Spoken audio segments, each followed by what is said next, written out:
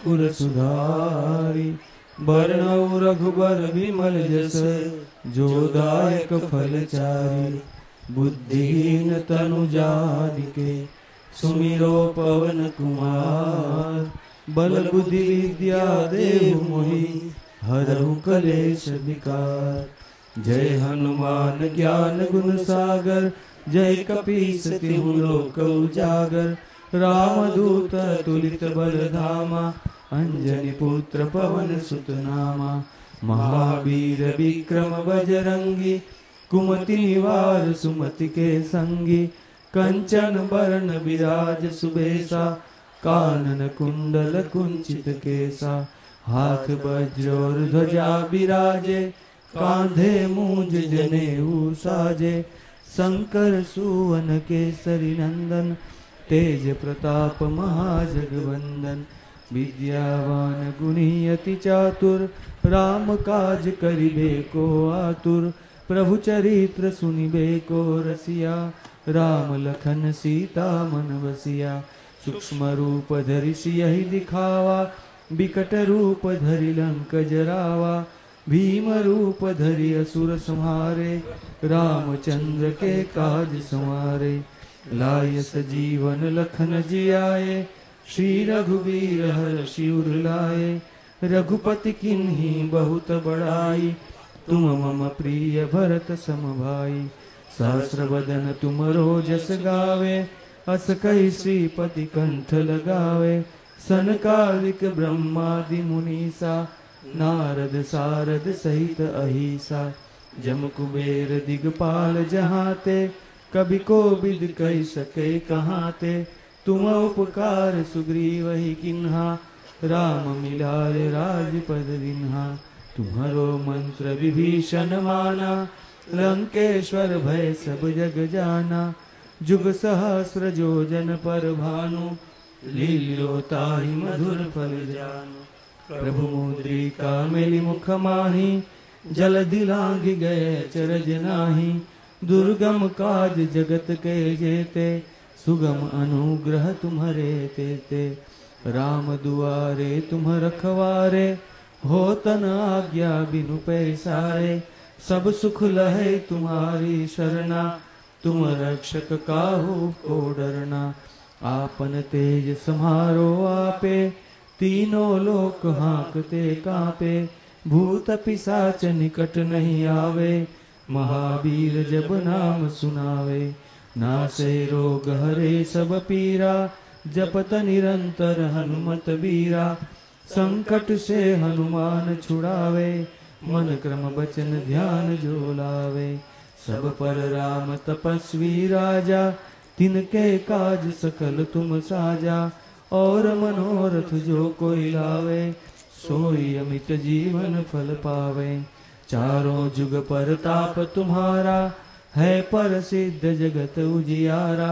साधु संत के तुम रखवारे असुर निकंदन राम दुलारे अष्ट सिद्धि नव निधि के दाता असबर दीन जानकी माता राम रसायन तुम्हारे पासा सदा रहो रघुपति के दासा तुमरे भजन राम को पावे जन्म जन्म के दुख बिसरावे अंत काल रघुबर पुर जाई जहाँ जन्म हरि भक्त कहाई और देवता चित्तन धरई हनुमत से सर्व सुख करई संकट हरे मिटे सब पीरा जो सुमिरे हनुमत बलबीरा जय जय जय हनुमान गोसाई कृपा करो गुरुदेव की જો સત બાર પાઠ કર કોઈ, છૂટે બંદી મહા સુખ હોય. જો યહ પડે હનુમાન ચાલીસા, હોય સિદ્ધિ સાખી ગૌરીસા. તુલસીદાસ સદા હરિચેરા, કીજે નાથ હૃદય મહડેરા પવન તનય સંકટ હરના મંગલ મૂર્તિ રૂપ. રામ લખન સીતા સહિત हृदय बसौ सुर भूप सियावर रामचंद्र की जय वीर रामचंद्र की जय पवन सुत हनुमान की जय उमापति महादेव की जय बोलो भाई सब संतन की जय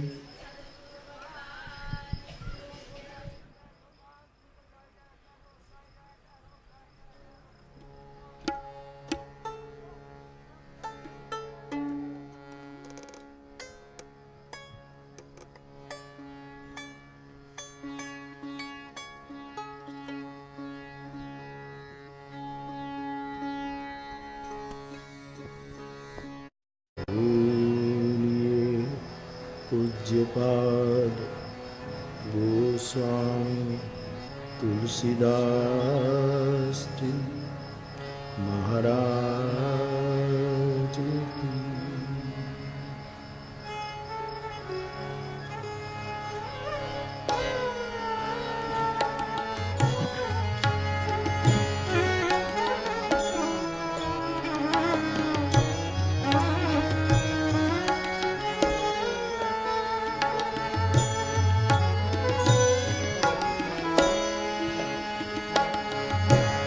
जो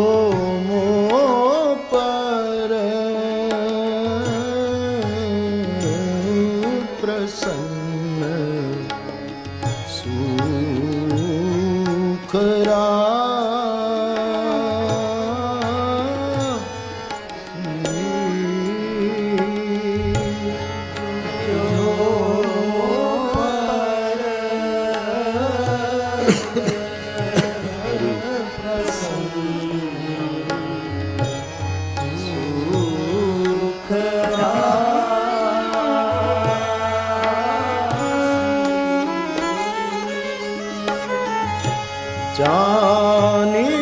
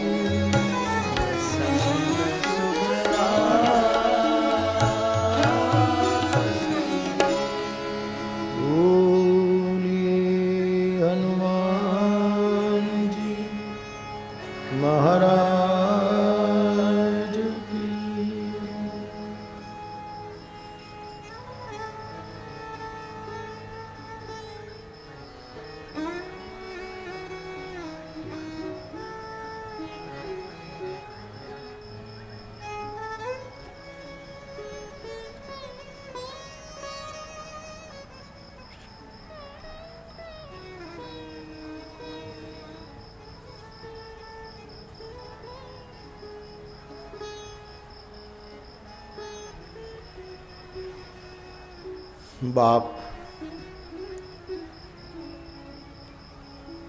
એકવાર ફરીથી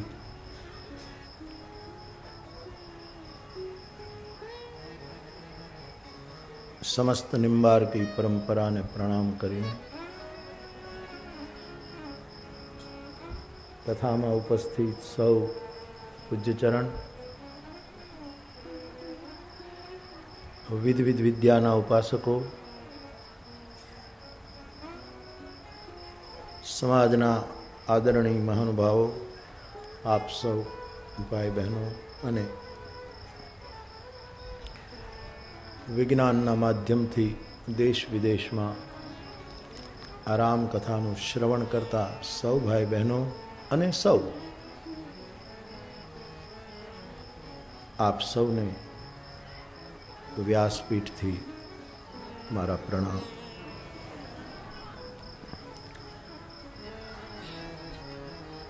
ભગવાન શિવને પાર્વતીએ નવ પ્રશ્નો પૂછ્યા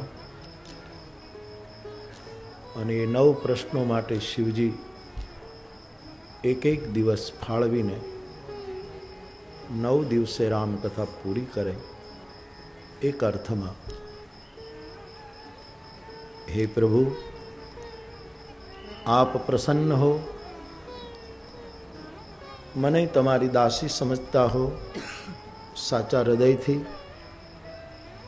તો મારા અજ્ઞાનનું હરણ કરો. મારી મૂઢતાનો નાશ કરો અને તે પણ રામકથાના માધ્યમથી. આ જિજ્ઞાસાના જવાબમાં રામકથાની ગંગા કૈલાસની પીઠથી વહી.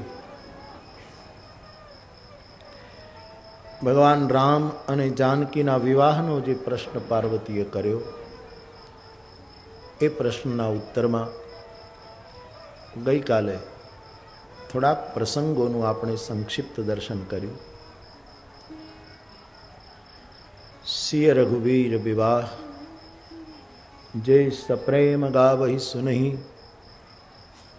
તિન કહ સદા ઉછાહ, મંગલાયતન રામજસ. એમ કહીને બાલકાંડ વિરામ પામે છે અને અયોધ્યા કાંડનો આરંભ થાય છે. પ્રત્યેક વ્યક્તિના જીવનમાં વધતી જતી મહત્વાકાંક્ષા આખરે દુઃખનું નિર્માણ કરે છે. મારી સમજમાં અયોધ્યા કાંડનો જે આક્રંદ શરૂ થયું છે અયોધ્યા કાંડમાં એના મૂળમાં આ વિચાર છે. અતિશય મહત્વાકાંક્ષા. આમ થાય, પછી આમ થાય, પછી આમ થાય, પછી આમ થાય. આવું સતત મન ઈચ્છે અને એમાંથી પ્રત્યેકના જીવનમાં રામ વનવાસ સર્જાતો હોય છે. ભગવાન રામ તો રાજ્ય મળે તો પણ પ્રસન્ન, વનવાસ મળે તો કોઈ ગ્લાની નહીં. મુખાંબુજ શ્રી રઘુનંદનસ્ય મે સદાસ્તુ સા મંજુલ મંગલ પ્રદા. આવું જ એનું દર્શન ગોસ્વામીજી પ્રસ્તુત કરે છે. નીલાંબુજ શ્યામલ કોમલાંગમ સીતા સમારોપિતવામભાગમ પાણૌ મહાસાયક ચારુ ચાપમ નમામિ રામમ રઘુવંશનાથમ અયોધ્યાકાંડનો આરંભ ગોસ્વામીજી ગુરુવંદનાથી કરે છે। સંતો પાસેથી સાંભળ્યું છે કે અયોધ્યા કાંડ એ યુવાનીનો કાંડ ગણાયો છે. એવું ક્યારેક બ્રહ્મલીન પૂજ્યપાદ ડોંગરે બાપા પણ કહેતા અને યુવાનીમાં જ કદાચ ગુરુની વિશેષ જરૂર છે. કોઈ માર્ગદર્શકની, કોઈ પ્રેરણા મૂર્તિની જરૂર યુવાનીમાં વધારે છે. કારણ કે યુવાનીમાં વધારેમાં વધારે તમોગુણ તો હેરાન કરતો જ હોય છે, પણ રજોગુણ વધારે હેરાન કરે. અને એ રજોગુણ મહત્પાદ રજોભિષેકમ કોઈ સમર્થની રજ વગર ક્યાં જાય છે? અને તેથી શ્રી ગુરુચરણ સરોજ રજ નિજ મન મુકુર સુધારે. વર્ણવ રઘુવર વિમલ જસ. જો દાયક ફલચારે આમ અયોધ્યા કાંડનો આરંભ કર્યો. અને અયોધ્યાવાસીઓની જે ઈચ્છાઓ વધતી ચાલી, એનું એક શબ્દ ચિત્ર ગોસ્વામીજીએ પ્રથમ પ્રકરણમાં આલેખ્યું છે. કુછ પંક્તિયા.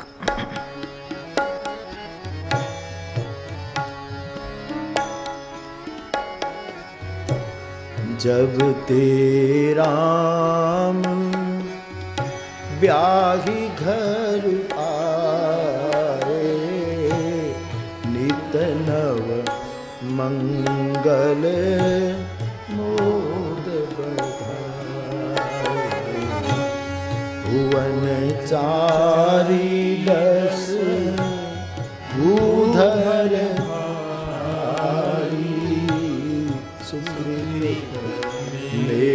बर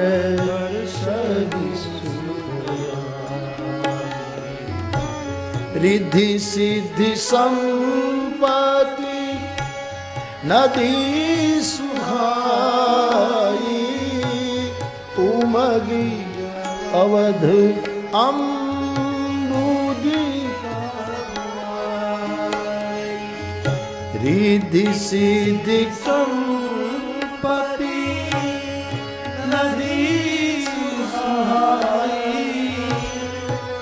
उमगी अवध अम्बुधि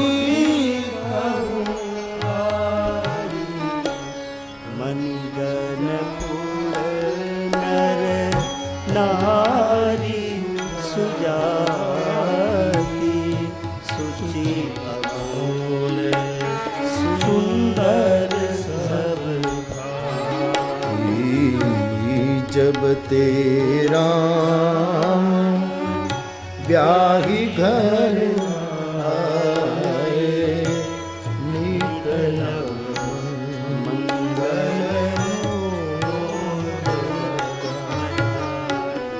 ભગવાન શિવજી પાર્વતીને કહે છે દેવી જ્યારથી રામ પરણીને અયોધ્યા આવ્યા ત્યારથી અયોધ્યામાં નિત્ય નૂતન આનંદ પ્રમોદ વધાય સુખ હિ સુખ તો સ્વામીજી કહે છે,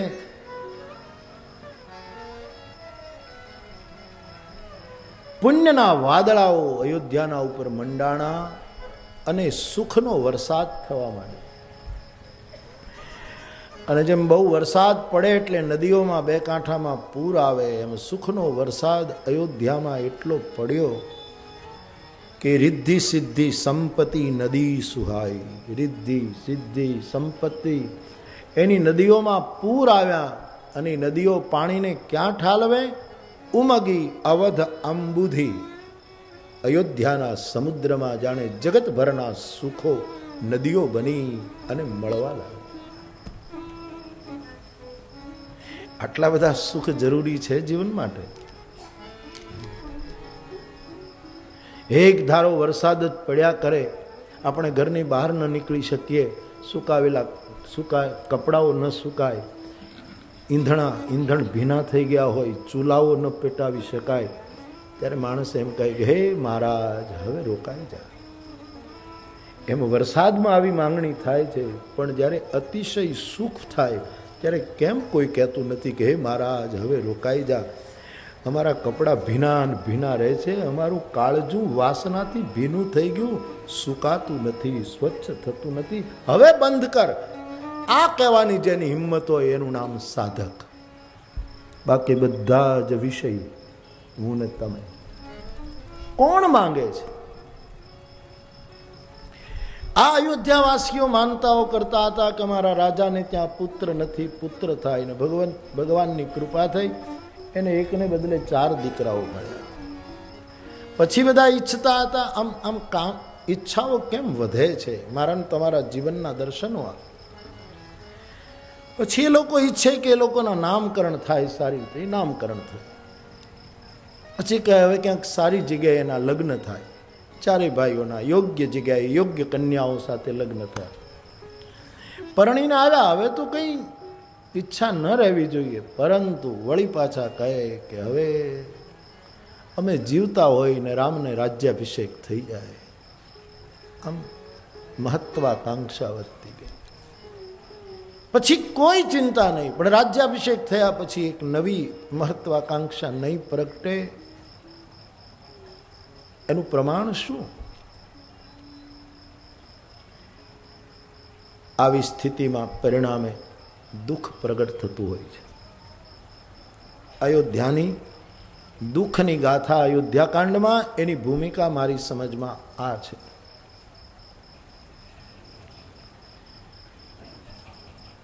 અને તેથી પરમાત્મા બધાને ખૂબ આપે. પણ એ સુખમાં ભીંગાય, ભીંજાઈ ગયેલો માણસ કોરો જ ન થાય.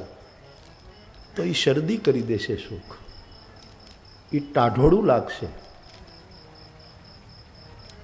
મને તમને ચેનથી સુવા નહીં દે. વિવેકાનંદજીને પૂછેલું કોઈ ઇન્ટરવ્યૂમાં કે ઝેરની પરિભાષા શું? ત્યારે કહ્યું કે કોઈ પણ વસ્તુ હદથી, માત્રાથી વધી જાય, એ બધું વિષ બની જાય. સુખનું પણ ક્યાંક આવું જ છે સુખ બધાને મળે. ભારતીય વિચારધારા ભારતીય મનીષા તો સર્વે જના સુખિન સંતુ, આ આપણું સૂત્ર છે. પરંતુ એ વધતું જાય વધતું જાય તો પછી એમાંથી જ દુઃખ જન્મે.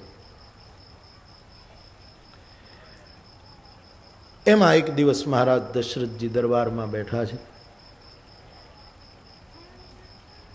રાય સુભાય મુકુર કર લિન્હા બદન ભિલોકી મુકુટ સમકિન્હા. દશરથજી રામાયણના પ્રસંગને ટૂંકમાં કહેતા કહેતા એના સાર તરફ હું તમે આગળ વધીએ. એ દર્પણ હાથમાં લે છે અને સભામાં, દર્પણમાં પોતાનો ચહેરો જુએ છે. રાજનીતિની સાથે, રાજ્ય ધર્મની સાથે ક્યાં સુધી આ સુસંગત છે એ ચર્ચાનો વિષય છે. કારણ કે જે સભામાં મહાજનો બેઠા છે વશિષ્ઠ આદિ મહાપુરુષો બેઠા છે, નાગરિકો બેઠા છે, એવી સભામાં સમ્રાટ દશરથજી રાજ્યસભામાં, ભરીસભામાં અરીસો લે અને એમાં પોતાનો ચહેરો જુએ અને મુકુટને જરાક સરખો કરે. સમ્રાટ છે, કરી શકે, પણ મર્યાદાને અનુકૂળ છે કે કેમ? એ વાત જરૂર અહીંયા ઊભી થાય છે.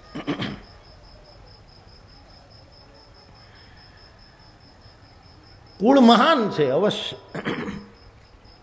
પણ મર્યાદા પુરુષોત્તમ શબ્દ તો રામ જન્મ્યા પછી આવ્યો છે. રામ મર્યાદા પુરુષો. કુળ અદભુત છે. ધર્મ ધુરંધર ગુણની. પરંતુ એના પૂર્વે અમુક અર્થમાં મર્યાદાના બહુ સારા સ્મરણો નથી. ભગવાન રામનું પ્રાગટ્ય થયું, પછી મર્યાદા પુરુષોત્તમ શબ્દ આવ્યો છે. આપણે ત્યાં મહાત્માઓ, આચાર્યો, સંતો અને સર્વજન લગભગ એવું બોલે છે કે ભાઈ ભગવાન શ્રી કૃષ્ણ લીલા પુરુષોત્તમ છે, પૂર્ણ પુરુષોત્તમ છે, રામજી મર્યાદા પુરુષોત્તમ છે. અદ્ભુત. બરાબર છે. પણ રામચરિત માનસને સાચા હૃદયથી ઉપાસે એ આ સૂત્રનો વિરોધ નહીં કરે, પણ એમાંથી બોધ પ્રાપ્ત કરશે. મારે મારી જવાબદારી સાથે કહેવું હોય તો કૃષ્ણ પણ મર્યાદા પુરુષોત્તમ છે. લીલા પુરુષોત્તમ તો છે જ, પણ મર્યાદા પુરુષોત્તમ પણ છે. રામ મર્યાદા પુરુષોત્તમ તો છે જ, પણ લીલા પુરુષોત્તમ પણ છે. વ્યક્તિગત નિષ્ઠામાં કોઈની નિષ્ઠા એક નામ, એક રૂપ, એક લીલાધામમાં હોય, એને આપણે આદર આપવો જ જોઈએ. પરંતુ સાર્વભૌમ દ્રષ્ટિએ આ બંનેને જુદા પાડી શકાય એવું નથી સાહેબ.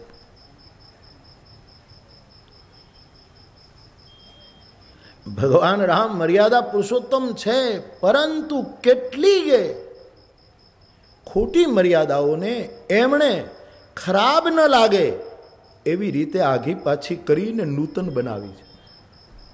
એ રામનું કાર્ય છે. દશરથજી તો કેવલ શબ્દના માણસ છે સાહેબ. એણે શબ્દવેધી બાણથી શ્રવણને માર્યો, એ જ દશરથ કઈ કઈના શબ્દવેધી બાણથી મર્યા. શબ્દના માણસ છે સાહેબ. અને તેથી કેવલ શબ્દનો માણસ સાહિત્યકાર ગણાય, વિદ્વાન ગણાય. દરેક વખતે એને સાધક કહેવો કઠિન છે. દશરથજીની પાસે દ્રષ્ટિ પણ છે અને કાન પણ છે, પરંતુ આ વ્યક્તિએ સદા સદા શબ્દને મહત્વ આપ્યું.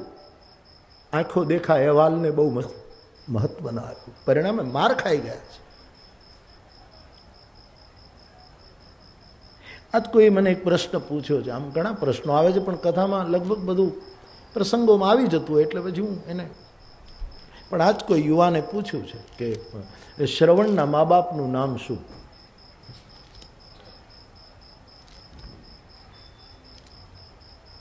આ પ્રશ્ન લોકો બહુ પૂછે, શ્રવણના મા બાપનું નામ શું? એના મા બાપના નામ છે, પણ તુલસીદાસજી નથી લખતા. તુલસીદાસજી બહુ સરસ નામકરણ કરે છે, શ્રવણના મા બાપ એ પ્રમાણ સાથે હું આપને કહું. તાપસ અંધ શાપ સુધિયા કૌસલ્યવી સર્વ કથા તુલસીદાસજીને કોઈએ પૂછ્યું શ્રવણના મા બાપનું નામ, કારણ કે ગ્રંથોમાં બે ત્રણ પ્રકારના નામો આવ્યા છે. અને હોઈ શકે, અત્યારે ઘણા બે બે ત્રણ ત્રણ નામ નથી રાખતા, એક હુલામણાનું નામ હોય, એક એનું જે સર્ટિફિકેટમાં હોય, અને એક ઘરની પત્ની એને જે નામે બોલાવતી હોય. અથવા તો પતિ પત્નીને જે નામે બોલાવતો હોય, અથવા તો મિત્રો જે નામ, ત્રણ ચાર નામ તો બધા જ રાખે છે. હકો હોય, રમેશ હોય, હકલો હોય ઘણા નામ હોય સાહેબ.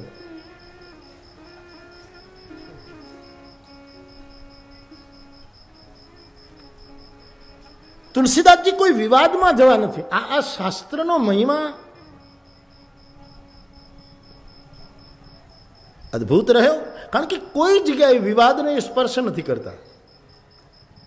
દશરથજીને કેટલી રાણીઓ એ તુલસીજીએ માનસમાં લખ્યું જ નહીં. કારણ કે વિવાદાસ્પદ છે. પછી પોતાના ઇતર ગ્રંથોમાં લખે સાતસો છે, આમ છે તે પણ રામાયણમાં તો કૌશલ્યાદિ નારી પ્રિય સબ આચરણ પુનીત. બસ. વિવાદમાં જવું જ નહીં. અને બહુ ટૂંકી જિંદગી, ટૂંકી એટલે સો વર્ષ કાંઈ ન ગણાય સાહેબ. આટલી નાની જીવનને વિવાદમાં વેડફવું એ માણસાઈ નથી. શેક્સપિયરનું એક વાક્ય છે સાહેબ. એણે એમ કહ્યું કે માણસને નિંદા કરનારાઓની સાથે વિવાદ કરવામાં જેટલી ઊર્જા ખર્ચાય, એટલી ઊર્જા પોતાની સાધનામાં ખર્ચે તો સત્યને પામી જવાય.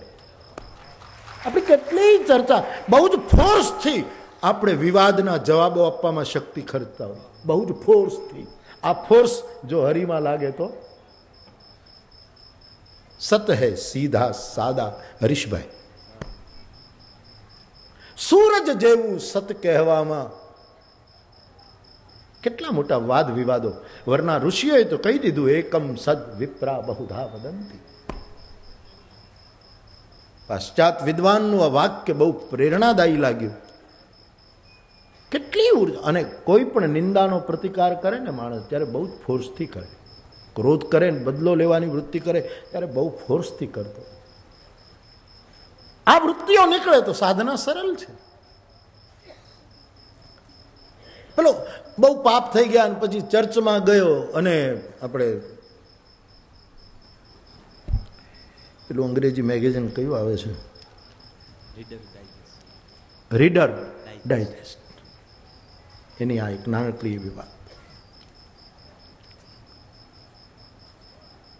લે, ત્યાં એ પેલો પાપ જાહેર કરવાની વાત હોય ને, ધર્મગુરુની પાસે પાદરી હોય ને, પછી ત્રણ વખત બોલે ને, એ લખીને પેટીમ નાખી દે, એટલે જાણે એ બધું પૂરું થઈ જાય એવું. એટલે પેલો માણસ જઈને કહે છે કે, હું બહુ ખરાબ પાપી, ભયંકર પાપી છું. હું પ્રસિદ્ધ પાતકી. ધર્મગુરુ, મને ઉપાય બતાવો કે હું આમાંથી મુક્ત કેમ થાઉં? એટલે એના નિયમ પ્રમાણે એને કીધું, ભાઈ, ત્રણ વખત ઈશ્વરને તું, જીસસને કહી દે કે, ઓ God, make me a good man. આમ ત્રણ વખત બોલ. હે પરમાત્મા, મને સારો માણસ બનાવી દે. એક વખત બોલ્યો, પછી બીજી વખત બોલ્યો. ઓ ગોડ મને તું સારો માણસ બનાવી દે. ત્રીજી વખત બોલ્યો, ત્યારે સુધારો કર્યો. એને એમ થયું કે આ ત્રણ વખત બોલી નાખું પાપ પડી જાય હું સારો માણસ થઈ જાઉં, તો મને ગાળો દીધી એનો જવાબ ક્યારે આપીશ? મારું ખરાબ કર્યું એના બદલા ક્યારે લઈશ?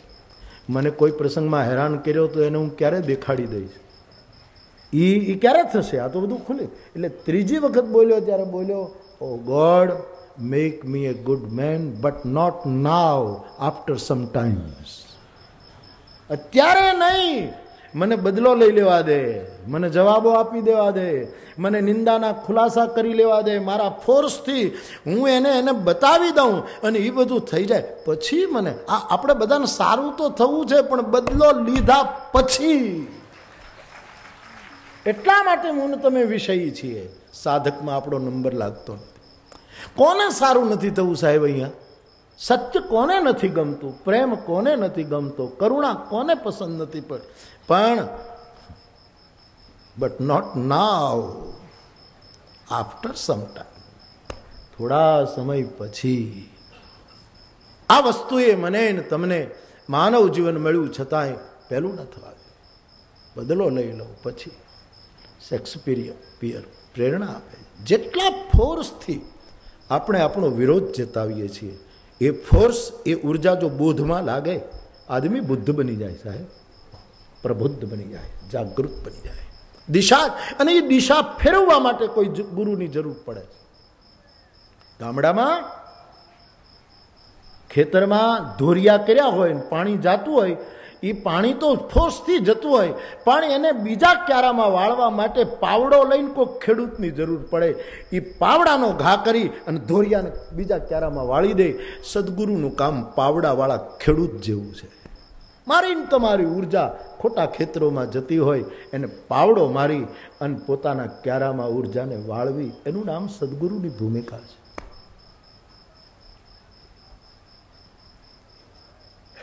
સુરત જેવું સત કહેવામાં. કેટલા વિખવાદો ઊભા થયા. કેટલી કેટલી પહેલી થઈ. તો તુલસીદાસજી ક્યાંય વિવાદમાં નહીં જાય. આ સંવાદની કથા છે. ચાર ચાર સંવાદો રજૂ કરી અને આખો સંવાદમય શાસ્ત્ર એમણે જગતને આપ્યું. કથા સાંભળ્યા પછી આ વાત હૃદય સુધી પહોંચે તો વિવાદોને ઓછા કરજો. કોર્ટમાંથી અને હાર્ટમાંથી બે જગ્યાએ. કોર્ટમાંથી પણ વિવાદ નીકળી જાય. અને પાછું કોર્ટમાં જ નીકળે ને હાર્ટમાં રહી જાય તો but now not after some times આવીને ઊભું રહે. સાહેબ. દશરથજીને કેટલી રાણી, શ્રવણના મા બાપનું નામ શું? આવા બધા પ્રશ્નોના જવાબમાં તુલસી પડ્યા નથી. એટલે એ કહે છે तापस अन्ध। श्राप सुधि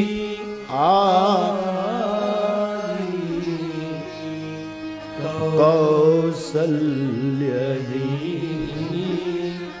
सब कथा।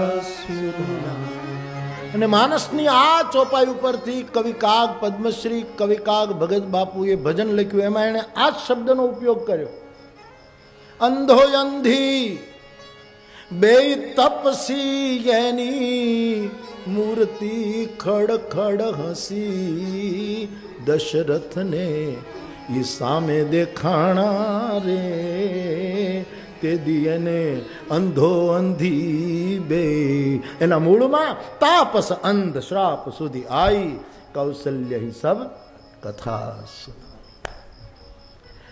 તો આપણે તુલસીની વાત સ્વીકારીએ ને આગળ વધીએ કે ભાઈ એના મા બાપનું નામ અંધ ને અંધી હતું. ઘણા નામ આજ પણ જો રહેતા હોય તો એના બે ચાર નામ હશે, એમાં એક નામ, સર્વસામાન્ય નામ અંધ ને અંધી, કારણ કે બંને જણા અંધ હતા.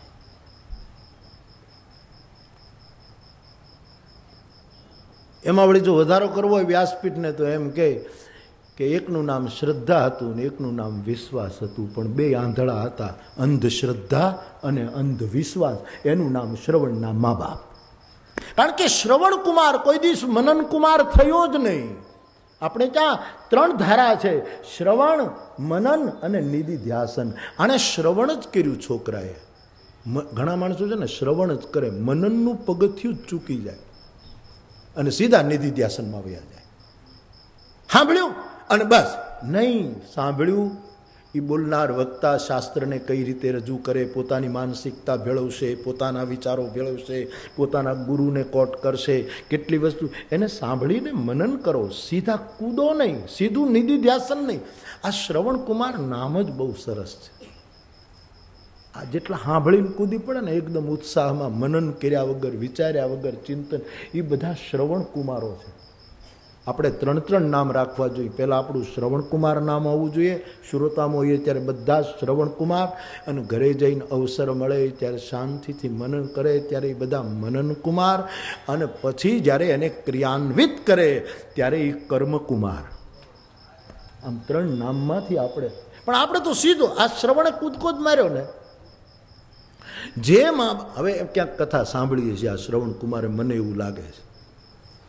એમાં મહારાજે કીધું છે મા બાપની સેવા કરવી, મા બાપને ખૂબ યાત્રા કરાવવી એ સાંભળ્યું છે.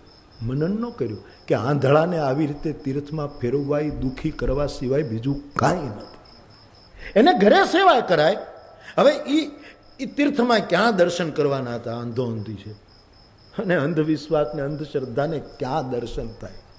ગમે ત્યાં લઈ જાઓ, કોણ જુએ? નહોતા લઈ જવાની જરૂર. પણ નહીં, કથામાં કીધું મારા જો મા બાપને જાત્રા કરે.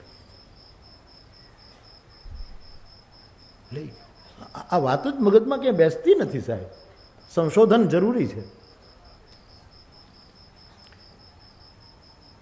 અને ચાલો, છોકરો તો આવેશમાં ઉત્સાહમાં આવી ગયો મારે મા બાપને બસ તીર્થયાત્રા કરાવવી છે દર્શન કરાવવા, અડસઠ તીર્થ, ઠાકોરજીના ચાર ધામની જાત્રા. પણ હવે એ જોઈ શકે એમ નથી. એને શું કામ તમે દુઃખી કરો? છોકરાએ તેમ કર્યું, પણ એના મા બાપે ન કહેવું જોઈએ બેટા કારણ વગરનું અમને શું કામ દુઃખી કરે? હા? અમને ઘરમાં તું હરખું ગોઠવણ કરી દે ને તમે બેઠા બેઠા નામ જપ કરીએ. ઠાકોરજીનું ધ્યાન કરીએ. આંખો તો નથી, આમે બંધ નહીં કરવી પડે. અંતર્મુખ થવામાં ફાયદો. અમે બેઠા બેઠા શ્રી હરિના સ્વરૂપનું ધ્યાન કરીશું. રૂપ દેખાય એમ નથી, કારણ કે આંખો છે ને, એવી મા બાપે કહેવું જોઈએ. પણ ઘણા મા બાપે સમાજમાં એવા છે કે છોકરાના ખભે ચડીને પરાણે જાત્રાઓ કરે છે. આ બે જણા એના ખભા ઉપર ચડ્યા સાહેબ. કાવડ લીધી એટલે શું? આ બુઢાઓને મારે વિનંતી કરવાની છે તમારે. કે તમે અંધો અંધી નહીં થતા. નહીતર એ મા બાપે આટલું સીધી વાત છે ને. છોકરાઓને ન કહી શકાય કે નહીં, મારા બાપ, અમારે આંખ નથી ને ખોટું. તું એ દુઃખી થા, અમે દુઃખી થઈ અને પાછા છોકરાને કાંધે ચીડે મર્યા પછી ચડે એ તો સમજાય. જીવતા. આ- દુઃખી કરવા સિવાય ધર્મ પણ વિચાર્યા વગર જ્યારે આચરણમાં આવે છે, ત્યારે દુઃખની સૃષ્ટિ ઊભી કરે છે. ગેરસમજોની સૃષ્ટિ ઉત્પન્ન કરે. ધર્મના મૂળ રૂપને આપણે જોયો જ નહીં સાહેબ. રામાયણ આ બધાના ખુલાસા કરે છે. આપ શાંતિથી વિચારો. એક મનન નથી કરતો, એની પાસે ખાલી કાન જ છે. એના મા બાપ પાસે આંખ નથી.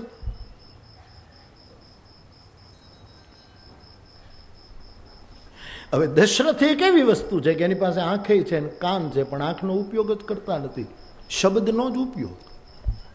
કથા તો તમે જાણો છો કે શ્રવણ આમ અને વળી એમાં તો કેવી કેવી કથાઓ આવે છે. વળી શ્રવણ ક્યાંક ઓલી કાવડ ઉતારી અને એવી જગ્યાએ મૂકે, ત્યાં વળી શ્રવણના વિચારો ફરી જાય.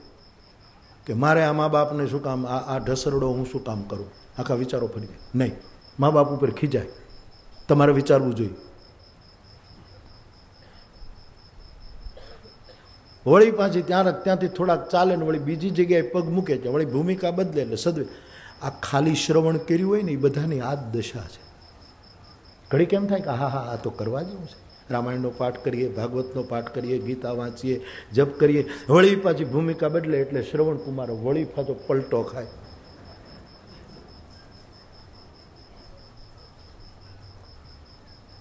આમ શું કામ કરું? આ કાંઈ ધર્મ કહેવાય? સહીમાં તો જેની પાસે જે હોય એને ધર્મમાં લગાડવું જોઈએ. આંખ ન હોય, એને ધ્યાનમાં પોતાનું ચિત્ત લગાડવું જોઈએ. પગ ન હોય, એને એક જગ્યાએ એકાંતે સુખ ધર્મનો અર્થ છે મારી તમારી પાસે જે હોય એનો વિવેકપૂર્વક સદુપયોગ.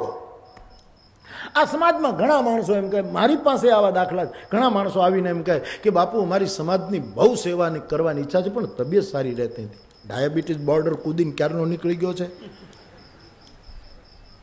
અને બીપી તો ઓલા મલગોડીઓ વાહડે ચડે ને ઉતરે, વાહડે ચડે ને એમ ઉતરે ને ચડે, એમ જ થયા કરે છે. ડૉક્ટરને હાજર જ રાખવો પડે છે. કિડનીનો ક્યાંય મેળ નથી, વેચાતી મળતી નથી. ઘણા વેચે છે પણ નેપાળમાં વયા ગયા હતા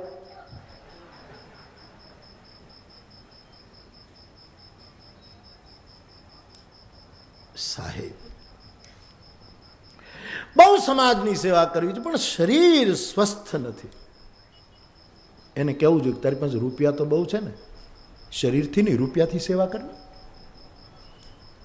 અને જેની પાસે રૂપિયા નથી, મસ્ત શરીર છે, એમ કે સેવા બહુ કરવી છે, પણ પૈસા જેની પાસે જે છે, એનાથી તો જાણે સેવા થાય જ નહીં. આવા ખોટા સૂત્રો લઈને શ્રવણ કુમારો બેઠા છે.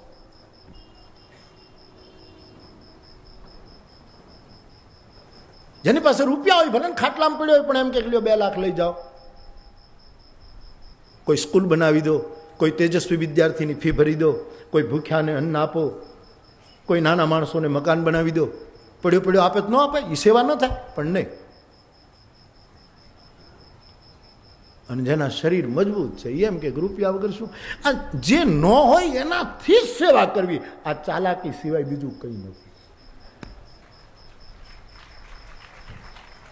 જેની પાસે જે છે. હવે અમે બીજું શું સેવા કરી શકીએ કોઈ નીલો સાહેબ? આ કથા અમે કરીએ. અમે અમે અમારી બીજી સેવા શું હોય? અમારે કાંઈ ચૂંટણી લડાય? જીતી જઈએ.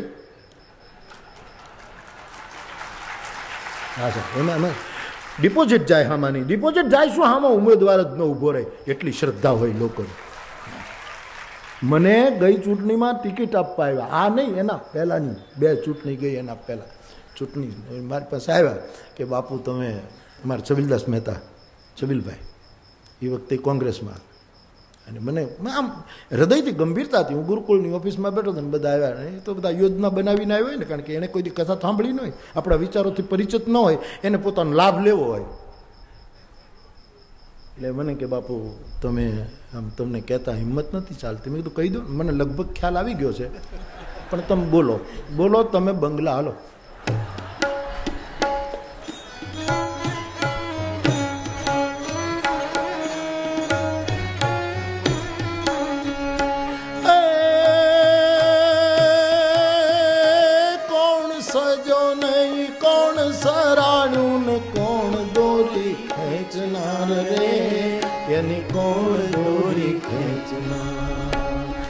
એની કોણ દોરી ખેંચનાર આ જીવ મમતા રાખીને જીવ લેતી એ કેવી હશે કરતા? કેવી હશે તલવાર?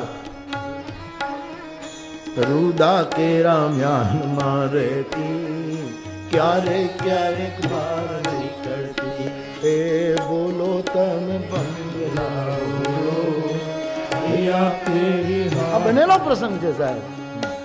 હું તો કાંઈ આત્મકથા લખવાનું નથી પણ લખવું હોય તો આ બધા પ્રસંગો લખી શકું. અને હાચા. હોય હો, એ હો ને આઠ ટકા હાચા. એટલે કે બાપુ, અમારી ઈચ્છા છે કે આપ જો લોકસભાની ચૂંટણી હશે? હા, જેવી તેવી નહીં. હા, પંચાયતની નહીં. ઠેક જ્યાં જવાની વાત હતી. એટલે મેં એને કીધું કે આપણે લોકસભાની ચૂંટણી લડીએ અને જીતીએ તો શું થવાય? મને કહે એમપી મેં કીધું એ તો હું છું, મોરારીદાસ પ્રભુદાસ. એ તો હું છું એમપી છું સાહેબ? તમે ખોટે ખોટા મને શું મારી પાસે આવ્યા? મેં બહુ વિવેકથી, વિનોદમાં જવાબ આપ્યો, સમજી. એટલું સારું કામ કરશો તો અમારી શુભકામના હોય, બાકી અમારું આ કામ નહીં. પણ આ વાતની છબીલદાસ મહેતાને ખબર પડી કે અમુક લોકો બાપુ પાસે ગયા હતા અને એણે સાહેબ નિવેદન કર્યું કે મુરારી બાપુ ઊભા ન હોય તો હું એની સામે ઊભો જ નહીં રહું. બાપુ બિનહરીફ આવવા જોઈએ. એટલી શ્રદ્ધા છે લોકોની. હું મારું પાછું ખેંચે. પણ અમારે સેવા કરવા માટે કંઈ એમાં જવાની જરૂર નથી. મારી સેવા વ્યાસપીઠ છે. અમારી વૈચારિક સેવા છે. અને વ્યાસપીઠ બેઠા પછી ખડપીઠમાં કોણ જાય? એ તો બધી ખડપીઠ છે સાહેબ. કોક ચારો ઉપાડી જાય છે કોઈક કાંક ઉપાડી જાય છે કોઈક કાંક કરી જાય છે. બધી ખડપીઠની વાતો છે સાહેબ. વ્યાસપીઠ આ અમારા કરણનો ખડપીઠ શબ્દ કરણ અમારો દ્વારકાવાળો, એનો જ, એનો. અંજારના અમારા કથાકાર સંમેલનમાં ત્રિવેણીમાં એમણે આ ખડપીઠ શબ્દ વાપર્યો હતો. એનો શબ્દ છે, ખડપીઠ. ભેંસો રાખે છે ને એટલે એને આ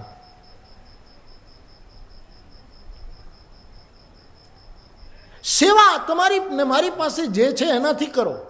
અને વ્યાસપીઠ જેટલી સેવા કરે છે આ હું અમે ગાઈએ એટલા માટે નહીં.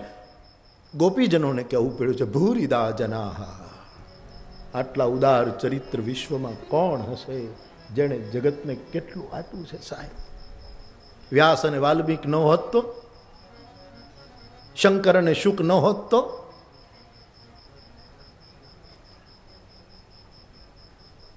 બાપ આપણી પાસે જે હોય એનાથી સેવા શરૂ કરવી જોઈએ. આ છટકી જવાના બધા હોશિયારી પૂર્વકના આ બહાના છે. શરીર સારું નથી તો રૂપિયાથી સેવા કર. રૂપિયા નથી તો શરીરથી સેવા કર.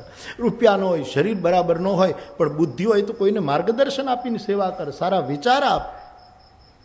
પાંચ જણાની વચ્ચે બેસીને સદવિચારનો ફેલાવો કર. જે હોય એનાથી શરૂઆત કરો.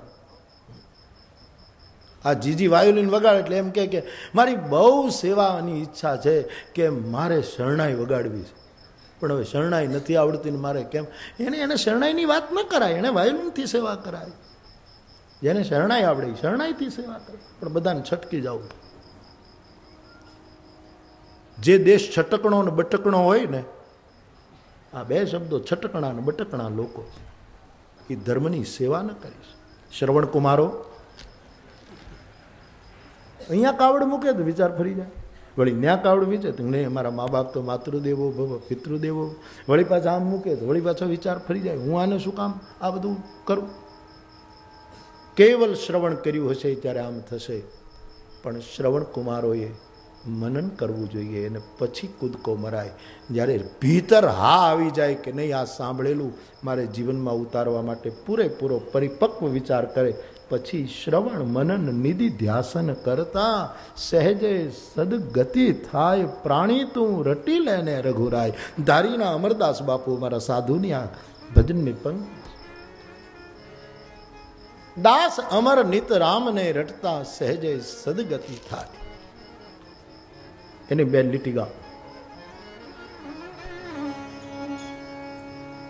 ટીપે ટીપે સરોવર છલકે કાંકરે પાળ બંધાય. શ્રવણ નદન મનન નિધિ ધ્યાસન કરતા સહેજે સદગતિ થાય. ધીરે ધીરે ધીરે આપણી પાસે જે ક્ષમતા હોય એનો સદુપયોગ કરવો આ વિચાર આપણામાં રહેવો જોઈએ. ડૉક્ટર હોય ડૉક્ટરીથી સેવા કરી. મલ યુદ્ધ કરવા થોડો જાય. હા? ડૉક્ટર બોક્સિંગમાં ઉતરે. એને એને પોતાના ક્ષેત્રથી સેવા કરવી જોઈએ. ઈમાનદારીથી નવ દર્દીના પૈસા લે દસમાને ફ્રી નવના લે ને દસમાને ફ્રી આમ દશાંશ ડૉક્ટરો કરે મારા દેશના. કેટલું મોટું કામ થાય. તમામ લોકો, આ તો જે મારે નામ યાદ આવે એ હું બોલું બાકી બધાને મારે અમારી સાથે.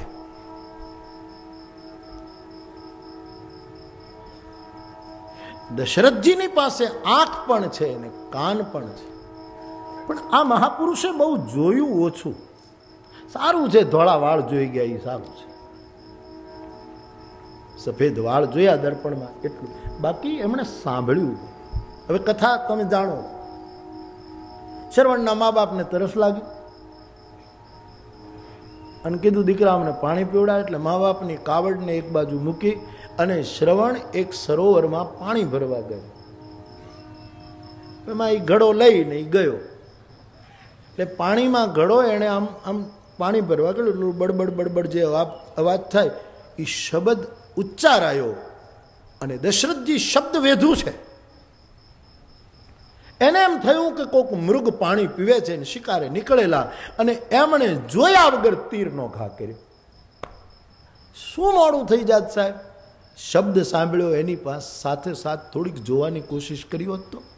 કે આ મૃગ નથી, માણસ, તો આ કોઈ મુશ્કેલી આવીને ઊભી ન હોત પણ શબ્દ, બસ એને એમ થયું મૃગ પાણી પીવે અને એમને આમ તીર છોડ્યું અને શ્રવણ બાળકનું પેલું મૃત્યુ પછી દોડીને ગયા અને જોયું, પછી પાણીનો ગળો ભરીને અંધ અંધની પાસે ગયા. લ્યો, આ પાણી શરૂઆતમાં તો ન કીધું કે હું દશરથ છું, હું શ્રવણ છું, પણ મા બાપ તો ઓળખી જાય ને. કે તું શ્રવણ નથી. શાપ આપીશું. જલ્દી બોલો, કોણ? અરે કીધું અવધ નરેશ છું, આમ થયું. અને પછી પહેલાં એ શ્રાપ આપી દીધો કે, મારા દીકરાના વિયોગમાં અમારું મૃત્યુ કરાવ્યું તો તું એ તારા દીકરાના વિયોગમાં મરીશ. આ બધી સમજ્યા વગરના નિર્ણયો લેવાના પરિણામો આવ્યા. ખાલી શબ્દ વેધું.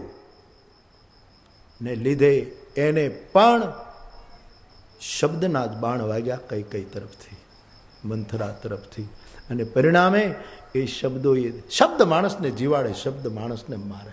શબ્દની આ શબ્દ બ્રહ્મ છે. અમારે નિંબાર્કીમાં અક્ષર બ્રહ્મ શબ્દ છે. અક્ષર નિંબાર્કી સિંહાસનના ચાર પાયા છે. આ અક્ષર બ્રહ્મ મૂળ ઉપનિષદનો અને મૂળ જે આપણે આપણા નામે ચડાવી દઈએ, એક વાત જુદી છે સાહેબ. બાકી મૂળ સનાતન ધારા છે આ અક્ષર બ્રહ્મ. નિંબાર્કમાં તો ચાર પાયા છે. ચાર ચાર દર્શનો છે નિંબાર્કીઓના. અને વિશાળ પાયા પર એક એક પાયાનું નામ છે અક્ષર બ્રહ્મ બીજા પાયાનું નામ છે ઈશ્વર બ્રહ્મ ત્રીજા પાયાનું નામ છે જીવ બ્રહ્મ અને ચોથા પાયાનું નામ છે જગત બ્રહ્મ આ ચાર ઉપર નિંબાર્કી વિશાળ વિચારધારાના વિચારો સમાજમાં રાખ્યા. અક્ષર બ્રહ્મ એટલે અક્ષર નહીં, બાવન બારો. ખેલ ખેલી લે ચોધારો જોઈ લે બોલે બાવન બાર. બાવનથી બાર આપણે જે અક્ષરોની વાત કરીએ છીએ, અક્ષર એટલે જેનો નાશ ન થાય તે. જે ક્ષરને ન પામે તે અક્ષર. એ બ્રહ્મ છે ઉપનિષદો. શાશ્વત બ્રહ્મ, અક્ષર બ્રહ્મ. રામાયણમાં લખ્યું આ બધા સૂત્રો જ્યાં સુધી ગુરુ કૃપાથી અને સંતોના આશીર્વાદથી સાંભળી સાંભળીને વાંચીને અને મૂળ તો ગુરુની કૃપાથી જે કંઈ સમજાયું, રામચરિત માનસમાં દ્વૈતાદ્વૈત, યાની ભેદાભેદ, વિશિષ્ટાદ્વૈત, શુદ્ધાદ્વૈત, અદ્વૈત, બધા સિદ્ધાંતોના કોઈને કોઈ જગ્યાએ સંકેત છે. એટલે નાના પુરાણ નિગમાગમ સંમતમ યદ. રામાયણે નિગદ બધાને આમાં તુલસી એટલા માટે લખે છે. ગાવત બેદ પુરાણ અષ્ટ દસ છહો શાસ્ત્ર સબ ગ્રંથન કો રસ. જેમ મિક્સરમાં તમે સફરજનના ટુકડા નાખો, કેળા નાખો, ચીકુ નાખો અને આંબાના થોડા કેરીના ટુકડા નાખો ને મિક્સર મશીનથી એ બધું જ ભેગું થઈ જાય અને જેમ જ્યુસ નીકળે એમ તુલસીદાસજીએ જ્યુસ કાઢ્યો છે. છહો શાસ્ત્ર સબ ગ્રંથન કો રસ.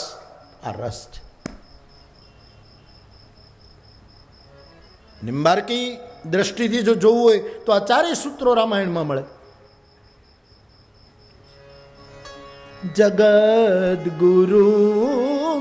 શાશ્વતમ તુરી મેવ કે આ અક્ષર બ્રહ્મ છે શાશ્વત બ્રહ્મ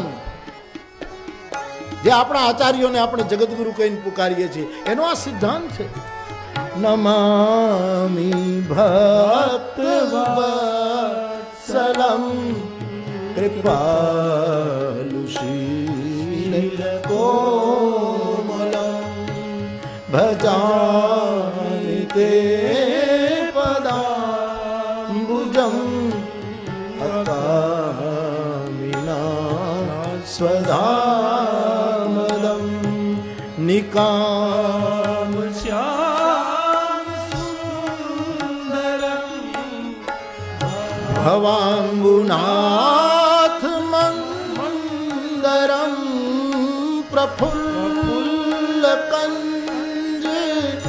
લોચનમ મદાદિદોષ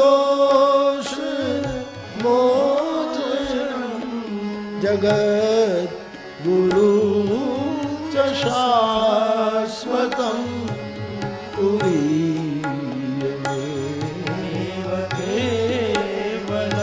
અક્ષર બ્રહ્મ એનો કોઈ દિવસ નાશ ન જો નાશવંત નથી, શાશ્વત છે. એવા બ્રહ્મની ઉપાસના, એ જે મૂળ આપણી ધારા, સનાતન વૈદિક ધારા, જે જ આચાર્યોએ પોતપોતાના અનુભવ પ્રમાણે રજૂ કરી છે. વૈવિધ્ય છે, વિરોધ નથી. બધાની પદ્ધતિ, જે પદ્ધતિથી જેણે અનુભવ્યું, એ વાતને સહજતાથી પેશ કરી. ક્યાંય વિરોધ નથી. અક્ષર બ્રહ્મ. શાશ્વત બ્રહ્મ. ઈશ્વર બ્રહ્મ. ઈશ્વર બ્રહ્મનો અર્થ કરવામાં આવ્યો. જે સમગ્ર જગતનું સર્જન કરે. માયા વડે એ ઈશ્વર બ્રહ્મ. પ્રમાણ? બ્રહ્માંડ નિકાયા, નિર્મિત માયા. રો રોમ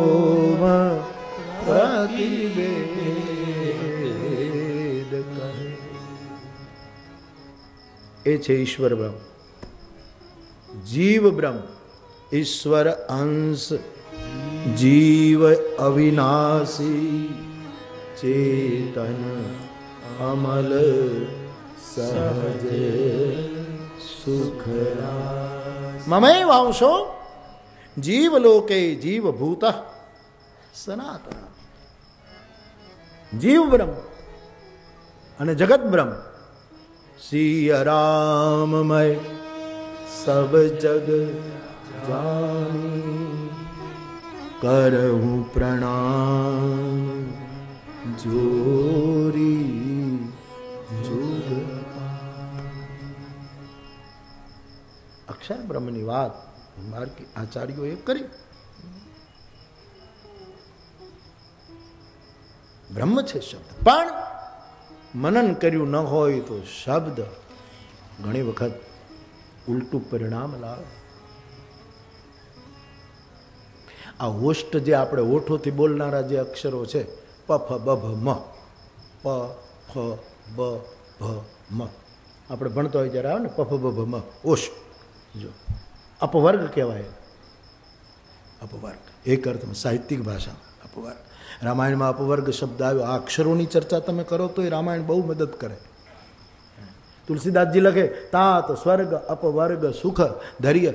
એ સ્વર્ગ અને તાત સ્વર્ગ, અપવર્ગ એ અપવર્ગ શું છે?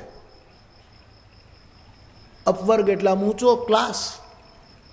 ઉપરનો ક્લાસ, ઉપરની શ્રેણી, અપવર્ગ, અપશબ્દ. મોક્ષ, નિર્માણ, બધાએ પોતપોતાની રીતે અર્થો કર્યા છે. પણ પ, ફ, બ ભ મ. અહીંયા હોઈએ ને તોય આપણને અપવર્ગ મળે જે ઓષ્ટા પાંચ અક્ષરને જે સમજી શકે. પ. એટલે શંકરાચાર્યની જેમ જેના પાપ પુણ્ય સમાપ્ત થઈ ગયા. ન પુણ્યમ, ન પાપમ, ન પાપ પુણ્ય. એવી અવસ્થા અપવર્ગ કહે પાપ પુણ્ય હવે કોઈ નહીં. પુણ્યમ પાપ હરમ સદા શિવકરમ વિજ્ઞાન ભક્તિ પ્રદમ માયા મોહ મલાપહમ સુબિમલમ પ્રેમાંબુપૂરમ શુભમ અપવર્ગ જીવતા જીવતા અક્ષરોમાંથી પણ કેટલી મોટી પ્રેરણા મળે જીવતા જીવતા આપણને અપવર્ગ મળે પફ બભ મ સમજી જાય પ એટલે પાપ પુણ્ય નહીં મુક્ત બસ પાપ કોઈ પ ફળની ઈચ્છા નહીં. સહજ જીવવાનું. પાપ પુણ્ય તો એક ઈચ્છા છે ને આ કરીએ તો પુણ્ય, આ કરીએ તો પાપ. ફળની જ જેને ઈચ્છા નહીં એ પ પછી ફ, પ, ફ, બ બ. કોઈની બીક નહીં, ભય નહીં, ચિંતા નહીં, અભય દીન જાની તે અભય કરે જરાય બીક નહીં. જ્યાં હોય ત્યાં પાંચ જો વસ્તુ સર્જાય તો અપવર્ગ. બસ. પ એટલે પાપ પુણ્ય મુક્ત ચિત્ત. ફ એટલે ફળની આકાંક્ષા નહીં. પ, ફ, બ. કોઈની બીક નહીં. પ, ફ, બ. ભ જેટલી થાય એટલી ભક્તિ કરવી. ભજન કરવું. હરિન ભજવો. રટણ કરવું. એ ભ અને મ. મૃત્યુને મહોત્સવ માનવો. મૃત્યુ પછી કાંઈ ડરાવી ન શકે, મોત મોત ન બની શકે. એક જુદું સ્વરૂપ, આ પફ બભ મ. લ્યો. આ અપવર્ગ છે. અપવર્ગ એટલે ક્યાંક ઉપર કંઈક પ્લોટ છે ત્યાં પછી આપણા માટે એક સરખી સાઈઝના મકાનો સોસાયટીમાં બાંધ્યા છે ને, ત્યાં આપણને એવું નથી. અહીંયા બેઠા બેઠા ભય મુક્ત જીવન, ફળ મુક્ત જીવન ભજનયુક્ત જીવન, પાપ પુણ્યથી મુક્ત જીવન. મૃત્યુની કોઈ ચિંતા. આવું જીવન જો જીવતા આવડી જાય તો પફ બભમાં હરિનું નામ લેતા જો આવડી જાય. પ્રેમ ભાવથી જીવતા આવડી જાય તો અપવાદ પણ એ ત્યારે થશે જ્યારે શ્રવણ કુમાર મટીને આપણે મનન કરતા થઈશું. બુદ્ધ ભગવાન છે ને એક વખત આમ છેલ્લે સાંજે પોતાની કુટિયામાં સુવા જતા હતા. એટલે આમ ઊભા થયા ત્યાં એક ભિક્ષુએ પ્રશ્ન પૂછ્યો બુદ્ધને. આમ આમ પવન વહેતો હતો અને આમ ધૂળ ઉડતી હતી. એવો એવો સાંજનો સમય હતો. એમાં એક સાધકે પ્રશ્ન પૂછ્યો કે ભગવાન, આ જગતમાં કઠોરમાં કઠોર વસ્તુ કઈ? હવે એ જ વખતે પેલી ધૂળ ઉડી, એટલે ધૂળ ઉડીને બુદ્ધની આંખમાં પડી. એટલે ધૂળના રચકણો આમ કરકરું આંખમાં કણા પડે એવું એવું થયું એટલે બુદ્ધે આંખ ચોડી અને તરત જ જવાબ આપ્યો કે કઠોર વસ્તુ મીઠી માટી છે. આમ જતા જતા ગંધકુટીમાં જતા હતા અને આ પ્રશ્નોત્તરી થઈ અને એણે કીધું કે ભાઈ આ કણા છે, માટી છે, એ કઠોર છે. આમ કુટિયામાં જતા હતા એટલે એક ભિક્ષુએ પ્રશ્ન પૂછ્યો, ભગવાન, હવે જ્યારે ચર્ચા શરૂ થઈ છે, તો એક પ્રાર્થના, માટી કરતાં કઠોર શું? આમ પ્રશ્નોત્તરી શરૂ થઈ. સદગુરુની સાથે જીવાય ને તો હરેક ઘડી સત્સંગની હોય પ્રત્યેક પળ સત્સંગની હોય એની એની સાથે, અને એની સાથે જીવવાનું આવડતું હોય તો પાછું સાથે રહેવા માટે એની એની, એના એના સ્વભાવને ઓળખીને જીવન જીવાય. ખાલી વિચાર્યા વગર નિધિ ધ્યાસન ન હોય. જેને કોઈ કોઈ પહોંચેલા મહાપુરુષનો સાથ મળી જાય, એની પાસે થોડો સમય બેસવાનું મળે તો એના જેવું કેટલું મોટું જીવતર સાહેબ. એટલે બુદ્ધ જતા જતા કહે છે કે માટી કરતા પથ્થર કઠોર. બસ. જતા હતા. વળી ત્રીજા શિષ્ય પૂછ્યું, ભગવાન, એક જિજ્ઞાસા. હવે જ્યારે ચર્ચા શરૂ થઈ છે, તો પથ્થર કરતાં શું કઠોર? વધારે કઠણ શું? એટલે બુદ્ધે જતા જતાં કીધું, લોઢું. લોખંડ વધારે. મજબૂત, બળવાન. લોઢું વધારે. પહેલું છે. વળી જવા લાગ્યા એટલે વળી ચોથા ભીખુએ પૂછ્યું કે, લોખંડ કરતાં બળવાન કોણ? એટલે બુદ્ધે કહ્યું, અગ્નિ. લોખંડને પીગાળી દો. અગ્નિ બળવાન. ભગવાન જશો નહીં, અમારી જિજ્ઞાસાની પૂર્તિ કરો. વળી એક આગળના સાધુએ પૂછ્યું કે માટી કરતા પથ્થર બળવાન, પથ્થર કરતા લોઢું કઠોર બળવાન, એના કરતાં અગ્નિ અગ્નિ કરતા બળવાન કોણ? બુદ્ધે કહ્યું, પાણી, અગ્નિને ઓલવી નાખો. પાણી બળવાન એક શિષ્ય પૂછ્યું, પાણી કરતા શું બળવાન? બોલે, પવન. કારણ કે પવન હોય તો જ પાણી બને. એચ ટુ ઓ પવન ન હોય તો પાણી નિર્માણ ન થાય, વિજ્ઞાનના નિયમ પ્રમાણે. એટલે પવન વધારે બળવાન છે.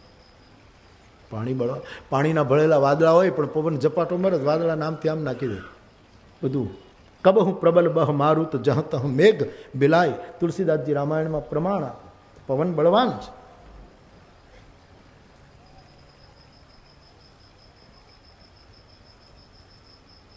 આટલું કહીને બુદ્ધ તો જતા રહ્યા. સાધકોનું સમાધાન થઈ ગયું, ગંધકુટીમાં, વિશ્રામમાં વહી ગઈ. પણ હવે જ્યાંથી અટક્યું છે જ્યાંથી મારે શરૂ કરવું છે. આગળ જવું છે. એકવીસમી સદી છે આ. બુદ્ધને અઢી હજાર વર્ષ થઈ ગયા. હવે મારે તમને પૂછવું છે કે બુદ્ધ તો પવન કહીને બધાનું સમાધાન એને જે કહેવું હતું એ કહી દીધું બસ. પૂરી થઈ ગઈ વાત એના માટે ત્યારની. અને એ પોતે વિશ્રામમાં ગયા પણ હવે મારે તમને પૂછવું છે કે પાવ પવન કરતા બળવાન કોણ? શ્રવણ કુમારો. આ જગતમાં પવન કરતા બળવાન કોણ બંગાળીમાં?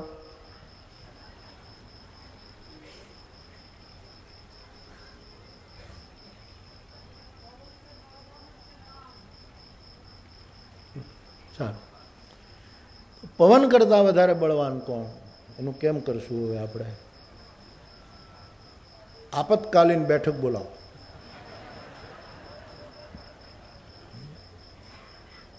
બે મિનિટ ભગવાનનું નામ લ્યો એટલે કોકને યાદ આવી જાય પછી આગળ વધુ. કાં તો મને યાદ આવી જાય. મને જો કે યાદ જ છે, હું તૈયાર છું.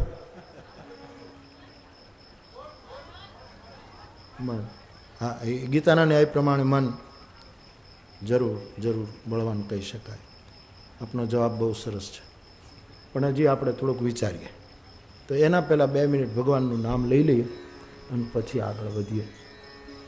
બધાની ઈચ્છા હોય તો આપણે બે મિનિટ ભગવાનનું નામ લઈએ. હા? હા, તો ચાલો, લ્યો, હાલો. શ્રી રાધે ગોવિંદ. ભજ મન શ્રી રાધે રાધે.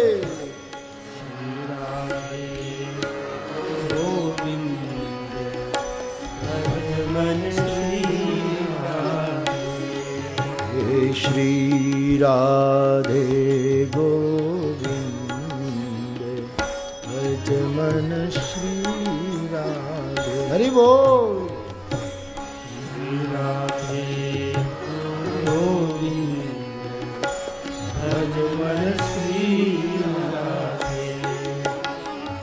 શ્રી રાધે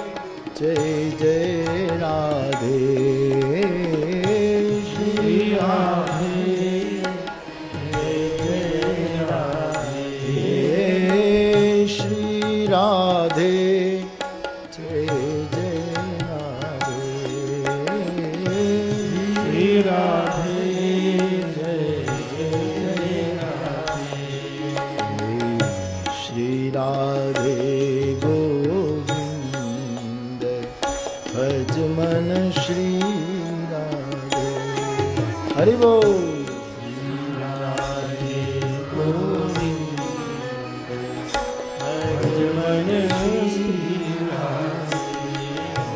શ્રી રાધે ગોવિંદ ભજ મન શ્રી રાધે રાધે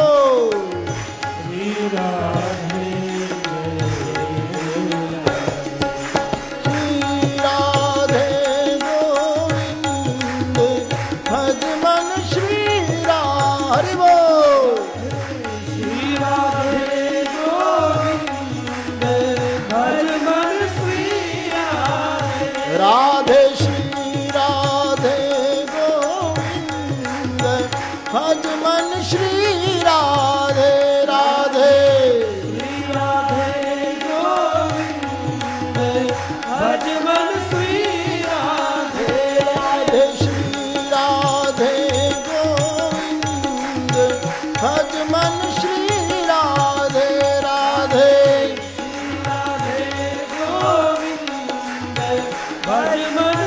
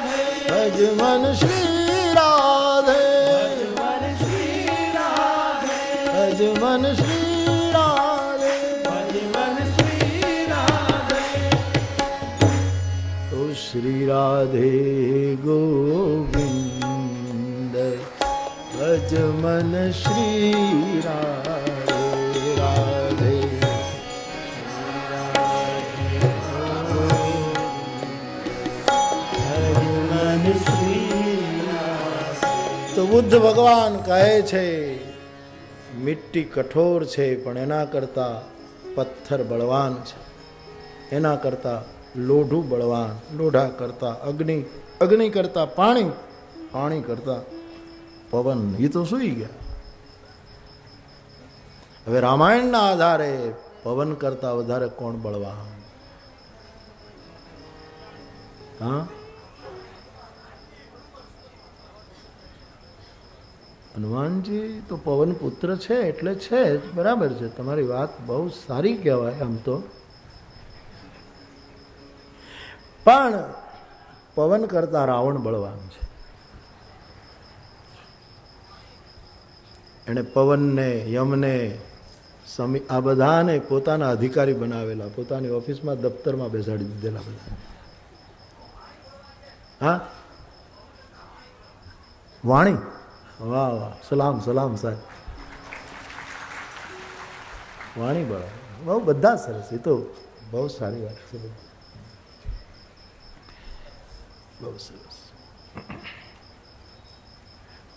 તો એક અર્થમાં આપના જવાબો બધા સરસ છે, સાહેબ. પ્રેરણાદાયી છે. પણ પવન કરતા રાવણ મળવા પણ રાવણ કરતાંય ક્યારેક ક્યારેક એનો દીકરો ઇન્દ્રજીત બળવાન છે. જે જાગૃત માણસને મૂર્છિત કરે એના બળની મહિમા ગાવી રહી. એણે લક્ષ્મણને મૂર્છિત કર્યા. વીર ગાતિની સાંગીની છે તેજ, પુંજ, લક્ષ્મણ. તો ઇન્દ્રજીત બળવાન છે સાહેબ રાવણ કરતા. હા, અને તમે જુઓ, ઇન્દ્રજીત મર્યો ત્યારે રાવણને બહુ લાગી આવ્યું છે. એ માણસ થોડોક અધૂરો થઈ ગયો એવું એને લાગ્યું. બળવાન. અને આમ વિનય પત્રિકાના અર્થમાં પણ ઇન્દ્રજીત બળવાન ગણાય. મોહ દશમાઉલી તદભ્રાત અહંકાર અને પાકારી જીત કામ. ઇન્દ્રજીત કામ છે અને કામ બહુ બળવાન છે સાહેબ. કામ બહુ મોટું બળવાન છે.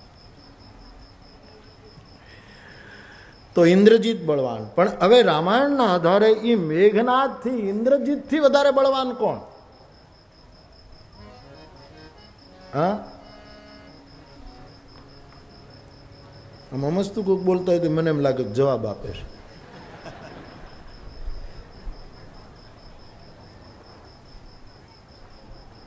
ઇન્દ્રજીતથી કોણ બળવાન?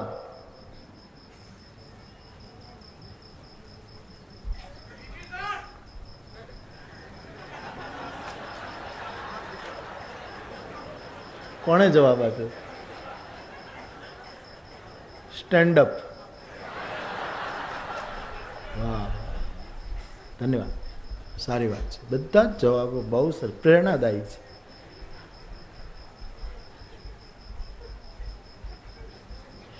પણ વિભીષણ કરતા બળવાન વચ્ચે તમે એક જવાબ આપ્યો. એ હનુમાન બળવાન છે. જીતી ન જાય, પ્રભંજન જાયા. બહુ જ શક્તિ વાપરતો તો ઇન્દ્રજીત. પણ બાકી ઇન્દ્રજીત બહુ જ મોટો બળવાન સાહેબ. ઉછળે નાગ જેમ બાણ અસમાનમાં અધર ધણ બાદજી શીશ ઉડે. અને ફેલાણા રક્તધર રધી દળ ફેલ્યા, પછી એમાં બાપડા હાથીને અશ્વ ડૂબે. પ્રબળ ઘોર ઝપાટે, કેળ વનધર પડે. પ્રબળ ઘોર ઝપાટે, કેળ વનધર પડે એમ પ્રતિસર કઈકના ઢૂંઢ પડ્યા અને પછી સામ સામા ભળે વીર સંગ્રામમાં ચોઈ દસ બાંધી જેમ મેઘ ચડ્યા, ત્યાં તો ઉછળે નાગ જેમ બાણ અસમાનમાં અધર ધણ બાજજી શીશ ઉડે, ફેલાણા રક્તધર રધી દળ ફેલ્યા. બાપડા હાથીને અશ્વ ડૂબે ચા તો પ્રબળ લક્ષ્મણે તીર લઈ છોડ્યું ને રાવણ અસુર પુત્રને હૃદય લાગ્યું.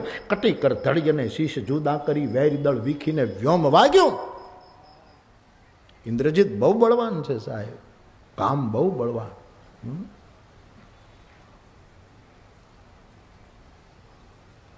પણ એનાથી બળવાન અમારો હનુમાન. તો હનુમાનથી બળવાન કોણ? હા? ભજન.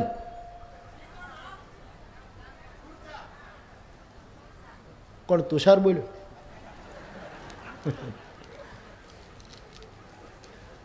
આ તુષાર છે ને વર્ષો પહેલાં મને સુરેન્દ્રનગરમાં રસ્તો બતાવવા આવ્યો. આ તુષાર. મને ક્યાંય મારે ક્યાંક જવું હતું. અહીંયા એમ કરતો કરતો અને ઘરે લઈ ગયો. હવે આપણને તો ખબર ન હોય ક્યાં એનું ઘર છે એટલે મેં કીધું આ કોનું ઘર તો મારું મેં કીધું મેં તને રસ્તો પૂછ્યો હતો કે હું તો મારા ઘરનો જ બતાવું ને. પછી તમે ક્યારે ઝપટમાં આવો આ તુષાર? ફાટક બંધ કરાય એવું હતું એવું કંઈક કર્યું. દેખાવમાં નાનો છે, પણ તેજવંત લઘુ ગણ્યનું કાવું આ સુરેન્દ્રનગર ને વઢવાણ નામક સુરેન્દ્રનગરમાં એ વખતે ઘણી કથાઓ થઈ. તો આપણે ક્યાં હતા? હનુમાનજી કરતા બળવાન કોણ? હમ? ભરતજી. એણે બાણ માર્યું હતું એટલે ભરતજી. બહુ સરસ તૈયારી કરીને આવ્યા છો હોમવર્ક કરીને આવ્યા છો યાર તમે બધા. મેં તો કાલે કોઈ હોમવર્ક આપ્યું નહોતું. પણ તમે તે સાહેબ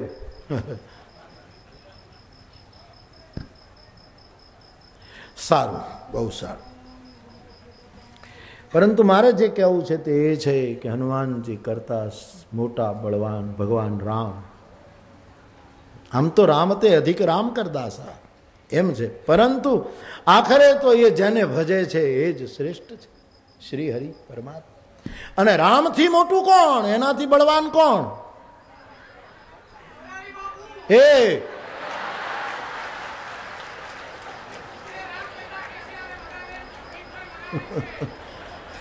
ભેળાઈ ગયું હવે, ભેળાઈ ગયું ભાઈ સાહેબ. હાથે કરીને મેં ઊભું કર્યું આ બધું કાંઈ લેવા. હરકી શાંતિથી કથા ચાલતી હતી, એમાં આ બધું ઊભું કર્યું. પણ હવે મારી આ ટેવ હું જાઉં ક્યાં? હલબલાવી નાખવા છે સાહેબ. તમે જુઓ દેશી, આપણે પુરાણા દવાખાનામાં જ્યારે દવા લેવા જતા, એ કમ્પાઉન્ડર એક હોય ડૉક્ટર સાહેબ એક હોય, બધાને લગભગ એક સરખી જ દવા આપે ને શ્રદ્ધાથી બધા હાજા થઈ જતા. કોણ? બચ્ચું મેપા. લોકો કેસ કઢાવીને બચ્ચું મેપા એટલે શું થાય તને? કે સાહેબ ખબર નહીં, ખોખડિયું થઈ ગયું. કેમ થયું? કેમ થાય? આમ ન થવું જોઈએ. દહીં ખાધું તું કે નહીં? છાશ પીધી હતી કે નહીં? તો પછી છાશ વગર થાય જ નહીં. તું કાંઈક ખોટું બોલે છે. કોઈ મહેમાન આવ્યા હતા કે હા, એને છાશ પીરસી હતી કે હા, એટલે થયું. લે. એટલે પણ આમ કાંઈ થાય છાશ હા, કે એટલે થયું. લાવ દોઢસો રૂપિયા. એ વખતે એક રૂપિયો કે. કમ્પાઉન્ડર મુકુંદ કમ્પાઉન્ડર નામ મુકુંદ મુકુંદ બચ્ચું મેપાને આપી દે દવા એટલે ઓલો લાલ અને પીળી બે દવા બાટલામાં રાખી બધાને એક હરખી જ આપે થોડીક લાલ ને પીળે અને પછી કહે અને હલાવીને પીવાની એમ કથા પણ મારે હલાવી હલાવીને પીવડાવવી છે મારા એટલે પચી જાય ઉતરી જાય તો હનુમાન કરતા ભગવાન મોટો પરમાત્મા. પણ પરમાત્માથી કોણ મોટો? રામનું નામ. વાહ. રામથી રામ સે બડા રામ કા નામ. પણ શાસ્ત્ર પ્રમાણ બ્રહ્મ રામ તે નામ બળ. બરદાયક બરદાની. બ્રહ્મ રામ કરતા પણ એનું નામ મોટું. પણ એ નામથી મોટું કોણ?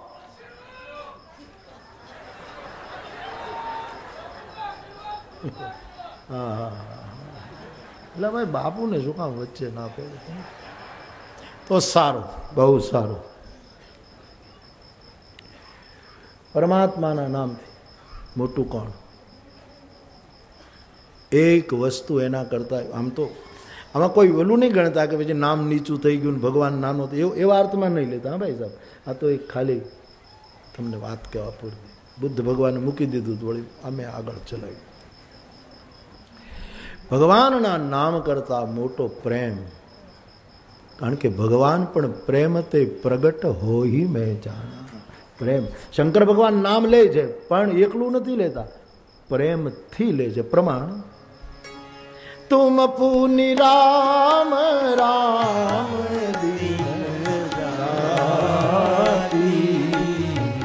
તુમ પિન રામ રામ અહીં સાદર એટલે પ્રેમ. સાદર જપગી અનંગ હરાતી સાદર જપહુ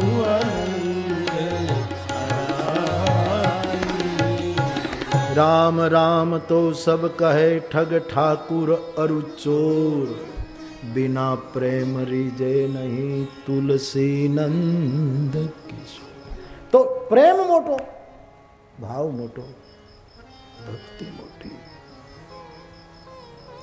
તો શબ્દ તારે, શબ્દ મારે. પફ બભ મ તાત સ્વર્ગ અપવર્ગ સુખ, ધૈર્ય તુલા એક અંગ. એ અપવર્ગ છે. જે જીવનમાં પાપ પુણ્ય બંને શૂન્ય થયા. પ ફ, ફળની ઈચ્છા ગઈ. બ, બીક ન રહી. ભજન શરૂ થયું અને મોતનો ભય ગયો. એવો સાધક ગમે ત્યાં જીવતો હશે. અપવર્ગનો વાસી છે. અક્ષર બ્રહ્મ, ઈશ્વર બ્રહ્મ, જીવ બ્રહ્મ અને જગત બ્રહ્મ. આ ચાર પાયા નિંબાર્કી વિચારધારામાં ગણાયા. તો દશરથજીની ચર્ચા આપણે કરતા હતા. એને દ્રષ્ટિ પણ છે અને કાન પણ છે, પણ શબ્દ પર એમણે વધારે પહેલું રાખ્યું, નજરે જોયું નહીં. મૃગ પાણી પીવે છે એમ માનીને બાણ મારી દીધું. જોયું હોત તો શ્રવણ મરત નહીં. અને શ્રવણ ન મરત તો દશરથજીને મરવું ન પડત. એ એવા શબ્દો જુદા અર્થમાં આપણે ત્યાં વિદ્વાનો એમ કહે છે ને કે તમે શબ્દ જે છોડો એ પછી આમ આમ ફરતા ફરતા અમુક દિવસે પાછા એના એ તમારી પાસે આવે. મનુભાઈ જો બેઠા છે, એની પાસેથી આપણે ક્યારેક સાંભળે બરાબર મનુ બાપા? ચાલીસ દિવસે આવે. ચાલીસ દિવસે મનુભાઈ કહેતા, એવું મેં કે આપણે જે કાંઈ શબ્દ બોલીએ ને, આપણે કોઈકને ગાળો દીધી હોય ને ખીજાણા હોઈએ, અને પછી અમુક દિવસ પછી આપણે કારણ વગરનું અહક થાય ને ક્યાંય ચેન ન પડે ને મૂંઝારો થાય ત્યારે સમજવાનું કે આપણા જ બોલેલા શબ્દો આંટો મારીને પાછા આપણી પાસે આવ્યા. શબ્દવેધી બાણના જાણકાર દશરથજી શબ્દવેધી બાણથી મૃત્યુને શરણ થયા. તો ભગવાન રામ પુરાતન મર્યાદાઓનું નવીનીકરણ કરે છે. તોડફોડ કરીને નહીં, એના મૂળને અક્ષુણ રાખીને એક નવી નવી મર્યાદા પ્રસ્થાપિત કરે. એટલે રામ મર્યાદા પુરુષોત્તમ પણ છે અને લીલા પુરુષોત્તમ પણ છે. શ્રી કૃષ્ણ લીલા પુરુષોત્તમ પણ છે અને મર્યાદા પુરુષોત્તમ. રામ લકીરના ફકીર નથી કે એક જ સરખું આમનમ કર્યા કરે. કૃષ્ણાવતારમાં કર્ણ સૂર્યનો દીકરો અને અર્જુન ઇન્દ્રનો દીકરો. છતાં ત્યાં ભગવાને ઇન્દ્રના દીકરાનો પક્ષ લીધો. સૂર્યના દીકરાનો પક્ષ ન લીધો. કર્ણનો પક્ષ ન લીધો. અને રામાવતારમાં સૂર્ય કર્ણપુત્ર અરે સુગ્રીવ સૂર્યપુત્ર. અને વાલી ઇન્દ્રપુત્ર. ત્યાં સૂર્યપુત્રનો સાથ લીધો સુગ્રીવનો સાથ લીધો. વાલીને માર્યો. આમ એમ એક એક ટ્રેક ઉપર આમ લકીરમાં એવી મર્યાદા નથી. એની મર્યાદા દેશ કાળને વિવેકપૂર્વક સમજીને, મૂળને પકડી રાખીને નવા નવા ફૂલ પ્રગટ કરતી મર્યાદા. પ્રકાશનો દેવતા રઘુવંશી સૂર્યકુળમાં જન્મે છે. એ સૂર્યના દીકરાને સહાય કરે. એ સૂત્ર સમજાય, પણ કૃષ્ણાવતારમાં સૂર્યના દીકરાને સહાય ન કરી. દેશકાળ પ્રમાણે એણે નિર્ણયો બદલ્યા છે. ધર્મ જો અધર્મનું કયું કરે, તો ધર્મ પણ બદલવો જોઈએ. જો ધર્મ અધર્મનું કયું કરે. ભરતજીને જ્યારે એમ કહેવામાં આવ્યું કે તમે ગાદી ભોગવો, તમારા પિતાએ તમને રાજ્ય આપ્યું છે, તમે ગાદી સ્વીકારો. અને પિતાને પણ શાંતિ થશે, દશરથજી રાજી થશે, કારણ કે તમને ગાદી આપી છે. એવું વશિષ્ઠજી ધર્મપુરુષ જ્યારે ભરતજીને સમજાવે છે, ત્યારે ભરતજીએ બહુ જ સતર્ક દલીલો કરી છે માનસમાં. કે ગુરુદેવ, તમારી સામે વિવાદ ન કરાય બાપજી, પણ હું પ્રાર્થના કરું તમારા બાળક તરીકે કે જો મારા પિતાએ મને ગાદી આપવાની વાત કરી છે, એ ગાદી હું સ્વીકારી લઉં તો મારા પિતાને સંતોષ થાય, ધર્મ રાજી થાય, એમ તમે કહો છો? નહીં બાપજી. મારા પિતા રાજી નહીં થાય, મંથરા રાજી થશે. કારણ કે એને જે કરવું હતું એ થઈ ગયું. અને મંથરા અધર્મ છે. અધર્મ વડે જે ધર્મ રાજી થતો હોય. એવા ધર્મની મને જરૂર નથી. તમે મને ધર્મ સાર શીખવો, એની સ્થૂળતા નહીં, એની સૂક્ષ્મતા મને સમજાવો. આવી દલીલો ભરતજીએ કરી છે.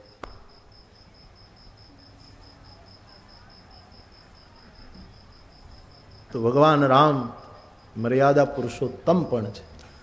તો દશરથજી દરબારમાં બેસીને આમ દર્પણમાં ચહેરો જુએ એ મર્યાદાને અનુકૂળ ક્યાં સુધી છે? સાહેબ, આપણે તો કાંઈ દશરથ નથી સાહેબ, પણ હું અહીંયા રોજ કથામાં આવું, એટલે આ ચશ્મા લાવું છું, મારી ઘડિયાળ લાવું, એમ રોજ એક અરીસો લેતો આવું અહીંયા, રોજ એક દર્પણ. અને પછી કથા કરતો કરતો વળી પાછો આમ વચ્ચે વચ્ચે દર્પણમાં જોયા કરું. અમે કાંઈ વળાવા જેવું તો છે નહીં, પણ તોય આમને આમ કર્યા કરું. બિંદી બરાબર છે કેમ, બધું બરાબર છે કેમ, જોયા કરો. તો તમે સ્વાભાવિક ટીકા કરવાના. કે વ્યાસપીઠ ઉપર ઘડી ઘડી દર્પણમાં જોવાનું? ઉતારે જોઈને આવવું જોઈએ. તો દશરથજી આવું કેમ કર્યું? પણ આ દશરથજીના વર્તનમાં બંને વાતો થાય છે. એક એક અર્થમાં મર્યાદાનો પ્રશ્ન પણ ઉઠે છે અને બીજા અર્થમાં દશરથજીએ એવા સમય અને રોજ નહીં જોતા હોય. આમ તો સુભાઈ શબ્દ લે એટલે આમ સ્વભાવમાં હશે, દર્પણમાં જોવાની ટેવ પડી ગઈ છે રાય સુભાય, એટલે સ્વાભાવિક.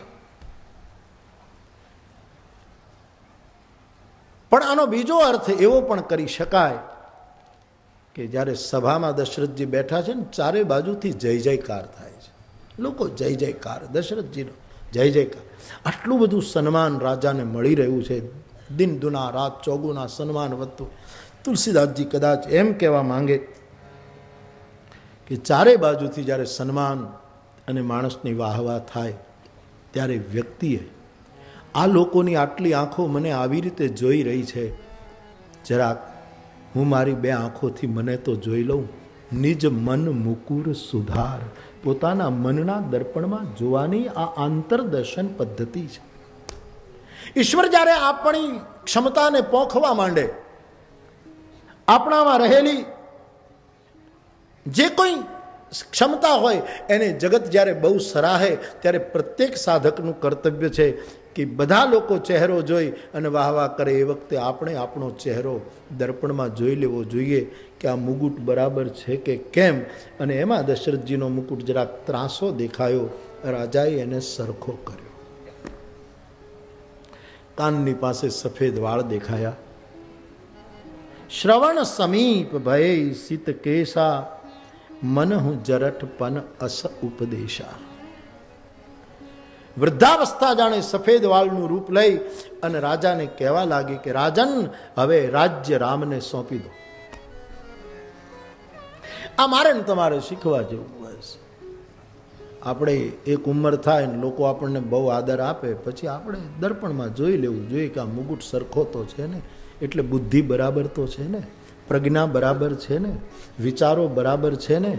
વિવેક બરાબર છે ને? આમ આમ પડી જાય એમ તો નથી ને? મુકુટ વાંકો થઈને નીચે પણ દશરથજીનું મહિમા એ છે કે એનો મુકુટ ત્રાસો થયો, ત્યાં સરખો કરી નાખ્યો. ને રાવણનું એવું છે કે પેલા અંગદે આમ થપાટ મારી જમીન ઉપર તો દસે દસ મુકુટ નીચે પડી ગયા હતા. તોય જતા ન કર્યા. જેટલા લેવાય એટલા લઈને પાછા માથા ઉપર મૂકી દીધા. આટલો અંતર છે. કારણ કે ત્યાં દર્પણની વ્યવસ્થા જ નથી લંકામાં. લંકામાં કોઈ અરીસામાં જોતું જ નથી. એ બધા એમ જ માને છે કે અમારે કાંઈ જોવાની જરૂર નથી. અમારા જેવું રૂપાળું કોઈ છે જ નહીં. દર્પણમાં જુએ જ નહીં. આંતરદર્શનની ઉણપ છે. ત્યારે અયોધ્યામાં દર્પણ છે. લંકામાં દર્પણ નથી, દર્પ છે. ખાલી દર્પ, ખાલી અહંકાર. એ જ વસ્તુ છે. એવો અર્થપણાનો નીકળે.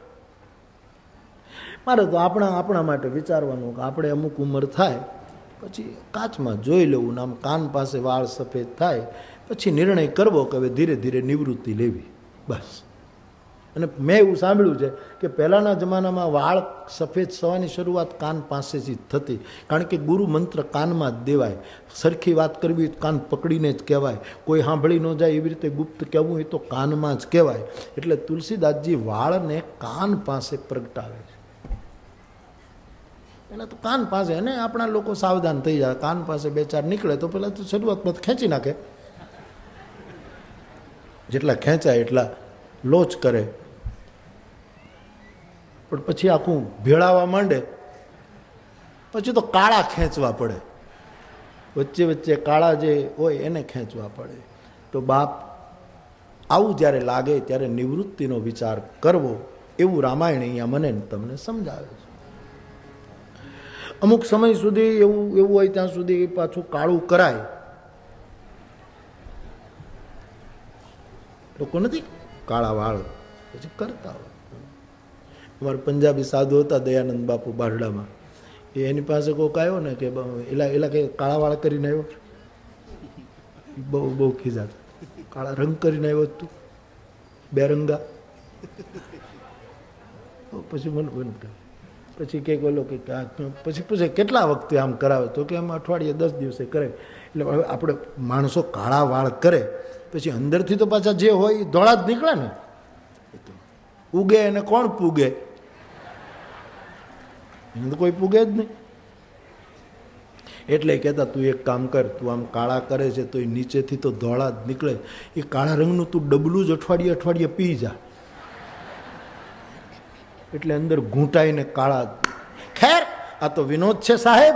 પરંતુ અમુક અવસ્થા થાય ત્યારે મારા બાપ નિવૃત્તિ લેવી અને ઘરના છોકરાને રાજ આપવાની તૈયારી કરવી. પછી ઘરના વ્યવહારમાં બહુ માથા ન મારવા. છોકરાઓને કહેવું તમે લગ્નમાં જે આવો, વ્યવહાર હાંચવો, પછી બેઠા બેઠા હરિભજન કરો. અમુક સમયે નિવૃત્તિ લેવી છે. પણ કઠિન છે બાપ. પણ આ સમજણ તો આટલા માટે જ. કથા તો આપણે બધા જાણીએ છીએ, પણ આમાંથી આવો જો સાર આપણે અમુક સમય. હોહીન બિષય બિરાગ ભવન બસત ભા ચૌથ પન. હૃદય બહુત મનુ અને શત્રુપાને આ વાત સમજાણી હતી કે ગડપણમાં આમનમ ઘરમાં બેસી રહીશું તો વૈરાગ્ય નહીં આવે. એટલે દશરથજીએ જ્યારે સફેદ વાળ જોયા અને મુકુટ ત્રાસો થયો, એટલે થયું કે હવે મુકુટ સરખો કરી લઉં. જેના માથા ઉપર મુકુટ ત્રાસો ન થાય એવા મસ્તક ઉપર આ મુકુટ હવે મૂકી દઉં. યોગ્ય વારસદાર નિયુક્ત કરી લો. હવે તમે કદાચ એમ કહો કે ભાઈ દશરથજીને તો મુકુટ પહેરતા ને મુકુટ આમ ત્રાસો થઈ ગયો તો આપણે મુકુટ ક્યાં પહેરીએ છીએ? એટલે આપણને કેમ ખબર પડે કે મુકુટ ત્રાસો થયો કે નથી થયો? પાઘડી. પાઘડી બાંધી હોય ને એ આમ મોલી થાય સમજી મુગુટ અને કાંઈ બાંધતા ન હોઈએ તોય મુકુટ ત્રાસો થયો એની ખબર પડે. ક્યારે?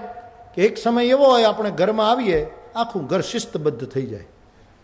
આપણે પગ બૂટ જ્યાં ઉતારે ત્યાંથી લઈને બૂટની જગ્યાએ છોકરો મૂકી આવે આપણે બેસીએ ત્યાં તો લીંબુનું પાણી, નાળિયેરનું પાણી હાદું પાણી ઠંડુ પાણી, ચાર પ્રકારના પાણી આવે. એમાંથી આપણે જે પીવું એ પી આવી જમાવટ હોય, એને બદલે આપણે ઘરમાં પગ મૂકીએ અને ત્રણ વખત બૂમો પાડીએ કે હું આવી ગયો છું, મને કોઈક પાણી આપો. અને છતાંય પંદર મિનિટ પછી પાણી આવે તો સમજવાનું મુકુટ ત્રાસો થઈ ગયો છે અને એ વખતે ડાયા માણસે નિવૃત્તિની તૈયારી કરી લેવી જોઈએ.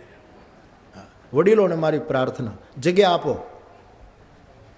નવી પેઢીને આવવા દો પણ ઘણા લોકો શું કરે છે? કે ધંધામાંથી નિવૃત્તિ લે, વ્યવહારમાંથી નિવૃત્તિ લે, પછી કોઈક સંસ્થામાં ટ્રસ્ટી બને, પણ પકડી તો રાખે.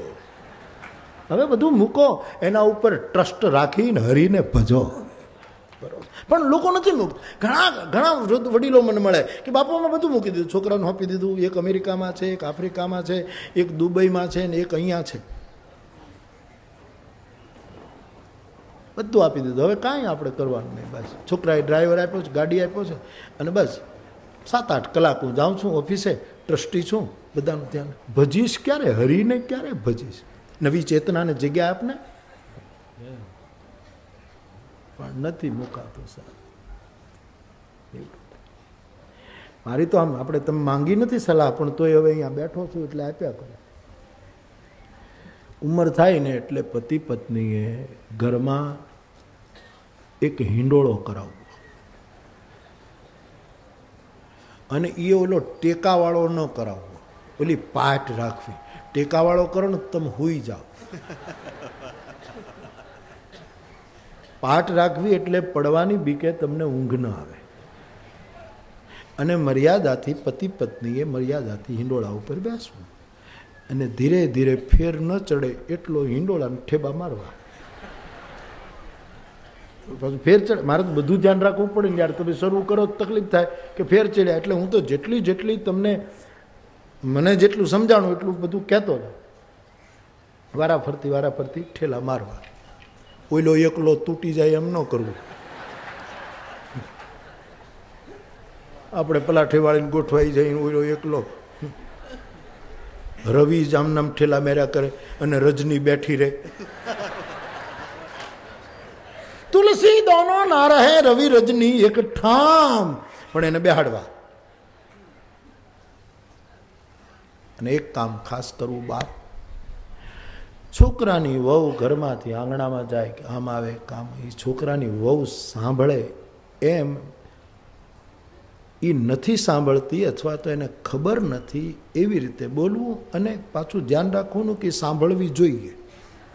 એટલે આ કેમ કરવું પણ એવી રીતે વાત કરવી કે એને એમ લાગે કે મને જોઈને વાત નથી કરતા. પણ એને સંભળાવવું જોઈએ. એવી રીતે વાત કરી. કે રજ્જો.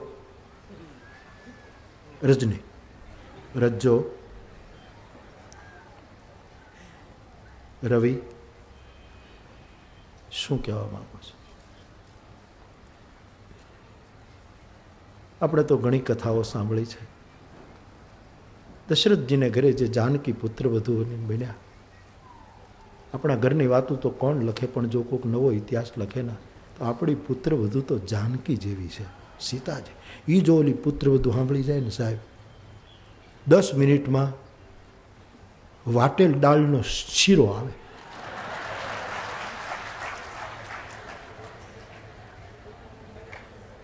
શીરો આવે, કોલ્ડ કોફી આવે. મુગુટ ત્રાંસા થઈ જાય ત્યારે થોડુંક આવું શીખી જાઉં ટૂંકમાં આપણે ત્યાં બે માર્ગો છે, પ્રવૃત્તિના નિવૃત્તિના. અમુક સમય થાય ત્યારે માણસે આની તૈયારી કરવી જોઈએ.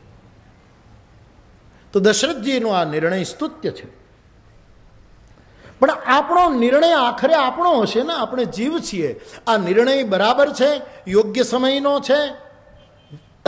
વિચારપૂર્વકનો છે, એનો નિર્ણય સદગુરુ કરે. આપણે કૂદી ન પડાય.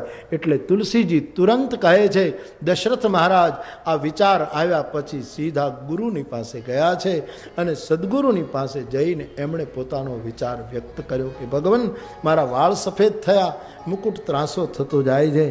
અને આપ પણ કહો છો, જનતા બધી જ કહે છે, મારો રામ બધા પ્રકારે લાયક છે.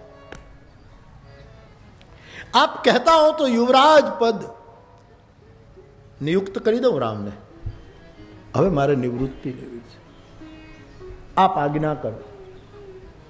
તુલસીજી કહે, વશિષ્ઠજી, બહુ સુંદર જવાબ આપ્યો કે રામને રાજ્ય આપવાનું હોય, ગાદી આપવાની હોય તો મારી પાસે મુહૂર્ત જોડાવાની જરૂર નથી.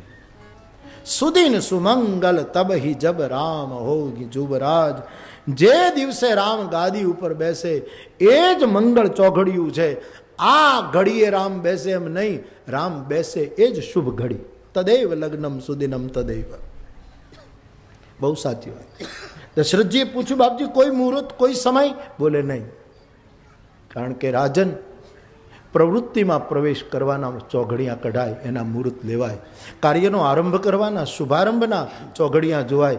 પણ જ્યારે નિવૃત્તિ લેવાની હોય, એનો કોઈ ચોઘડિયું જોવાની જરૂર નથી. જે દિવસે નિવૃત્ત થાય. વંડી ચણાવવી હોય ને, એના મુહૂર્ત કઢાય. વંડી પાડી નાખવી હોય, એના મુહૂર્ત થોડા જોવાય. એ તો પાડી નાખો, એટલે નવસર્જન થાય. એમ રાજ્ય સ્વીકારના નિર્ણય કે આ ચોઘડિયામાં રાજા ધીરાજને તિલક થાય. પણ જેને રાજ્ય ત્યાગવું હોય, ત્યાગના ચોઘડિયા ન હોય સાહેબ. ભોગના ચોઘડિયા હોય. કયે દિવસે ત્યાગવું? એની એની કોઈ તિથિ થોડી હોય. જે દિવસે એ કૂંપળ ફૂટે, એ દિવસે એના શ્રી ગણેશ કરવા. ઠાકોર રામકૃષ્ણ પરમહંસ માટે કહેવાય ને કે કોઈને એણે કીધું કે, લે આ સો સિક્કા છે ગંગામાં નાખ્યા. ગંગા તો દક્ષિણેશ્વર બાજુમાં જ, ગંગા વહે. એ પહેલાં ને એક કલાક થઈ. ઠાકોરે પૂછ્યું કે ભાઈ, આટલો બધો સમય કેમ ગયો? કે તમે સો સિક્કા નાખવાનું કીધું હતું ને, એટલે હું ગણી ગણી નાખતો હતો કે આ સો છે જ કે કેમ?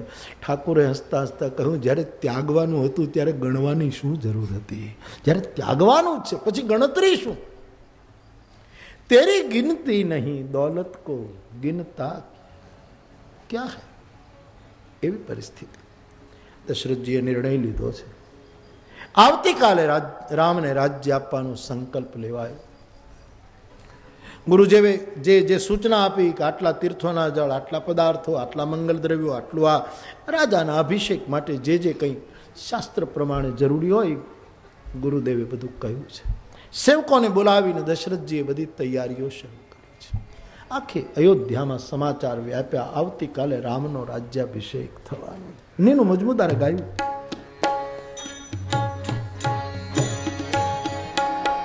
મજમુદાર સાહેબની કવિતા. થશે રામજી રાજાને અમારી મહારાણી સીતા. થશે રામજી રાજાને અમારી મહારાણી એજી થશે રામજી રાજાને, અમારી મહારાણી સીતા થશે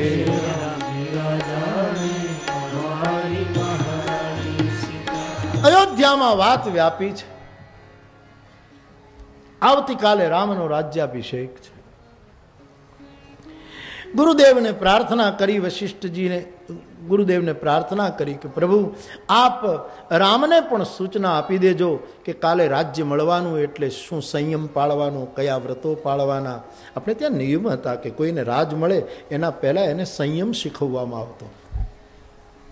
રામ, તમારે આજની રાત પૃથ્વી ઉપર શયન કરવાનું. તમે રાજા બનવાનું તમારે આ વ્રતો પાળવા.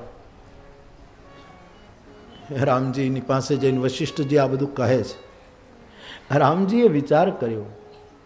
કે એક દિવસ પૃથ્વી ઉપર સૂઈ અને સવારે જાગું, તો અયોધ્યાનો રાજા બનીશ.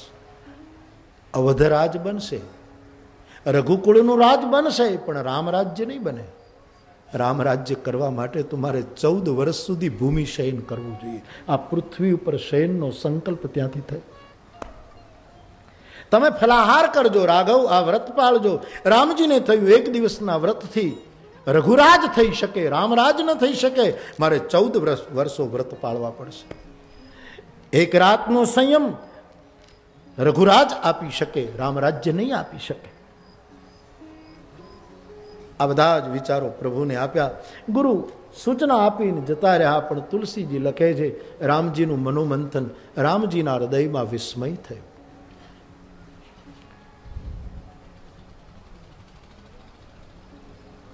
હવે અહીંયા ભગવાન રામ મર્યાદાને કેવી રીતે એક બાજુ હટાવે છે અને એક બાજુ નવસર્જન કરે છે. બિમાલ બાંસ યઘ બંધુ બિહાર બડે બંધુ બિહાઈ બડે અભિષેક. રામજી ગુરુ ગયા પછી વિચાર કરે છે, અમારા ચારેય ભાઈઓનો જન્મ એક સાથે, નામકરણ સંસ્કાર એક સાથે, અમારા બાળ ચરિત્રો એક સાથે, ચૂડાકરણ યજ્ઞોપવિત સંસ્કાર એક સાથે વિદ્યાર્જન અમે એક સાથે કર્યું. અરે અમારા લગ્ન પણ જનકપુરમાં સાથે સાથે થયા છે. મારા પવિત્ર વંશમાં, નિર્મળ વંશમાં બધા જ પ્રસંગો સાથે સાથે થયા. પણ નિર્મળ વંશમાં આ એક ઘટના અનુચિત થઈ રહી. બંધુ બિહાઈ બળે અભિષેક. મોટાને જ રાજગાદી આપવી એ રઘુકુળની રીત છે. પણ મોટો યોગ્ય ન હોય તો, મોટો શીલવાન ન હોય તો તો પણ એક ખોટી પરંપરાને પકડી રાખીને એને જ ગાદી આપ્યા કરવી. ગાદી જ્યેષ્ઠને મળે એ સૂત્ર બદલવું જોઈએ ગાડી શ્રેષ્ઠને મળવી જોઈએ. આ સૂત્ર આવું. બાંશ અનુચિત એકુ બંધુ બિહાઈ બળેહી અભિષેકું ગાદી મારા ભરતને મળ્યું નાનાને વધારે મળવું જોઈએ એ વખતે જે થયું તે અત્યારે કથા સાંભળીને જો આપણે ઘરની અંદર આ નક્કી કરીએ કે મારા કરતાં જે નાનો હોય ઉંમરમાં, એને મારા કરતાં ઘરમાં વધારે મળવું જોઈએ. આવો સંકલ્પ કરે તો ઘર ઘરમાં રામરાજના કિરણો ફૂટે. પણ ક્યાં આવું સમજાય, સાહેબ? મોટો જ અવળું કરે. આપણી ગામડાની વાત છે ને કે બે ભાઈઓ હતા, દુકાન સાથે રહે, નીચે દુકાન ને ઉપર રહેણા. એટલે મોટા જે મોટા ભાઈ હતા, શેઠ આમ ખેતરે ક્યાંક ઉઘરાણી પેલી લેવા અને આમ ગયા. એમાં ખેડૂતને ખેતરે ગયા એટલે ઓલાએ કીધું, બાપજી, હજી અઠવાડિયા પછી પૈસા આપશું. પણ હવે તમે આવ્યા છે, તો થોડીક શાકભાજીના શેરડી લેતા જાઓ. એટલે ઓલા એ શેરડીનો સાંઠો આવ્યો એ મોટો ભાઈ શેરડીનો સાંઠો લઈને આવ્યો ઘરે. એમાં નાના ભાઈનો દીકરો અને મોટા ભાઈનો દીકરો બે દોડ્યા. દાદા દાદા, શેરડી લાવ્યા શેરડી લાવ્યા. બેના છોકરાઓ દોડીને આવ્યા. એમાં પેલા શેઠે શેરડીના બે ટુકડા કર્યા. એક ટુકડો જમણા હાથમાં, એક ટુકડો ડાબા હાથમાં. પેલા બે છોકરા આમ દોડતા દોડતા આવે, જમણા હાથમાં થળિયું ડાબા હાથમાં આગળું. શેરડીના બેઠું હવે થળિયાના ભાગમાં વધારે રસ હોય, ઓલામાં જરાક મોડું પડતું જાય. બન્યું એવું કે એમાં પોતાનો જે દીકરો હતો ને ડાબા હાથ તરફ દોડ્યો આગળવાળા ભાગમાં. અને નાના ભાઈનો દીકરો એ જમણા હાથ તરફ આવ્યો. એટલે નાના ભાઈના છોકરાને રસવાળી શેરડી જાય પોતાના દીકરાને મોળી જાય. એ જેમ છોકરાઓને આવો છોકરા, આવો આવો. લ્યો મારા દીકરા. આમ કરીને શેરડી આપે. એટલે મીઠો ટુકડો પોતાના દીકરાને ગયો ને આમ એનો નાનો ભાઈ ઉપર બેઠો તો માઢ મેળીમાં એ જોઈ ગયો. મોટા ભાઈ આવ્યા, ઓલો નીચે આવ્યો, ચા લેતો આવ્યો, ઠરેલી ચા પીધી. બેઠા. પાંચ મિનિટ પછી થોડીક વિવેકથી કીધું મોટા ભાઈ હવે આપણે વેચી લઈએ તો, ભાગ પાડી લઈએ તો. કેમ કે હાથમાં આંટી પડી ત્યાં સુધી વાંધો નહીં, પણ હવે આંતરમાં આંટી પડવા માંડી છે મોટા ભાઈ. અને હૃદયમાં આંટીઓ પડે, એના પછી મુશ્કેલી પડે, એના કરતાં આપણે વહેંચી લઈએ. આ વાત મારાથી નાનાને વધુ, આપણા દરેક ઘરોમાં નાનાને વધારે મળે એવો જો સંકલ્પ કરે તો રામાયણ ચરિતાર્થ થાય સાહેબ. પણ મુશ્કેલી છે સાહેબ. વખત આવે ત્યારે બધા જ પોતપોતાના સ્વાર્થમાં ડૂબે છે. પણ રામજીનો આ વિચાર રામ રાજ્યનું બીજારોપણ છે बिमल वंश यह अनुचित एकु बंधु बिहारी बड़े बंधु बिहारी મોટા પુત્રને જ ગાદી મળે એ પરંપરાને ભગવાન રામ બદલે જ પણ ગુરુને એમ ન કીધું કે હું ગાદી ઉપર નહીં બેસું. હું પરંપરા તોડી નાખી સેવા શબ્દો ન વાપર્યા. પણ પરંપરાનું નવસર્જન કરવા માટે મનમાં મનમાં ચિંતન કરે છે કે શું કરવું મારા ભરતને રાજ્ય કઈ રીતે મળે? અને આ પરંપરામાં તોડ્યા વગર પરિવર્તન કેમ લાવવું? આવો વિચાર ભગવાન રામ કરે છે. આખી અયોધ્યામાં તો જય જયકાર થઈ રહ્યો છે. લોકોનો ભાવ ક્યાંય સમાતો નથી.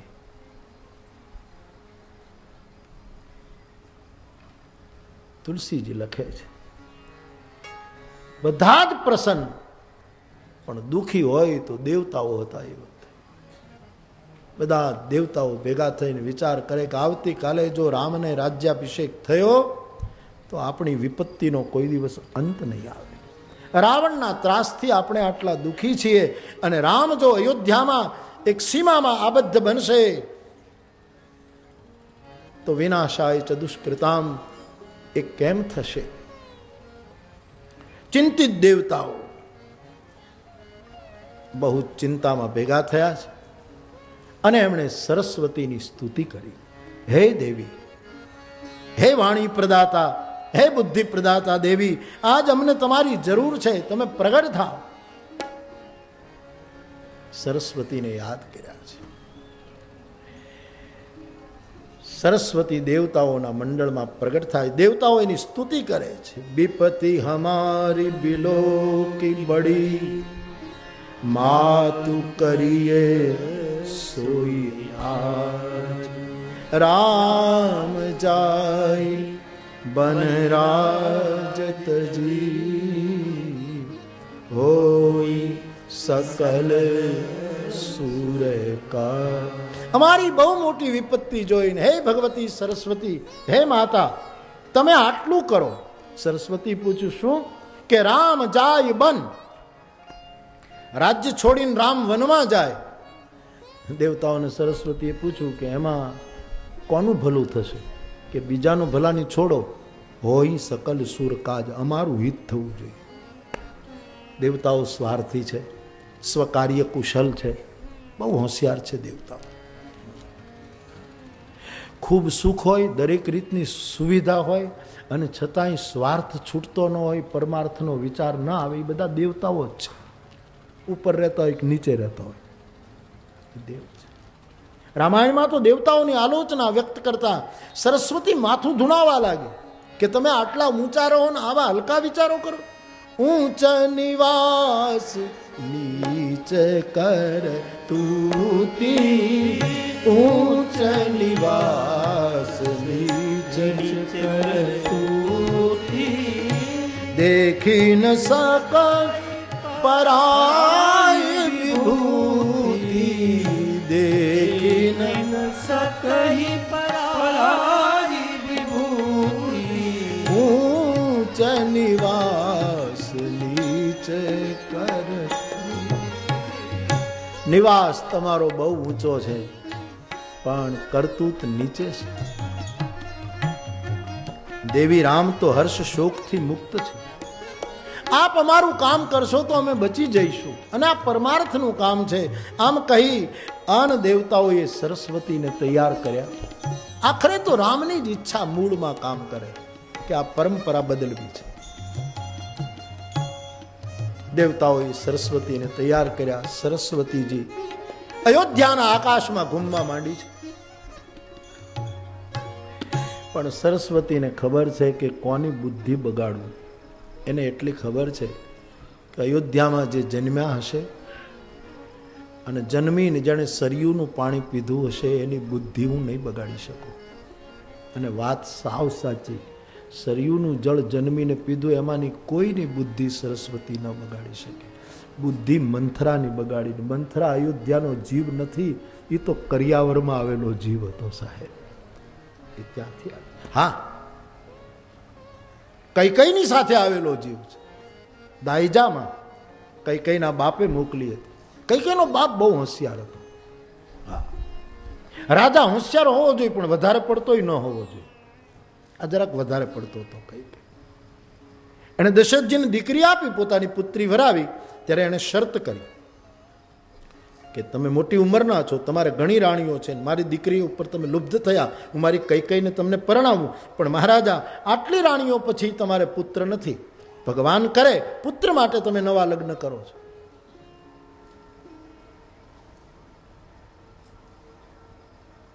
માણસ લગ્ન શું કામ કરે ખબર છે? એ તમને ખબર નથી? લગ્ન કર્યા તોય ખબર નથી? લે આ. માણસ લગ્ન એટલા માટે, લગ્ન કરે છે, એનું કારણ છે અનુભવનો અભાવ. અનુભવના અભાવને લીધે લગ્ન કરે. અને લગ્ન કર્યા પછી છૂટાછેડા શું કામ લે છે, ખબર છે? ધીરજનો અભાવ. ધીરજ રાખે તો નીકળી જવાય સાહેબ, પહોંચી જવાય. પણ એટલે છૂટા લે. અને પાછા બીજી વખત શું કામ લગ્ન કરે? યાદદાસ્તનો અભાવ. સ્મૃતિનો અભાવ. સ્મૃતિ ગઈ, ખોવાઈ ગઈ એટલે નહીં તો ડાયો માણસ અનુભવના અભાવમાં જ લગ્ન કરતો હોય છે, ધીરજના અભાવમાં છૂટાછેડા લેતો હોય અને વળી પાછો બીજી વખત કરે, એ સ્મૃતિ ગઈ. યાદ હોય ન કરે. અમારે જંબુસરમાં જંબુસરમાં હું વર્ષો પહેલાં, જંબુસર હસી ખુશી સ્ટોર. અમારો જયંતિભાઈ, બાપજી જાણે છે. બહુ બહુ રમૂજી માણસ.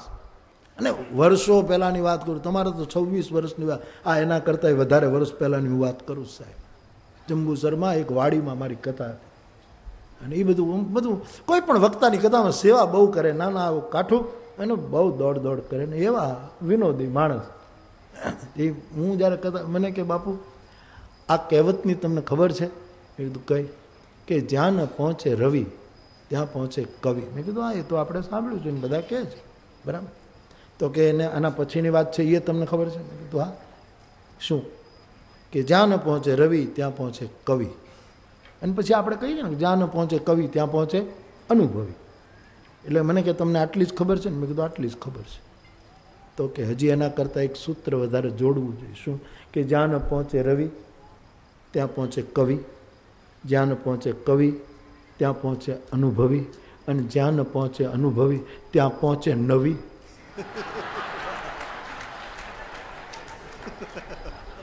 આમ કરીને આમ કરે એટલે હમણાં એના નવું નવું એલું કરેલું. એના અનુભવમાંથી નીકળ્યું. બહુ રમૂજ કરતા. કવિ સંમેલનોના શોખીન. કવિઓને બોલાવે, એના સંમેલનો કરે. એવા. એને શું અનુભવના અભાવે માણસ લગ્ન કરે છે. ધીરજના અભાવે છૂટાછેડા લે અને યાદદાસ્તના અભાવે વળી પાછા બીજી વખત સોય સુવા, સોય સહેમર સોય બહુરી વસંત, તુલસી મહિમા મોહકી સમજ કહત સબ સંત, આનું નામ જ મોહનો મહિમા, દોહાવલી રામાયણમાં. આ મહામોહનો મહિમા, એની એ ભૂલ માણસ કરતો જ જાય, કરતો જ જાય, પછડાય, દુઃખી થાય, પણ એની એ ભૂલ ભૂલ ભૂલ ભૂલ ચાલ્યા જ કરે, થયા જ કરે. એટલે કઈ કઈનો પિતા દશરથજીને પોતાની કઈ કઈ પુત્રી પરણાવે છે, ત્યારે શરત કરે છે કે પુત્ર ઈચ્છા માટે તમે અને તમારી આટલી રાણીઓ છતાં પુત્ર સુખ નથી. ભગવાન કરે ને મારી પુત્રીને પરણ્યા પછી મારી દીકરીને દીક, જન્મ થાય પુત્રનો. પણ બને કે તમારી બીજી રાણીઓને પણ પુત્રનો જન્મ થાય તો એક વચન આપો, મારી પુત્રીના પુત્રને જ અયોધ્યાનો વારસદાર બનાવવાનો. આ વચનબદ્ધતા રાજાએ કરી છે. પણ જ્યારે દીકરીને વળાવી કઈ કઈના પિતાએ, ત્યારે એ બહુ જ હોશિયાર માણસ છે. એને એમ થયું કે મારી દીકરી ભોળી છે. અયોધ્યાની વિચારધારા, ત્યાગની વિચારધારા, અયોધ્યાનું શીલ, એમાં આ દીકરી રઘુકુળમાં ગયા પછી એના ભોળપણને લીધે એ પછી બધું ભૂલી જશે. અને કદાચ બીજી રાણીને પુત્ર જન્મે અને એ મોટો હોય તો એ રાજ્યનો વારસદાર થાય, મારી દીકરી કંઈ બોલશે નહીં. એટલી ભોળી. એટલે વખત આવે, આ વાત ભૂલાય ન જાય, એટલા માટે કરિયાવરમાં મંથરાને મોકલી છે. કે જ્યારે વખત આવે, ત્યારે તું આ વસ્તુની યાદ આપજે. આટલું પાકું કરીને એમણે લગ્ન કર્યા. એ મંથરા સાથે સાથે. અયોધ્યાનો જીવ છે જ નહીં. એટલે એની બુદ્ધિ બગાડી શકી સરસ્વતી. સરજુના નીર પીધા હોય. એની બુદ્ધિ બગાડી નહીં શકાય. એ સરસ્વતીને જ્યારે દેવતાઓએ ચિત્રકૂટ વખતે બેગી ભરત મત ફેરવું, ભરતની બુદ્ધિ દેવી તમે ફેરવી નાખો, આમ કહ્યું, ત્યારે સરસ્વતીએ દેવોની આલોચના કરી કે તમને હવે સૂચતું નથી એક એક હજાર આટલા નેત્રો તો ઇન્દ્ર તું આંધળો છે. ભરતની બુદ્ધિ ફેરવવા જાઉં તો મારી બુદ્ધિ ફરી જાય. ભરત સંત છે, એની બુદ્ધિ નહીં ફેરવી શકે. મંથરાની બુદ્ધિ વિધિવશ સુજન કુસંગતિ પરહી ફની મની સમ નિજ ગુણ અનુસરઈ પ્રારબ્ધવશ કોઈ સજ્જન કુસંગમાં પડી જાય ને પણ જો સજ્જનતા એનામાં હોય ને તો એને એને કુસંગનો રંગ નહીં લાગે જેમ સર્પના માથા ઉપર મણી હોય પણ એ વિષ ગ્રહણ ન કરે બીજાને ચડ્યું હોય એને ઉતારી લે ફણી મણી સમ નિજ ગુણ અનુસરે આ મંથરા સાથે આવે છે કઈ કઈની નબળાઈઓથી પરિચિત છે અને એની બુદ્ધિ ફેરવવા માટે સરસ્વતીએ તૈયારી કરી. તુલસીજી લખે છે, નામ મંથરા મંદમતી ચેરી કઈ કઈ કે અજસ પેટારી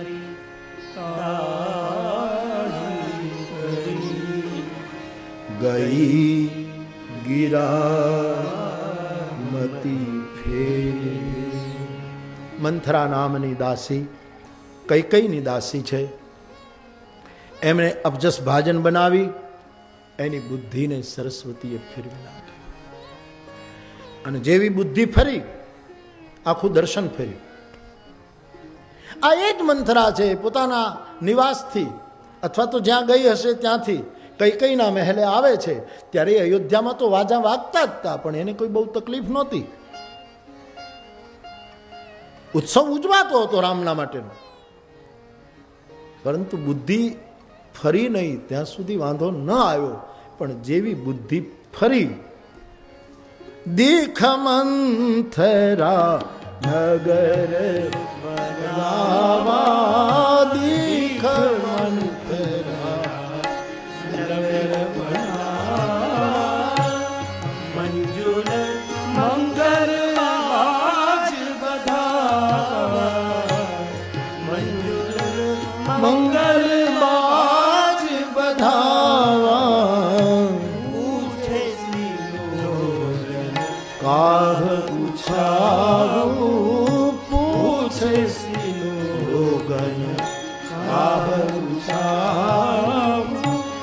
રામ તિલક સુની ભાવુરદાહુ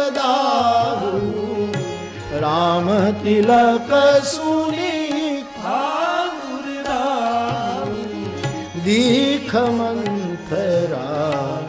નગર બનાવા દીખ મંથરા નગર બનાવા જ્યાં બુદ્ધિ ફરી અને આખું દર્શન ફર્યું.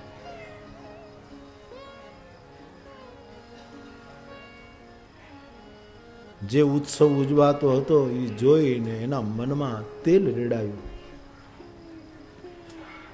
આનંદમાં ડૂબેલા પ્રજાજનોને મંથરા પૂછે છે, આટલો બધો ઉત્સવ અયોધ્યામાં છે? રાજ પરિવારમાં કોઈનો જન્મદિવસ છે? રાજ્ય પરિવારનો કોઈ વિશિષ્ટ દિવસ છે? કોઈ ત્યોહાર છે?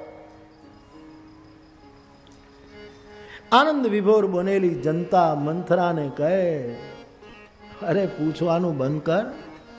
માં કૌશલ્યાની પાસે જઈને એકવાર વધાય બોલી દે. તું જે માંગીશ તે મળશે, પણ શું કામ? કયા પ્રસંગની વધાય છે? મંથરા પૂછે છે. ત્યારે કહ્યું, આવતીકાલે મહારાજ દશરથજી રાઘવને રાજ તિલક કરે છે. હો, રામ તિલક સુનિભા ઉરદાહુ. રાજ તિલકની વાત સાંભળતા મંથરાના હૃદયમાં દાહ પ્રગટ્યો છે.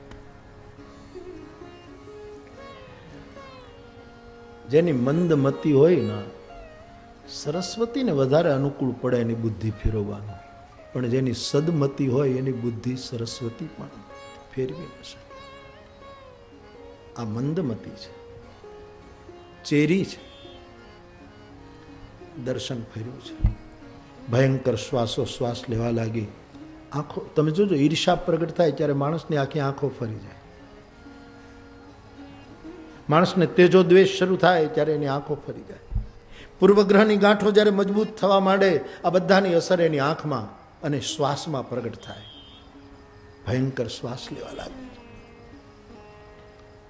તીવ્ર ગતિથી કઈ કઈના ભવને પહોંચી છે? કઈ કઈ તો સીધા સાદા ભોળા લાગે છે.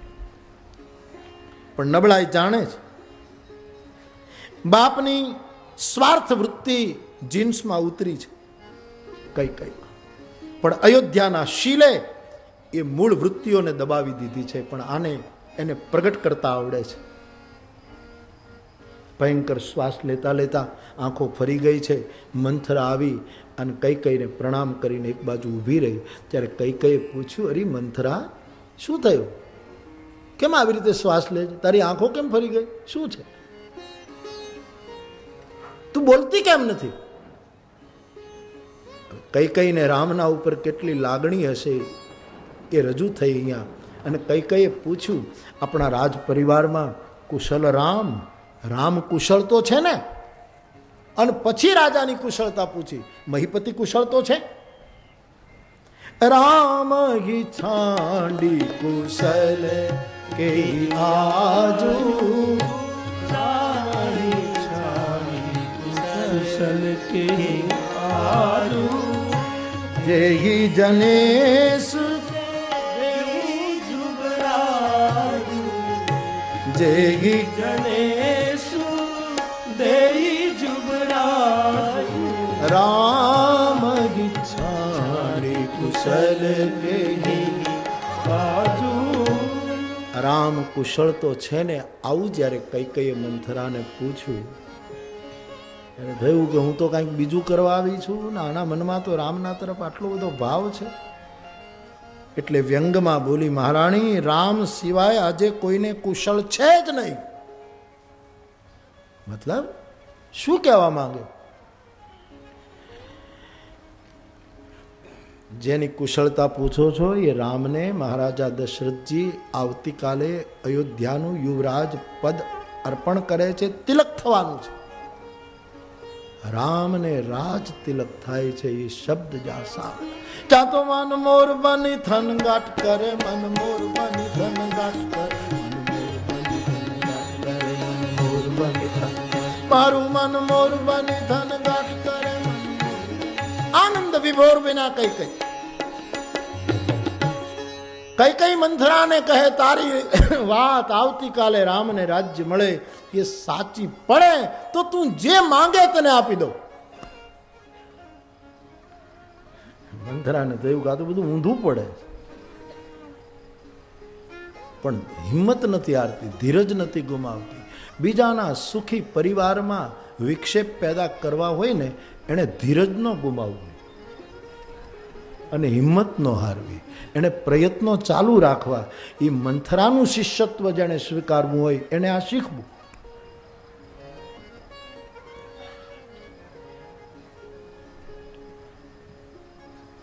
દેવી, રામને કાલે રાજ તિલક થાય છે. એ સમાચાર મેં તમને આપ્યા, ત્યારે તમને મળ્યા. કે હું જાણું છું મહારાજા દશરથજી રોજ આપની સેવા સ્વીકારવા માટે સંધ્યા સમયે આપને ત્યાં આવે છે. એ દશરથજીએ આપણને આપ્યા એ સમાચાર. બોલે, મહારાજાએ મને સમાચાર નથી આપ્યા. તાત્કાલિક નિર્ણય લેવાયો હશે અને વાતે સાચી સવારે નિર્ણય લેવાયો છે.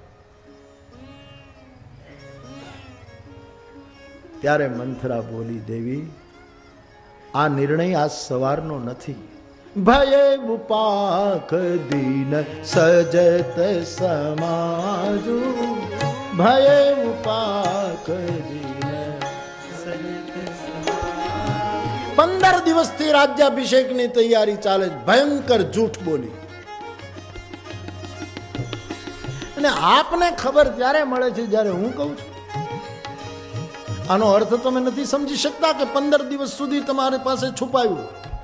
અરે કૌશલ્યાન સુમિત્રાનો ક્યાંય અભિમાન રોક્યો, રોકાતો નથી, બોલાવ્યા થતા નથી. અને તમે રાજાને પ્રિય છો, તમે ભોળા છો, અને તમને વાત જ ન કરી. આવું જૂઠ બોલ્યું કઈ કયું પંદર દિવસથી નિર્ણય લેવાયો હોય કે મહિનાથી લેવાયો હોય? નિર્ણય તો મારા મનને અનુકૂળ થયો ને. રામ રાજા બને એ તો હું પણ ઈચ્છું. માંગી લે તને જે જોઈએ તે. અને એમ થયું કે સાવ ઊંધું જ પડે છે. એટલે વળી પાછી ધીરજ રાખીને આગળ બોલી, કે દેવી રામ રાજા બને ને એ તો હું એ ઈચ્છું, કારણ કે રઘુકુળની એ રીત છે. પણ જે રીતે રામને રાજ્ય આપવામાં આવી રહ્યું છે અને રામને રાજ્ય આપ્યા પછી જે તમારી સ્થિતિનો વિચાર રાજ પરિવારમાં થયો એ બહુ જ ખરાબ છે. મતલબ? દેવી, આ મહારાજા દશરથજીને તમારા ઉપર વધારે પડતું હેત છે એ બીજી સોખ્યો સહન કરી શકતી નથી. કૌશલ્યાથી સહન થતું નથી, એટલે એણે રાજાના કાન ભંભેરી અને રામને ગાદી આપવાનો નિર્ણય કરાવ્યો અને રામને રાજગાદી મળે એનો મને જરાય વાંધો નહીં, પણ મેં એવું સાંભળ્યું છે, દશરથજીને કૌશલ્યા કહેતા હતા કે મારો રામ રાજા બન્યા પછી ભરતને કઈ કઈને કઈ કઈ મારી સેવા કરે ને ભરત રામની સેવા કરે તો જ એને મુક્ત રહેવા દેવાના, નહીતર બંદી ગૃહમાં, જેલમાં બંધ કરી દેવાના.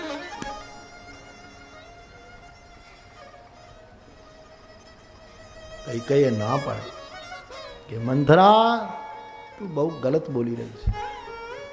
અમારી માં કૌશલ્યાના વિચારો આવા કોઈ દિવસ હોય જ નહીં. કૌશલ્યા મારા માટે આવું વિચારે?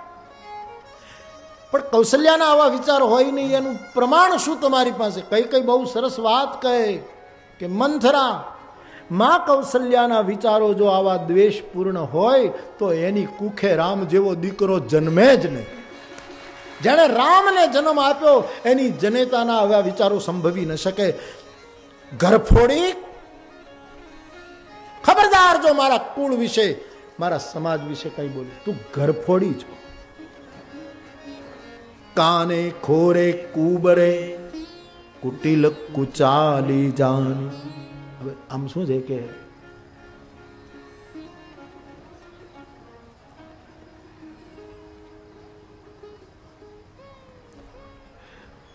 બે આંખ છે ને, એ માણસની શોભા છે. બરાબર ને? પણ પ્રારબ્ધવશ કંઈક અકસ્માત થયો હોય, કંઈક કારણસર પુરુષને એક આંખ ન હોય એને આપણે જે તુલસીદાસજી કાણે કહે છે આપણે એને આપણી ભાષામાં એને આંખ નથી એટલે કે એ બિચારો એક આંખ વગરનો આંખ છે એને આપણે માટે કાણો છે. એટલે પુરુષને એક આંખ ન હોય એટલે આને તમે કોઈ ખોટા અર્થમાં ન લેશો ભાઈ સાહેબ. હા. પણ આવું એક લોક દર્શન જરૂર છે. એટલે એવી રીતે આને લેજો. એટલે પુરુષને એક આંખ ન હોય તો એ આપણે ગામડામાં લોકો મજાકમાં, અમે એનું એની પાછળ કોઈ ઓલું નહીં પણ મજાકમાં લોકો મજાક કરે કે ભાઈ એનો બહુ ભરોસો ન કરાય. એવું લોકો, એવું એવું માને. એટલે અત્યારે એવું ન કરાય. આ તો બહુ જૂની કહેવત છે. એને હવે આપણે કાઢી નાખવી જોઈએ. ગમે તેમ કરીને કાઢી નાખવી જોઈએ. પણ અત્યારે તો જેને એક આંખ હોય એને એક દ્રષ્ટિ થઈ ગઈ છે, અદ્વૈતપણું આવ્યું. એવા ભાવથી આપણે આદર આપવો જોઈએ. કારણ કે શુક્રાચાર્યની એક આંખ ફોડી છે, બલિના યજ્ઞમાં. અને રામાયણમાં, અરણ્યકાંડમાં જયંતની એક આંખ ફોડી છે. એક આંખ ફોડી નાખવી એટલે અદ્વૈત અદ્વૈત દ્રષ્ટિ પેદા એ અર્થમાં એનું વિચાર, એટલે કોઈ કોઈ, પ્લીઝ, મહેરબાની કરીને કોઈ ખોટો અર્થ ન કરે આનો. પણ આપણે ત્યાં અમુક વસ્તુ છે ને, વિનોદમાં બધી આવી ગઈ. આપણે ત્યાં ગામડાઓમાં આવી ડીંગો જોડાતી હતી ને એમાં એક વિનોદ. ગામડામાં બીજા મનોરંજનના સાધનો નહોતા. એટલે શું આવા કાવ્યો રચે ને આવી કહેવતો રચે ને એમાં હાસ્ય, વિનોદ ઉપવાસ ને એમાં એ આનંદ માણતા. એક નિર્દોષ આનંદ. અને કોઈ કોઈ કોઈ બીજા અર્થમાં ન લેશું.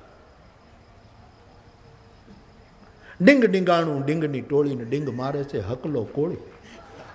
આ અમારા તલગાડા બાજુ જે ડીંગો હાલતી ગામડાઓમાં હોળીના તહેવારો હોય ત્યારે બધા આવા કાવ્યો બોલાય. આમ ક્યાંય એમાં એમાં પિંગળનું ક્યાંય બંધારણ ન હોય. ડીંગ ડીંગાણું, ડીંગની ટોળી ડીંગ મારે છે, હકલો કોળી, હકલા કોળીને કરવી દાડી અને ડીંગ મારે હાદુળનો પાળી. એ હાદુળનો માળી હોય, એનો હાથી હોય એ વળી પાછો ડીંગ મારે. એમાં ગામના બધાના નામ આવતા હોય. વિનોદ માટે. એમાં સુતારનું નામ આવે, લુહારનું નામ આવે, નાઈનું નામ આવે, ગોરબાપાનું નામ આવે બાબાજીનું નામ. આમ એક વિનોદ હતો આ.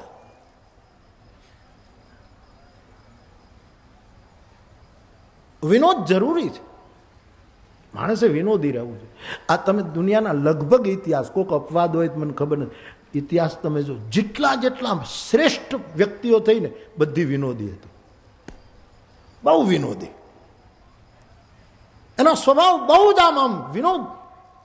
પણ નિરોગી વિનોદ, સ્વસ્થ વિનોદ. આ ગાંધીજી ઓછા વિનોદી હતા સાહેબ. આખી દુનિયા એને બાપ પણ વિનોદી ગજબના વિનોદી ગાંધીજી. બહુ વિનોદ કરતા છે સરોજીની નાયડુએ પૂછ્યું એક વખત કે, બાપુ, તમારી દ્રષ્ટિમાં આખા જગતમાં સુંદરમાં સુંદર સ્ત્રી કોણ? તો કે, કસ્તુરબા. હવે હવે આમાં આમાં કેટલું સત્ય છે એ બધા વિચારો. કસ્તુરબા ભલા ભોળા બિચારા. બાપુએ કેવો વિનોદ કર્યો કે સુંદરમાં સુંદર સ્ત્રી કોણ? તો કે કસ્તુરબા. આવો જવાબ આપ્યો, હસતા એટલે સરોજીની બાપુને મળીને પછી કસ્તુરબા પાસે ગયા કે બા શું કરો છો કે કાંતું છું? તો કે હમણાં બાપુને મેં પૂછ્યું કે આ જગતમાં તમારી દ્રષ્ટિમાં સુંદરમાં સુંદર સ્ત્રી કોણ? તો એણે કીધું, કસ્તુરબા. એટલે કસ્તુરબાએ શું કીધું? બાપુ કોઈ દી ખોટું ન બોલે. બાપુ તો સાચું જ બોલે. આવો વિનોદ મહાપુરુષોનો. જેટલો મહાપુરુષ, એટલો વિનોદ. એ આમ હાવ ઠૂંઠ બનીને ગંભીર થઈને બેઠો ન હોય સાહેબ. સ્થિતિસ્થાપક વ્યવહાર. ભગવાન રામ પણ વિનોદી છે. વાંદરાઓની સાથે વિનોદ કરે. રીછ અને વાંદરાઓની સાથે પ્રભુ વિનોદ કરે. વિનોદ. આનંદની એક શાખા છે વિનોદ. આનંદ ઈશ્વરનું રૂપ છે તો એનો એક વિભાગ છે વિનોદ. મજાક જિંદગી મેં હો, એ તો કોઈ બાત હૈ. મજબૂર સાહેબનો શેર છે કે મજાક જિંદગી મેં હો, એ તો કોઈ બાત હૈ. જીવનમાં મજાક હોવી જોઈએ, પણ મજાક કિસી કી જિંદગી સે હો? એ દિલ કો ના કબૂલ હૈ. કોઈની જિંદગી સાથે મજાક ન હોવી જોઈએ, પણ વ્યક્તિની જિંદગીમાં આનંદ પ્રમોદ હોવો જોઈએ. પણ એવો વિનોદ ન હોવો જોઈએ કોઈના જીવનની સાથે પહેલું થાય. જેટલા મહાપુરુષો બહુ જ વિનોદ. તિલક લોકમાન્ય લો ને સાહેબ તમે વિનોબાજી પણ લો સાહેબ. હળવી ક્ષણોમાં બેઠા હોય ને ત્યારે બહુ જ વિનોદ કરતા. જેટલા જેટલા મહાપુરુષો, શ્રેષ્ઠ પુરુષોનો આ સ્વભાવ વિનોદ કરવો તે. આપણે ત્યાં ગામડાઓમાં આવ્યું એક વિનોદના, જ્યારે મનોરંજનના કોઈ સાધનો નહોતા, ત્યારે બધું આવું, રેડિયો નહોતા. મારી નજર સામેનો દાખલો. અમે તલગાલામાં જ્યાં રહીએ ને એ જ ગલીમાં આગળ અમારે એક પંચોળી પરિવાર રહેતો હતો એની પત્ની. એ બિલકુલ બિચારી એકદમ એ આટલા વર્ષ પહેલાંની વાત કરું અમારા ગામમાં પહેલો વહેલો રેડિયો આવ્યો અને ચોરે એનું ભૂંગળું ગોઠવાણું અને એની ત્યાં જ બાજુમાં અમારો ગટકુઓ પાણી શેરડો પાણી ભરવા એ બાઈ ગઈ અને પાણી ભરીને આવે ને હું આમ મારા ઘરના ઓટલે બેઠેલો, ત્યાં તો આવીને રોતી રોતી આવી અને એમ પૂછ્યું કે શું થયું? કે આ પંચાયત કેવી આવી, બધાને આમ શ્રાપ આપે કે એક ડબલામાં છોકરાને પૂરી દીધું ને છોકરું બિચારું બોલે છે, એને બહાર કઢાવો, એને બહાર કઢાવો. આટલું ભોળ પણ. એને એમ કે રેડિયોમાં કોઈક બાળકને પૂરી દીધું છે અને એ છોકરું કંઈક બોલે છે અને આ પંચાયત બધાને મારવા બેઠી. આટલું બધી ગુસ્સામાં આ બનેલો પ્રસંગ છે. આટલું ભોળ પણ હતું. હવે તો રેડિયા આવ્યા, ટીવી આવ્યા હવે તો આખી વાત ફરી ગઈ ને આ અઠ્યાવીસમી ફેબ્રુઆરીએ જ્યારે કેન્દ્ર સરકાર બજેટ બહાર પાડે, એટલે બજેટ છાપામાં બધું આવ્યું કે આ બજેટ આવી રીતનું બહાર પડ્યું. એટલે એક પત્નીએ એના પતિને પૂછ્યું કે આ બજેટમાં આડા કરવેરા અને ઊભા કરવેરા અને રેડિયોમાં આવે છે ને છાપામાં આવે છે ને એ એ બધું શું કહેવાય? કે ઘર ખર્ચીના હું તને જે મહિને આપું છું ને એ સીધા કરવેરા. અને મને ખબર વગેરેના ખિસ્સામાંથી તું ઉપાડી જાશ ને એ બધા આડા કરવેરા. ત્યાં જિજ્ઞાસા પૂરી થઈ એટલે એણે બીજો પ્રશ્ન પૂછ્યો કે રેડિયામાં ટીવીમાં ફરક શું? કે આપણે બે જણા જ્યારે લડીએ છીએ અને પાડોશી સાંભળે એને રેડિયો કહેવાય. અને લડતા લડતા આપણે શેરીમાં આવીએ અને બધા જોવા ભેગા થાય એનું નામ ટીવી કહેવાય. આવા સાધનો એ વખતે નહોતા. એટલે આવી કવિતાઓ હતી. નિર્દોષ વિનોદ હતો. કાનો મેથળામાં રહે છે અને ભાળે એવું કહે છે. ગામ ખૂટવડા ખોરમ ખોરા. અમારા ખૂટવડા ગામે કાનો કવિ ગયો અને જેવું જોતું એવું કીધું. આ બધા વિનોદ. ગામ ખૂટવડા, ખોરમ ખોરા, માહી વસે છે કલમ ધોરા.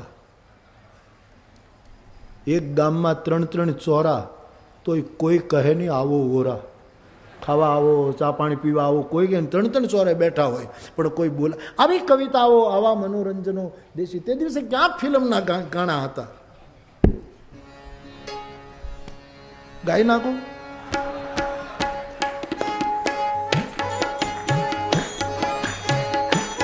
તમારી ફરમાઈશ આ સાતમો દિવસ સુધી તો મેં રોકી રાખ્યું બધું.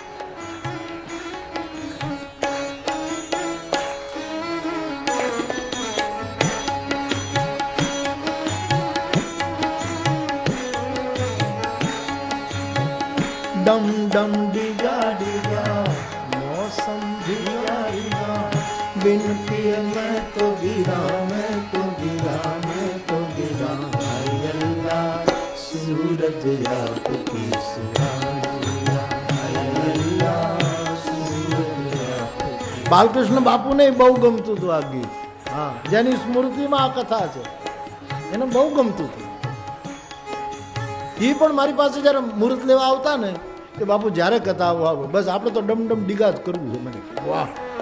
ફાટલ બાવો. પરંતુ બાપ, કોઈ પણ વસ્તુને હરી તરફ વાળજો. ભાવ પરિવર્તન થતા તો મેં તો આ ગીત આપણે સાંભળ્યું હોય, જોયું હોય, એટલે વળી ગવડાવ્યું બાકી શંકરને નજરમાં રાખીને આ ગીત ગાજો. શંકર. ડમરું વગાડે ત્યારે એને નજરમાં રાખજો, એમ માની નીકળ તેરી અદા વાહ વાહ હે? ભોલેનાથ,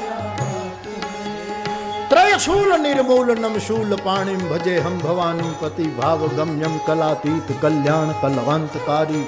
જનાનંદ દાતા પુરારી ચિદાનંદ સંદોહ મોહાપહાર પ્રસીદ પ્રસીદ પ્રભો મન્મથારી નયાવત ઉમાનાથ પાદાર બિંદમ ભજંતી લોકે પરે વાનરાણામ ન તાવત સુખમ શાંતિ સંતાપનાશ પ્રસીદ પ્રભો સર્વભૂતાદિવાસે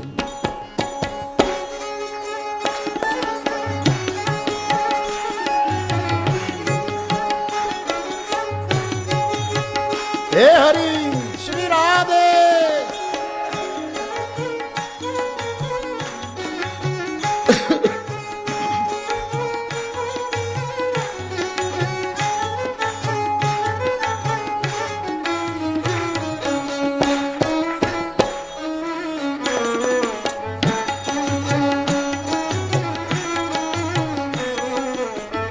અને ભગવાનની કથા અને ભક્તિની ચર્ચા જેવી ભીગી મોસમ દુનિયામાં કઈ હોય? મોસમ ભીગા ભીગા. પ્રભુની કથા, જહ વસંત ઋતુ રવિ લુભાઈ ભક્તિની જે મોસમ છે આજકાલ અઠવાડિયાથી અહીંયા મંડાણી છે સાહેબ. બિન પીએ મેં તો ગીરા. તમે શરાબ પીવો અને ગોટા વાળો, અહીંયા તો વગર પીધે બધા મસ્ત છે સાહેબ. ધન્યાસ્તે કૃતિના પિબંતી સતતમ શ્રી રામ નામામૃતમ પીધા વગર જેવું તેવું પીવું ન પડે પ્રભુના નામની એક અમૃતમયી આ પાન જેનાથી આપણે બધા અઠવાડિયાથી ડોલીએ છીએ સાહેબ। એટલે એ અર્થમાં લેજો। બિન પિય મેં તો ગીરા, મેં તો ગીરા, મેં તો ગીરા सूरत आपके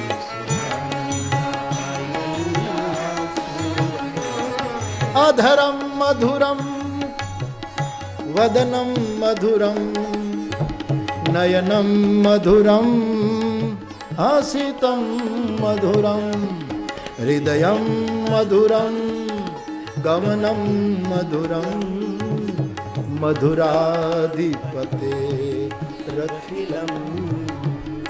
सूरत आपकी सुभानंद सूरत आपकी सुभानंद डम डम डिगा डिगा मौसम भीगा भीगा मिलती है मैं तो भीगा मैं तो હવે આમાં બનેલું શું સાહેબ કે હું એક લગ્નમાં ગયેલો રાજસ્થાનમાં અને ત્યાં પછી રિસેપ્શન ચાલતું હતું એમાં એ જે યજમાન પરિવાર હતા જે કન્યાના બાપને એ બધા એમણે આ બધા આવા નૃત્યનો અને સંગીતનો પ્રો એમાં આદરણીય નીતેશ મુકેશજીને એણે બોલાવેલા. અને નીતેશે તે દિવસે એમના એમના સ્ફૂર્ત શરીર દ્વારા આ ગીત ગાયું હતું. તો બધા ડોલતા હતા અને હું એમ એન્જોય કરતો હતો. તો વળી તેથી એના પછી વળી ક્યાંક હિમાચલ પ્રદેશમાં કથા હતી આપણે ક્યાં? સિમલા. સિમલા. અને આ સંસ્કાર તો ચિત્ત છે ને સંગ્રાહક છે. ચિત્ત છે એ બધી વસ્તુ કેમેરા જેવું છે. ફટ દઈને બધું પકડી લે. એ વળી તે દિવસે પકડાઈ ગયું. તો મેં વળી રમૂજ કરતાં કરતાં, શંકરના લગ્નની કથા કરતાં કરતાં સિમલામાં પહેલી વાર ગાયું અને પછી તો એવું ઉપડ્યું કે કથામાં ન ગાય લોકો કે, ઓહો, આખી કથા થઈ પણ ડમડમ ડીગાતી. પણ એ ચોપાયું નથી. આ તમે જુઓ, કોઈ પણ કથાકાર કથા કરે ને, અને કેવટનો પ્રસંગ કહે એમાં જો પગ મને ધોવા દો રઘુરાઈ ન બોલે તો ગામડાના માણસોનું શું થાય? આખું પદ ઉડાડી મૂક્યું. પણ હવે એને કેમ સમજાવું કે કંઈ રામાયણમાં નથી આવ? એ ભગત બાપુની રચના છે. પણ એ એટલું બધું પ્રચલિત અને લોકહૈયામાં વાસ કરી ગયું કે કોઈ પણ વક્તાએ એક લીટી તો ગાવી જ પડે. કન્યા વિદાય વખતે તમે કાળજા કેરો કટકો ન ગાવ તો એટલું બધું લોકહૃદયમાં દાદભાઈની કવિતા જતી રહી કે લોકોને એમ જ થાય કે આ આખું ગીત ઉડાડી મૂક્યું કથામાંથી. ઓતપ્રોત થઈ જાય. એટલે પછી આ અમે ગાતા રહ્યા લોકો વળી પછી ગાતા રહ્યા. ને સાધુ સંતોએ રાજી થતા ગયા, આનંદ હળવા મૂળમાં. એટલા માટે બાકી. તો આપણે ગાશું સંતો? કેવા હા પાડે છે. બહુ રાજી થાય બધા બધા રાજી થાય. સંતો બધા આશીર્વાદ માટે હાલો.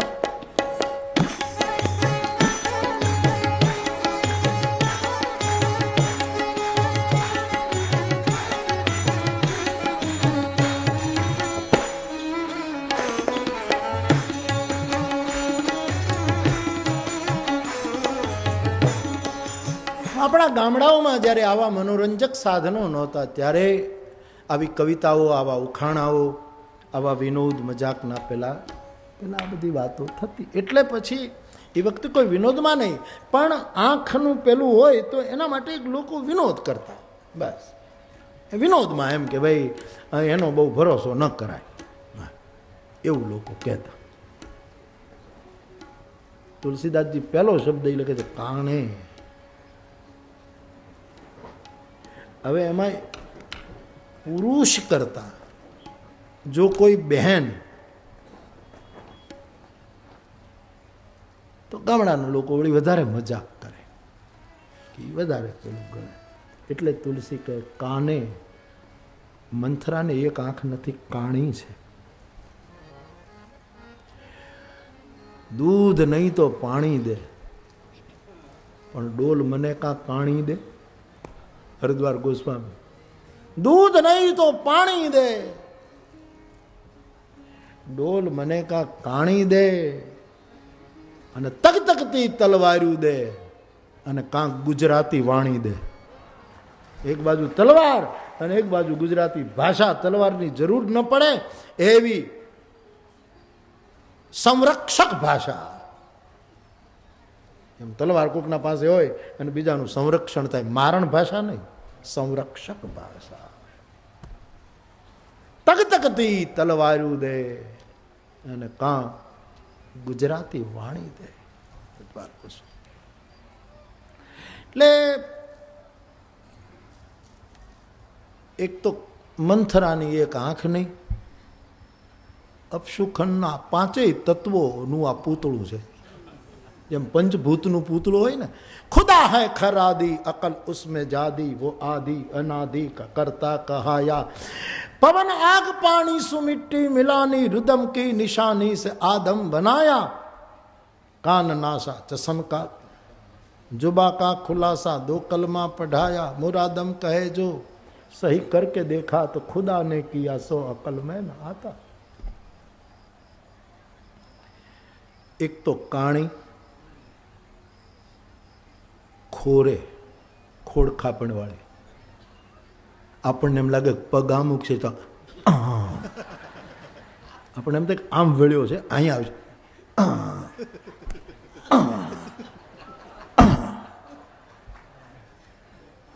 હું તમને મંથરાનું રૂપ બતાવું.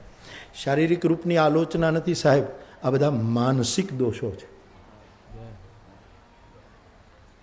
એક આંખ હોય એનું અપશુકન ન ગણાય સાહેબ, એને આદર આપવો જોઈએ. આપણે કોઈની મજાક પણ જેની એક દ્રષ્ટિ નથી, જેની એક આંખ નથી, અથવા તો જેની દ્રષ્ટિમાં બીજાના તરફ ઈર્ષા છે, એ બધા કાણા છે. ફૂટી ગયા છે. કોડિયું ફિટ કરાવી નીકળ્યા છે. આંખ્યું ક્યાં છે? કોડિયું ફિટ કરાવી છે. આંધળા છે સાહેબ. અપશુકન છે સમાજનું. જેની વિચારધારા આવી કાણી છે. ફૂટલ છે, તૂટલ છે. તો એક તો મંથરા કાણી છે અને એમાં ખોડખા પણ વિકલાંગતા છે. હેન્ડીક્રાફ્ટ છે.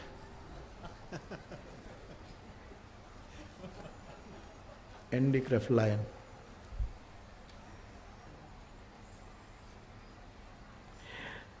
કાણી છે.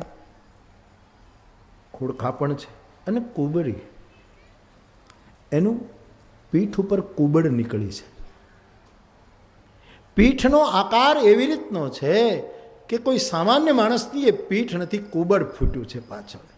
એક એવી કુબડ ફૂટ્યું છે. કાને ખોડે કુબરે અને ચોથું લક્ષણ કુટિલ.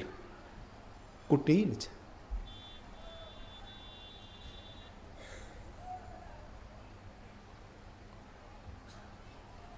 કાને ખોરે કુબડે અને કુટિલ કુચાલી જાન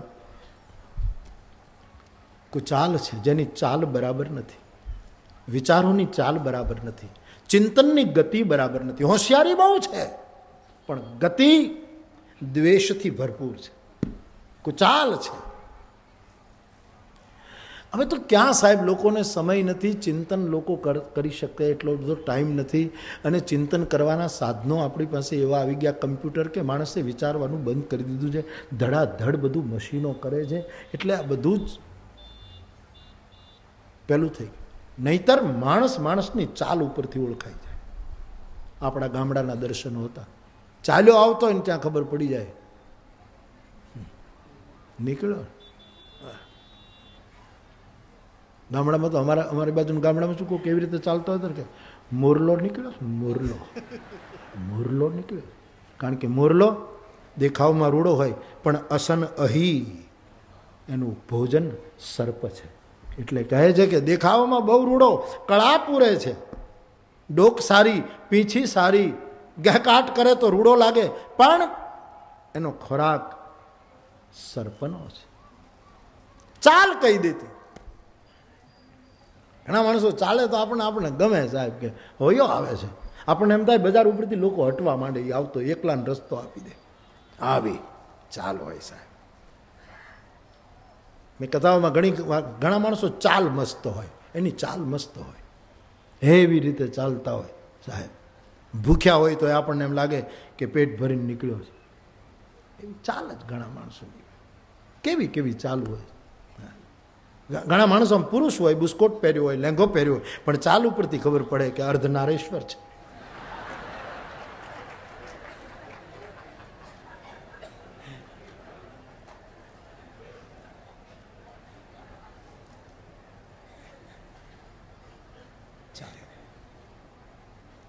એને ચાલ મસ્ત કહેવાય, એવી મસ્ત ચાલ ચાલ ચાલ મસ્ત, એને કહેવાય. આ શબ્દો સ્વામી રામતીર્થના છે. ઘણા માણસો ચાલ મસ્ત હોય. ચાલે એટલે આપણને આનંદ થાય સાહેબ. એવી રીતે નીકળે કે આપણને આમ થઈ જાય કે વાહ વાહ. એવું રૂડું ચાલતા હોય. બહુ સરસ. અને ઘણા માણસો હાલતા હોય તો આપણને એમ થાય કે હાલે છે, કે કૂદે છે, કે ઠેકે છે, કે એના પગમાં આટલી બધી કપાસ્યું છે. ઠેકતા જતા હોય, ઠેકતા આપણને. ચાલ મસ્ત.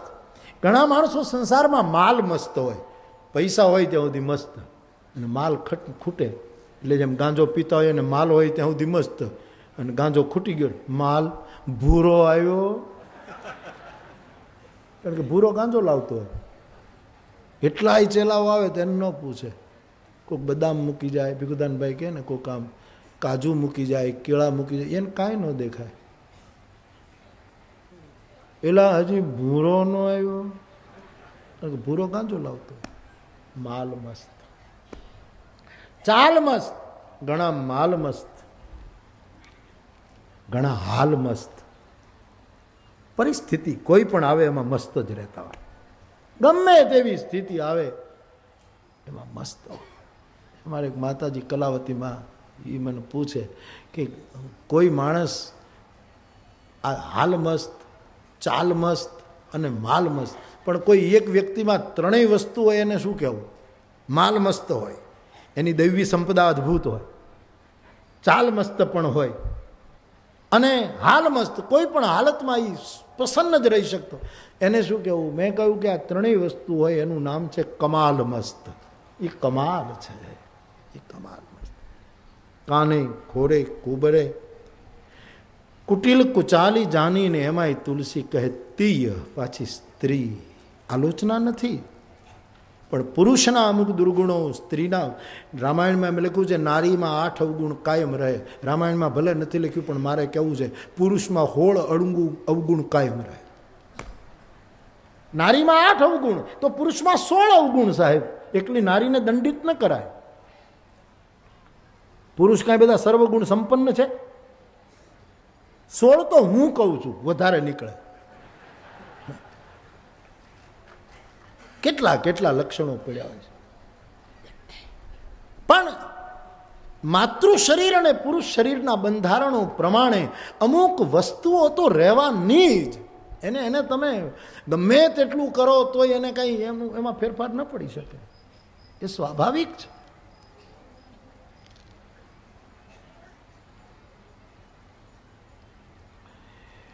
તિય સ્ત્રી છે મંથરા. કાને ખોરે કુબડે કુટિલ, કુચાલી, જાની, તીય અને તુલસી કે વિશેષ પુની ચેરી. પાછી વિશેષતા શું છે? દાસી છે. આ ડાવડું બોલે તેને દંડે, એને એને કાંઈ નુકસાન કારણ કે એમ કે અમે દાસી છીએ, અમને શું ખબર? અને આખા ઘરનું ભલું કરી નાખે સાહેબ. તીય વિશેષ પુની ચેરી કઈ અને ભરત માતુ મુસુકાની વ્યંગ કર્યો. મજાક કરી છે. મજાકમાં બોલાયેલા શબ્દો છે કે એક તો કાણી, એમાંય પાછી ખોડખાપણ, એમાંય કુબડવાળી કમર, આને કુટીલ હૃદય અને કુચાલ અને વળી પાછી સ્ત્રી અને એમાંય દાસી. ભરત માતુ મુસુકાની એમ કહીને વ્યંગ કર્યો છે. તને આવા વિચારો કેમ આવ્યા? રામના રાજ્યાભિષેક માટે તું માંગણી કર, તું જે માંગે તે આપું. પણ આ વિચાર બંધ કર. કહ્યું, દેવી, આ તમારો જે હરખ છે ને, એ થોડાક દિવસોમાં શમી જશે. તમે ભલે કહેતા હો કે કૌશલ્યાના આવા વિચારો ન હોય, પણ એ લોકો એ જ. એના કોઈના વિચારો આવા ન હોય તો પંદર દિવસ સુધી આ વાત શું કામ છુપાવી છે? હું તમને કહું ત્યારે સરાસર જૂઠ બોલે છે. કોઈના સુખી અને સંપન્ન ઘરમાં વિવાદ કેમ ઊભા કરાય એની જો શિક્ષા લેવી હોય તો આજની આ થોડીક કથા બરાબર ગ્રહણ કરજો. અને જો કોઈના ઘરમાં વનવાસ નિર્માણ ન કરવો હોય તો આ કથાને સમજી અને એનાથી દૂર રહેજો. સાવધાન રહેજો. અને મંથરા એ કંઈ સ્ત્રી જ હોવી જરૂરી નથી. મંથરોય હોય. એમાં કોઈ જાતિ, જાતિને લક્ષમાં લેવાની જરૂર નથી. ફરજિયાત નથી સ્ત્રી હોવું મંથરાપણા માટે. પુરુષો પણ મન આવું હોય. કઈ કઈને જ્યાં સુધી આમ વાત કરે છે, ત્યાં સુધી કઈ કઈની બુદ્ધિમાં ભ્રમ પેદા થયો. પણ એમ કહેતા કહેતા કહે છે, મંથરાએ કઈ કઈને સ્પર્શ કર્યો અને રજોગુણી માયા જે ઈશ્વરની ઈચ્છાથી. દેવતાઓએ સરસ્વતીને કહ્યું, સરસ્વતી આની બુદ્ધિ ફેરવી એ માયાવી વાત, એ પ્રલોભની સ્વાર્થ વૃત્તિ કઈ કઈમાં પ્રવેશ કરે છે. આપણે ત્યાં અમુકને અડવું નહીં અડવું નહીં. આની પાછળ કેવલ કોઈ અછૂત છે એવો ભાવ નહોતો. પણ ઘણી વખત એવા લોકોને સ્પર્શ કરવાથી એની રજોગુણી વૃત્તિ આપણામાં પ્રવેશ દલિત સમાજને ન અડવું, એ તો ખોટો સંસ્કાર આવી ગયો આપણે ત્યાં. પણ મંથરા જેવા સમાજમાં જે જે હોય ને એને ન અડવું. સંગ દોષ લાગ્યા વગર નથી રહેતું. ટૂંકમાં અસ્પૃશ્યતાનો સવાલ નથી. આપણે તો ખોટે ખોટું ઉપાડ્યું કે આને ન અડાય આને નહીં. એણે શું બગાડ્યું કે ન અડાય?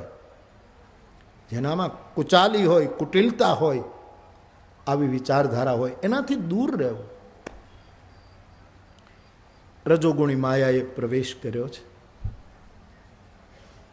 અને કઈ કઈની દ્રષ્ટિ પણ ફરી મંથરા મારો ભોળો સ્વભાવ. મેં તો આવું કોઈ દિવસ વિચાર્યું જ નહીં. હા, રામ રાજા થાય એમાં મને જરાય તકલીફ નથી, પણ તું કહે કે ભરતને જેલમાં પૂરે એવું નહીં થવા દો. હું શું કામ કોઈની સેવા કરું? વિચારો બદલ્યા. આને કુબડીએ, મંથરાએ પોતાના દાંતની વચ્ચે જીભ દબાવી કે મારું કાર્ય સંપન્ન થવાની તૈયારી છે. હું કોઈની સેવા નહીં કરું. હું પણ રાણી છું. વિચારો બદલ્યા.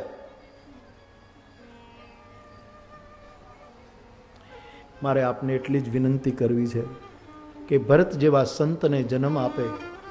દશરથજીને દેવાસુર સંગ્રામમાં પેલી કીલ નીકળી જાય ને બે આંગળી નાખીને મદદ કરી શકે આવી શૌર્યવાન સ્ત્રી.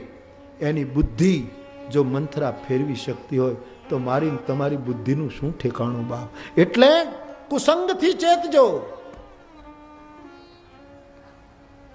બેદલ મુખથી મીઠા બોલે, એની વાણીમાં વરમંડ ડોલે. તુલસીજી આખા પ્રકરણનો એક સૂત્રમાં સાર આપ્યો રહી નીચ મતે ચતુરાઈ.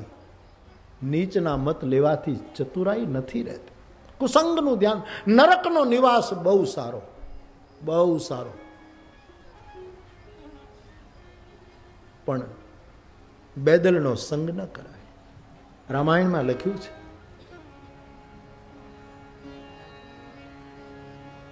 બરુ ભલ બાસ નરક કરતા દુષ્ટ સંગ જની દુષ્ટ સંગ જની રામાયણકાર કહે છે નરકમાં નિવાસ કરવો ઉત્તમ, કારણ કે કર્મનો હિસાબ પૂરો થશે ત્યારે નરકથી ક્યારેક મુક્તિ મળશે. પણ દુષ્ટના સંગમાં ફસાયો એને મુક્તિ ક્યાં મળે છે?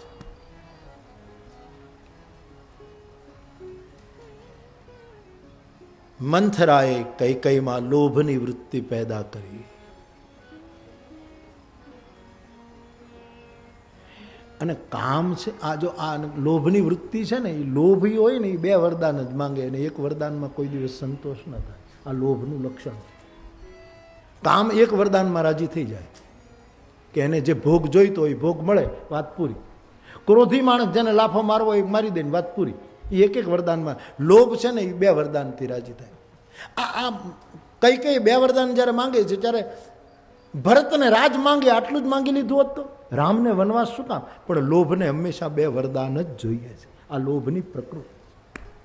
મારું સધાય અને બીજાનું બગડે. આ બે વરદાન વગર લોભ સંતુષ્ટ ન થાય.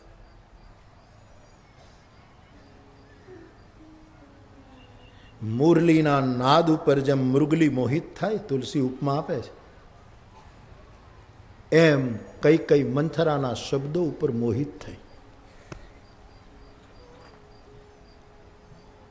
આવા વિષમ સમયે મારે શું કરવું જોઈએ મંથરા, તું મને બતાવ દેવી, હું તો એક દાસી છું. હું તમને શું માર્ગદર્શન આપું? પોતાનું હિત અને અનહિત શેમાં છે? એ તો પશુ પક્ષીને ખબર પડે. માનુષનું જીવન તો સમજનું નિધાન છે. આપને આટલી ખબર ન પડે કે તમારે શું કરવું જોઈએ? મને કંઈ સમજ નથી. તું મને બતાવ હમણાં તમે મારી મશ્કરી કરતા હતા. જે થયું તે થયું. હવે તું બતાવ કે મારે શું કરવું છે? અને કઈ કઈ એટલી બધી શરણાગતિ સ્વીકારે છે કે પરવ, કૂપ, તવ વચન લગી, સકવ, પૂત, પતિ, ત્યાગી. તું કહેતી હોય તો કૂવામાં પડો. તું કહેતી હોય તો પુત્ર, પતિનો ત્યાગ કરો. તું મારા હિતની વાત કરે છે. હું શું કામ ન કરું? ગમે તેટલી મોટી મહિલા, પણ અમુક અમુક લક્ષણો આવે છે. એને તરત જ કહ્યું આપઘાત કરું. આ બહેનોનું ઈ લક્ષણ. એને કૂવો ને કેરોસીન બે જ દેખાતા. આ કઈ કઈ મહારાણી છે? છતાંય માનસિકતા તો પેલી આવી, એટલે કે પરવ, કૂપ, તવ, બચન. હું કૂવામાં પડું, તું કહેતી હોય પુત્ર પતિનો ત્યાગ કરી દો તારા કહેવા પડું તું મારા હિતની વાત કરે. મારે શું કરવું છે? એ વખતે મંથરાએ કીધું છે કે મારી વાત માનો, તો દુઈ વરદાન ભૂપ સન થાતી. મહારાજા પાસે તમારા બે વરદાન માંગણા છે. આ દશરથજી યુદ્ધમાં ગયા ને ત્યારે કંઈકને લઈ ન ગયા હોત ને તો આ કાંઈ ઊભું નહોતું. યુદ્ધમાં કંઈક સ્ત્રીને લઈ જવાની જરૂર નહોતી. પણ એને લઈ ગયા. હવે એ પોતે લઈ ગયા છે કે આ જીદ કરીને ગયા છે એ કંઈ ચોખવટ નથી. નહીતર બે કારણ હોઈ શકે. કારણ તો દશરથજીની આસક્તિ કે એ બહુ કુશળ હતી મહિલા, બહુ શૌર્યવાન છે. એટલે એને સાથે લઈ ગયા. નહીં તો યુદ્ધના મેદાનમાં લઈ જવાની. અમુક જગ્યાએ લઈ ન જવાય. આ ક્રિકેટમાં એ બધા લઈ જાય છે. યુદ્ધ હારીને પાછા આવે છે. આજથી શરૂ થયું જ પાછું. સારું થાય એમ આપણે ઈચ્છીએ ને બધું સરખું થાય. Over to Kanpur. બા.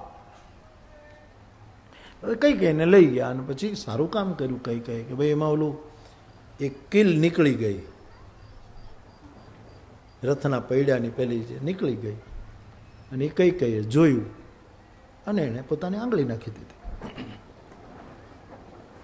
દશરથજીએ જ્યારે જોયું કે બે આંગળી નાખીને મને એણે બચાવ્યો એ બે આંગળીના બે વરદાનો કેટલા મોંઘા પડ્યા. બહુ મોંઘા પડે. તમારા બે વરદાન માંગણા લેણા છે, માંગી લો અને તમારી છાતીના દાહને શાંત કરો. અને દેવી આ રીતે નહીં, રાજા બહુ કુશળ છે, તમને ભોળવી દેશે.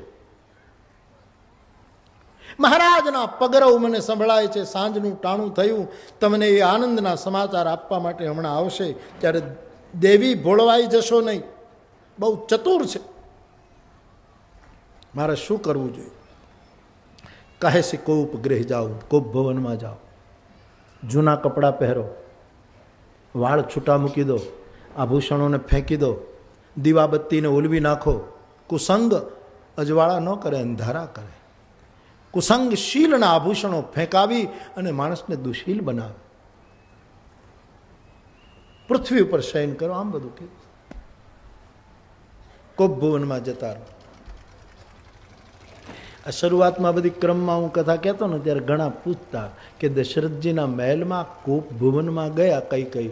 એટલે ત્યાં એક કોપ ભુવન નામનો એક ઓરડો હશે. કનક ભવન તો છે. આનું નામ જ કોપ ભુવન? કે જેમ બેઠકનો રૂમ હોય, રસોડું હોય, મહેમાનના રૂમ હોય, એમ એક કજ્જો કરવાનો રૂમ રાખતા હશે આ લોકો મોટા મકાનમાં? કે ભાઈ બે જણાને બાંધવું હોય, લડવું હોય ત્યારે આ કોપ ભુવન? હું એનો જવાબ આપતો કે ભાઈ કોપ ભુવન હોય નહીં, થઈ જાય. આખાને આખા ભવનો કોપ ભુવનમાં પરિવર્તિત થતા હોય. વિચારો બદલે, સ્વાર્થ પ્રગટે ત્યારે શું નથી થતું?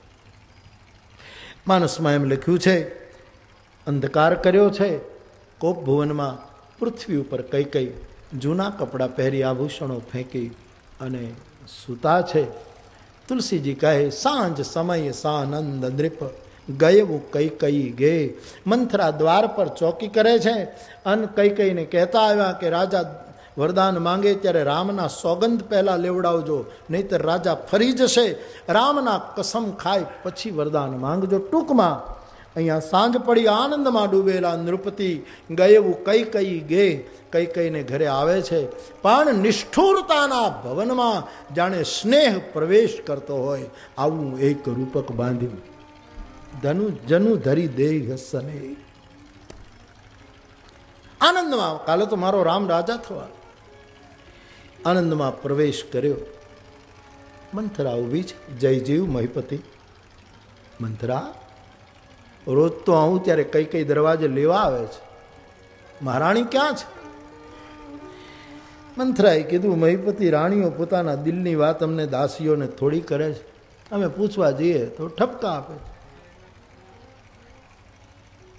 ક્યાં છે? એટલે ખબર નહીં કંઈ કે નારાજ છે ને કોપ ભુવનમાં છે. આપ જાઓ. કોપ ભુવન શબ્દ જ્યાં સાંભળ્યો એટલે તુલસીને લખવું પડ્યું. કોપ ભવન સુની શકું જેવું રામ ભય બસ અગ પર કોપ ભુવન શબ્દ સાંભળતા તુલસીજી લખે છે, દશરથજી, સંકોચ પામ્યા. ઉત્સાહ શમી ગયો. ભયને લીધે આગળ પગ ન ભરી શક્યા. તુલસીદાસજી કહે, સુરપતિ બસ અહીં બાહુબલ જાતે. ઇન્દ્ર જેના બાહુબળથી સલામત રહે, તમામ રાજાઓના મુકુટમણી જેના પગમાં ઘસાઈ જતા હતા એવો સમ્રાટ ચક્રવર્તી સો તિય રીસ અતિ ગયવું સુખાઈ, રાણી નારાજ થઈ સાંભળતા આટલા બધા ઓલા થઈ ગયા.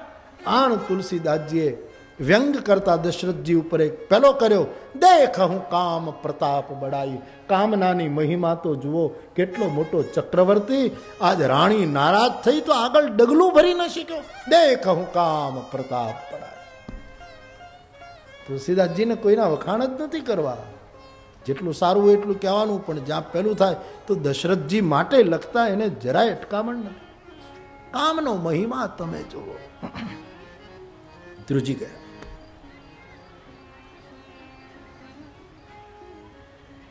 કોપભુવનમાં જાય છે કઈ કઈ ભૂમિ શયન કરે છે?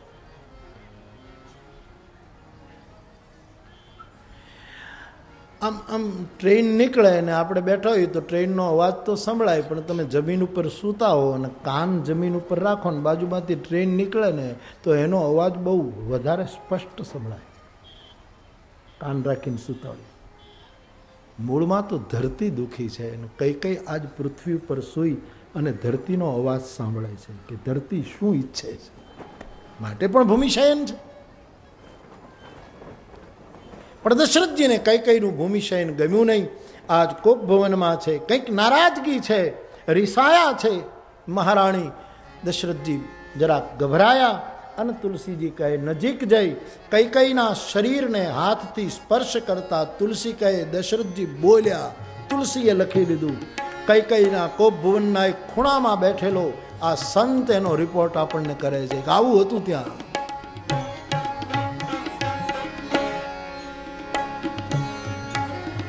કેહી હે તુ રાની રિસાની પરસત પાની પતિહીને વારી માનહુ સરોષ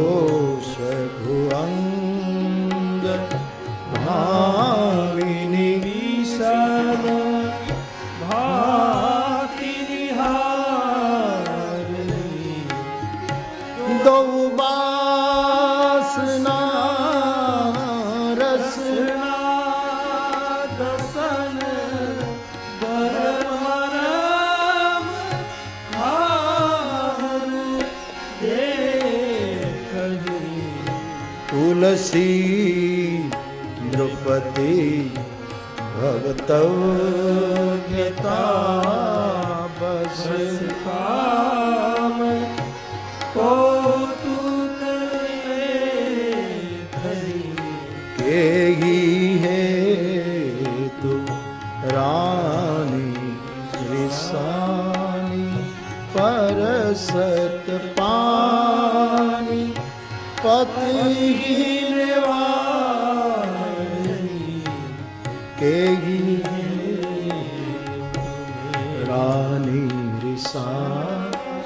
કઈ શરીરને એના હાથને હાથથી સ્પર્શ કરીને દશરથજીએ પ્રશ્ન પૂછ્યો, તુલસીએ લખી લીધો, હે રાણી, તમે શું કામ રીસાણા? પરસત પાની પતિ નિવારવી પોતાના પતિના હાથને કઈ કઈ ધક્કો મારે છે. એ જે આમ દશરથજી એને સ્પર્શ કરે છે મનાવવા માટે તુલસી આવું લખ્યું.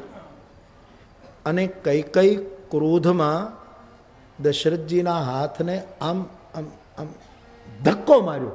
એ હાથ જ્યાં આમ થયો, એટલે તુલસીએ ઉપમા આપી માં હું સરોષ ભૂ અંગ ભામિની, જાણે કોઈ ખીજાયેલી સર્પિણી ઊભી થઈ.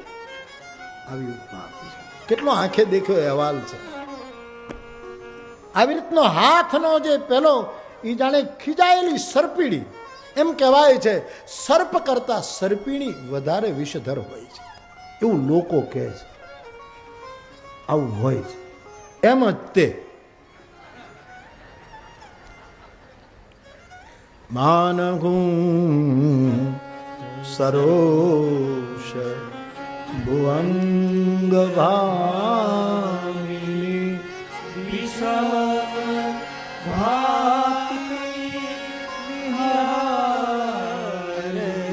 સર્પિણીની જેમ હાથ થયો પછી ઉપમા દૌબાસના રસના, બે વરદાનની વાસના છે એ જાણે જીભ છે.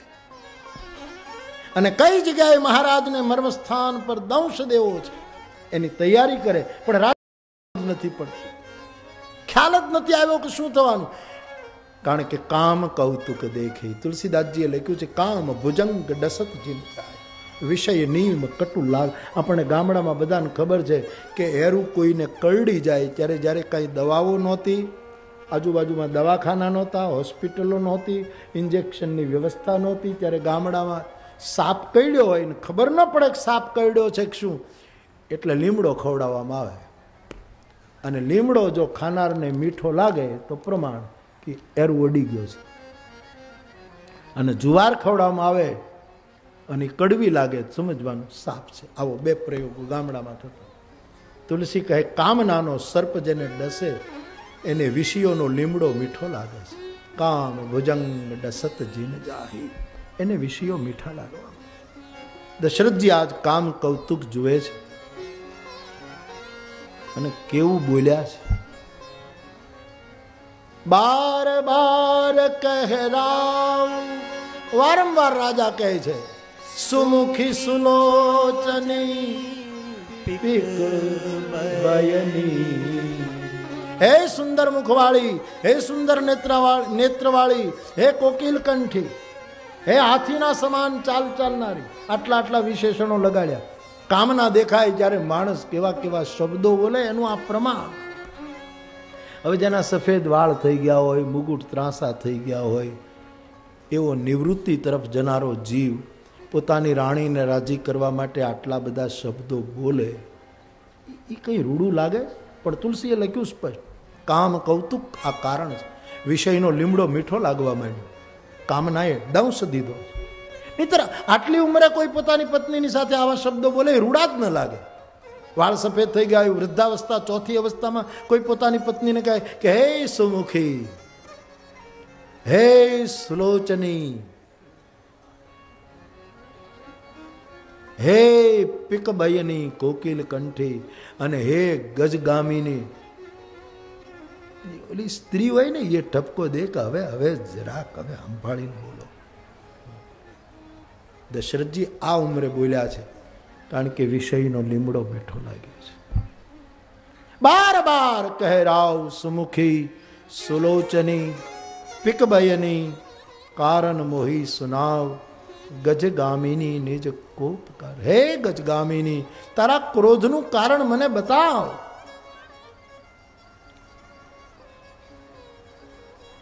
તું કહેતી હોય તો રંકને રાજા બને. ઓફર તમે જુઓ. આ બધી કામ કહું તું આ બધા શબ્દો તુલસીદાસ કહો કહી રંગ કહી કરો નરેશું. તું કહેતી હોય તો રંકને રાજા બનાવી દઉં. તુલસીદાસજીને હસવું આવી ગયું કે પોતાના દીકરાને રાજ આપવાની ઘોષણા કરી. એ પૂરું નહીં કરી શકે અને વાત કરે છે રંકને રાજા બનાવી દઉં. આ કામ કહું, વિષયનો લીમડો મીઠો લાગે. હું આમ કરી દઉં હું આમ કરી નાખું હું આમ કરી આવી બધી કામનાગ્રસ્ત માણસ પછી બોલવા માંડે. એને પછી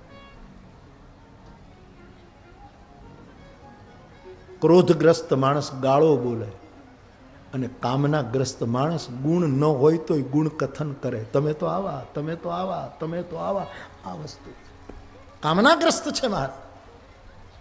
હે ગજગામિની, તારા કોપનું કારણ બતાવ. તું કહે તો રાજા બનાવી દઉં. તું કહે તો કોઈને દેશ નિકાલ કરી દઉં. તુલસીદાસજી હશે દીકરો દેશ નિકાલ થવાનો છે કોઈને પણ કામ કદી દેખાય. માંગ કઈ કઈ? કાલે તો આપણા રામનો રાજ્યાભિષેક, જેના ઉપર તને પણ આટલો બધો પ્યાર છે. તું માંગ. અને જ્યારે માંગવાનું કીધું, ત્યારે કઈ કઈ જરાક રૂખ બદલે છે અને દશરથજીને કહે છે, માંગો માંગો. એમ તો તમે કેટલી વાર બોલ્યા, ક્યારે આપવું દેવું છે? મારા બે વરદાન નિયમસરના માંગણા છે. એ પણ મળશે કે કેમ? ભગવાન જાણે. ઓ, દશરથજીની બધી ચિંતા ટળી ગઈ. વરદાન માંગવા માટે આટલું બધું નાટક કરાય? અરે બેને બદલે ચાર માંગી લો. મારો ભોળો સ્વભાવ હું ભૂલી ગયો. થાતી રાખીને માંગે એવું કાંઈ તમે માંગ્યું જ નહીં. બિસરી ગયું મોર ભોર સ્વભાવ. મારો ભોળો સ્વભાવ. બેને બદલે ચાર માંગી લો. કઈ કઈ કહ્યું ચાર નહીં, બે જ. અને એ મારા હકના. તમારી દાતારીના નહીં. અરે રાણી, શણગાર સજો, તૈયારી કરો, માંગી લો. અને રાણી તમારા માંગેલા વચન પૂરા ન કરું તો મને રામના સોગંદ છે. જ્યાં રામના સોગંદ બોલ્યા અને અયોધ્યામાં એ સંધ્યા ટાણે એક અપશુકનોની પરંપરા સર્જાઈ ગઈ. કોકના હાથે દીવા ઉલવાઈ ગયા, કોકના હાથમાંથી બર્તનો પડી ગયા, કોઈકની આંખમાં આંસુ આવી ગયા. ભાવિ ફર્યો અયોધ્યાનું.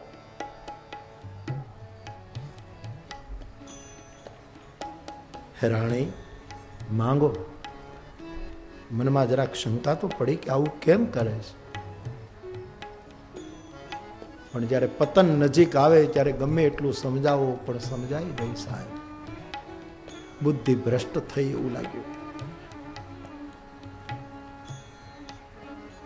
વરદાનની હા પાડી દીધી. સ્વાર્થ આવે ત્યારે વળી પાછા કેવા નખરા શરૂ થતા હોય. જે રાણી દશરથજીના હાથને સર્પની જેમ ડસવા તૈયાર થઈ હતી. એને જ્યારે વરદાન રામના સોગંદથી આપવાની વાત થઈ, એ વખતે આખો કેટલું રૂખ ફરે સ્વાર્થી લોકો. નજીક આવી અને એ જ કઈ કઈ જે સર્પિણી બની હતી એ હવે દશરથજીને પ્રાણપતિ શબ્દથી સંબોધન કરે. સર્પિણીને વાચા ફૂટે નહીં, કોઈ પુરુષને એમ કહે તમે તો મારા પ્રાણપતિ છો. જે પ્રાણ હરનારું તત્વ છે. તુલસી લખે છે. સુનહું પ્રાણ પ્રિય ભાવત જી કા પ્રાણ પ્રિય ભાવત જીવા દેવું એક બર કા દેવું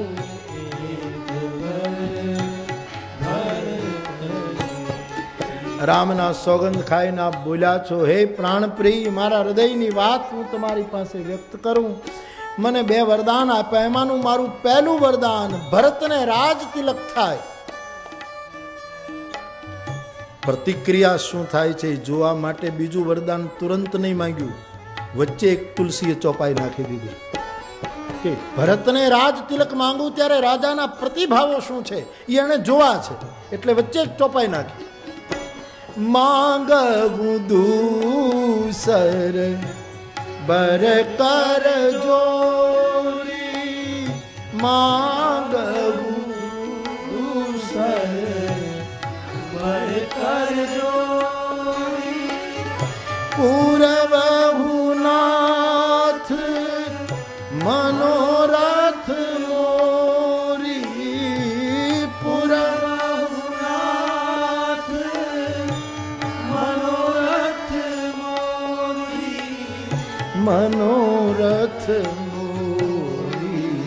બીજું વરદાન હાથ જોડીને તમારી પાસે માંગુ છું.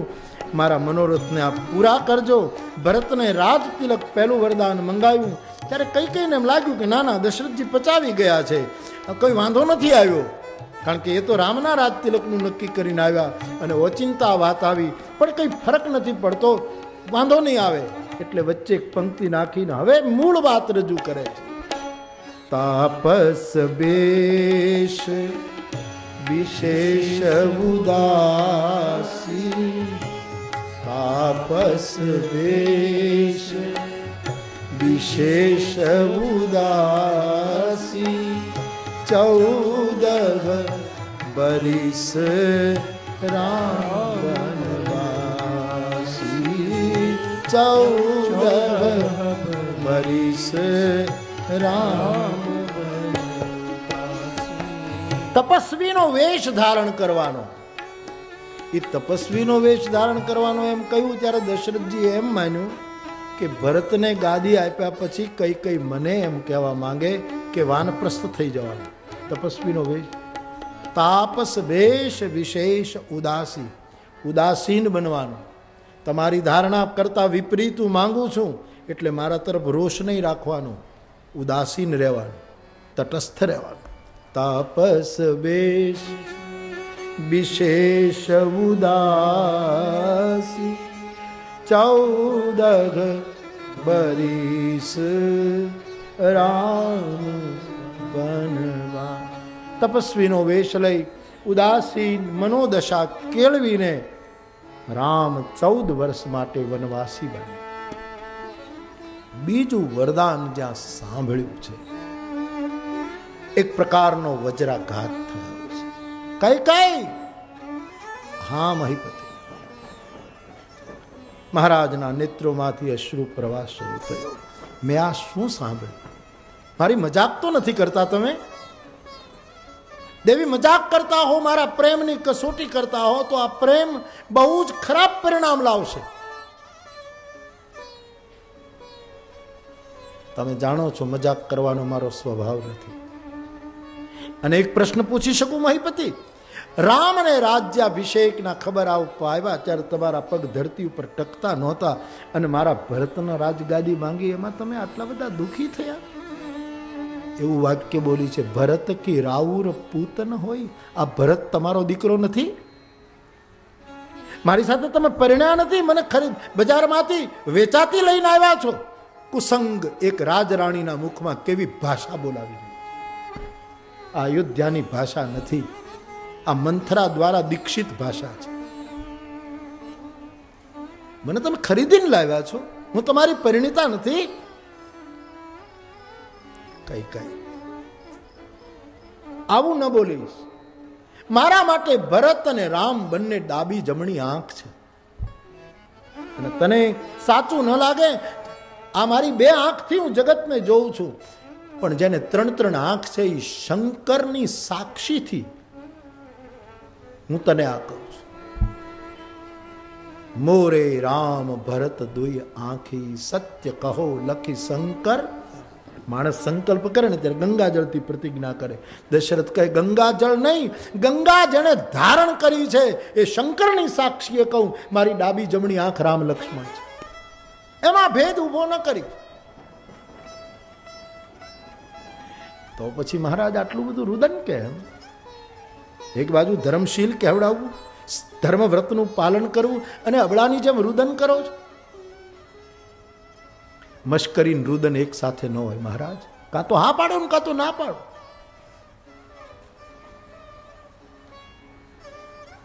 લાંબી વાત મારે કરવી નથી. કઈ કઈ કઈ એક વચન સાંભળી લો. જોઉં ન પ્રાત મુનિ બેશ ધરી જોઉં ન રામ બન જાય.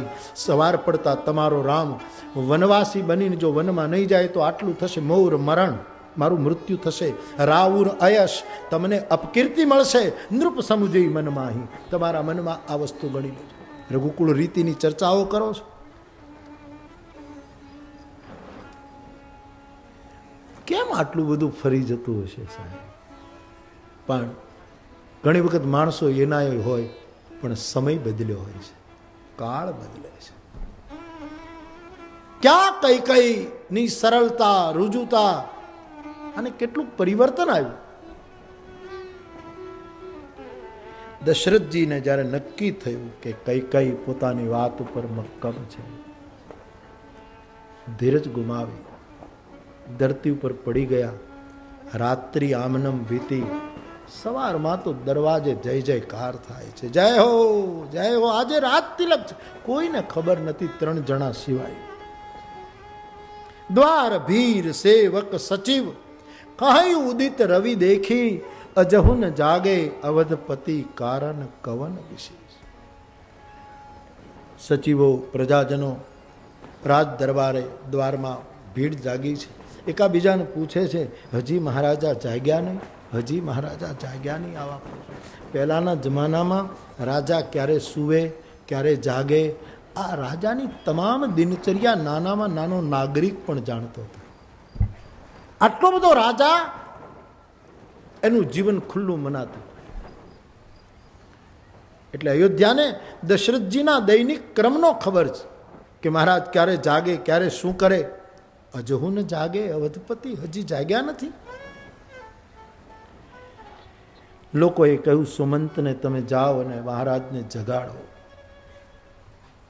મોહપાશમાં બંધાયેલો કોઈ સમ્રાટ જ્યારે બરાબર સમયસર જાગે નહીં, ત્યારે કોઈ સદબુદ્ધિવાળો સચિવ જ એને જગાડી શકતો હોય છે.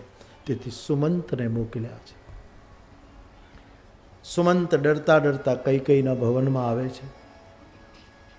મંથરાએ એ જ કહ્યું, કોપ ભવનમાં બંને જણ છે. મને શું ખબર? કોપ ભવનમાં સુમંતજી આવ્યા છે, દશરથજીની આ સ્થિતિ જોઈ. વયોવૃદ્ધ સુમંત સાધુ ચરિત સુમંત, એના નેત્રો ભીજાયા. બાપ, શું છે? સુમંતનો હાથ પકડીને દશરથજી જરાક બેહોશીમાં છે. કઈ કઈને પૂછ્યું કે, મહારાણી, અયોધ્યાના પ્રધાનમંત્રીના નાતે હું આપને પૂછી શકું કે અમારા પૃથ્વીપતિને શું થયું છે? આજે દેવી રામનો રાજ્યાભિષેક છે. સુમંતજી, આખી રાત્રિ રામ રામ કહીને વિતાવી છે દશરથજીએ. હેતુ જાન જગદીશ હેતુ તો ઈશ્વર જાણે. કેટલું પૂછ્યું પણ કહેતા જ નથી. મને એમ લાગે છે, એમને કંઈક રામનું અગત્યનું કામ છે. તમે રામને અત્યારે જલ્દી તત્કાલ લઈ આવો. કઈ કહીએ સુમંતને આવા શબ્દો. સુમંત રાજનીતિજ્ઞ છે, સાધુ ચરિત્ર છે. વિચાર્યું કે કારણ ગમે તે હોય, પણ આ પરિસ્થિતિમાં અહીં રામનું હોવું આવશ્યક છે. સુમંતજી ઉદ્વિગ્ન ચહેરે નીકળે છે. અયોધ્યાના જન જન સુમંતને પૂછે છે, અમને કંઈક ખબર તો આપો. સૌ મહેલમાં ઠીક તો છે? લોકો બિચારા રડી પડ્યા છે. મહારાજ, બતાવો તો ખરા, આજે અમારા માટે જીવનનો મૂલ્યવાન દિવસ. આપ કેમ કોઈ કંઈ બોલતા નથી? હજી મહારાજા દર કેમ તૈયાર થઈને બહાર નથી આવતા? પ્રજાજનોને કીધું, ધૈર્ય રાખો. થોડો સમય આપો. પણ મહારાજ, આપનો ચહેરો કેમ દુખી જણાય? અમે જાણવાના અધિકારી નથી. આશ્વાસન આપતા આપતા સુમંત રામ ભવન પહોંચ્યા છે. સીતારામજીએ જોયું કે સુમંત આવ્યા. પ્રણામ કર્યા. પિતા તુલ્ય આદર આપ્યો. સુમંતજી, બધા કુશળ તો છે? રાઘવ, પિતાજી આપને યાદ કરે છે. મારી સાથે આપ આવો. આવી સ્થિતિમાં, રામને આવી સ્થિતિમાં સુમંત લઈને નીકળ્યા છે. અયોધ્યાની આશંકા વધારે ગહેરી બની કે કંઈક થયું છે. પ્રભુ રામ સુમંતની સાથે કઈ કઈ ભવન આવ્યા. દશરથજીને જે રીતે મૂર્છિત દશામાં તુલસીદાસજીને લખવું પડ્યું, પ્રથમ દીખ, દુઃખ, સુનાન કાવું. રામજીએ અત્યાર સુધીની ઉંમરમાં દુઃખ શું કહેવાય એ સાંભળ્યું નહોતું અને દુઃખ કેવું હોય એ જોયું નહોતું. પોતાના પિતા ઉપર આ બધું દેખાયું. પ્રણામ કર્યા. અવાજ સાંભળી ભેટી પડે છે અવધપતિ. એની મનોવેદના જાણે એમ કહે છે કે હું કૌવનમાં જાતો મારા વચનને તોડીને રાઘવ જઈશ નહીં. આવું મનમાં મનમાં કંઈક થઈ ગયું. સુમંતજી, શું થયું? મારાથી કોઈ એવો અપરાધ તો નથી થયો કે મારા પિતાજીની આ સ્થિતિ હોય. પોતાના ઉપર લે છે.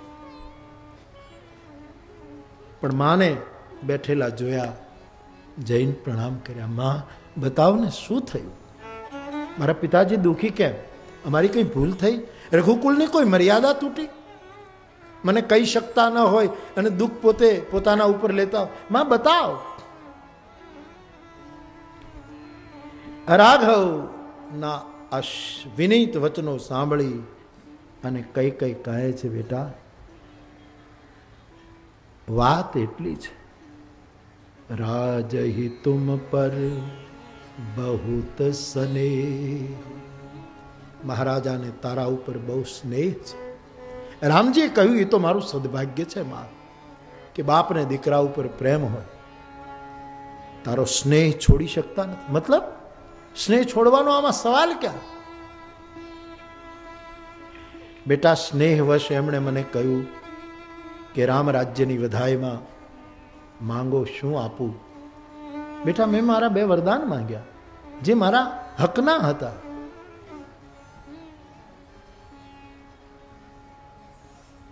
તો શું માંગ્યું તે? બેટા, પહેલું વરદાન મેં ભરતને રાજ્ય મળે એવું માંગ્યું. માં! તું તું બિલકુલ સચ્ચ કહે છે. હા, બેટા. ભગવાન રામ કઈ કઈને ભેટી પડે કૌશલ્યાને રામજી આવી રીતે ક્યારેય ભેટતા નથી. પ્રણામ કરે, અંકમાં બેસી જાય. ગહી પદ લગે, સુમિત્રા અંકા પગે લાગીને ખોળામાં બેસી જાય.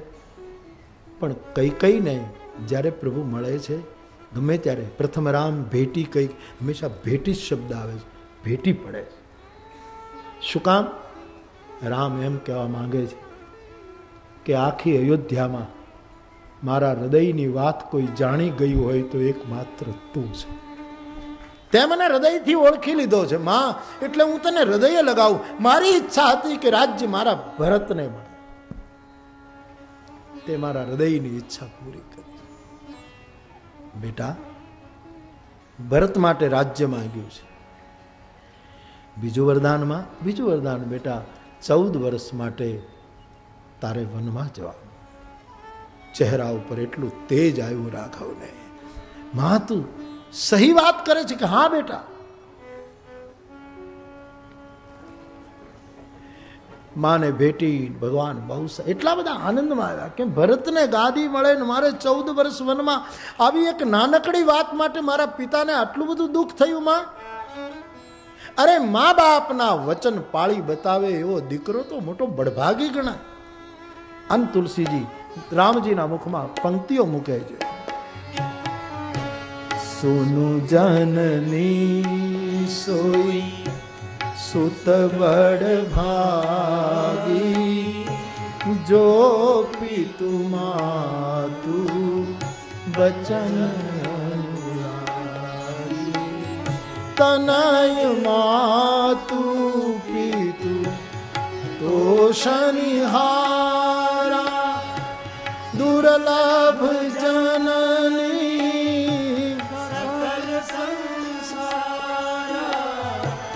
દુર્લભ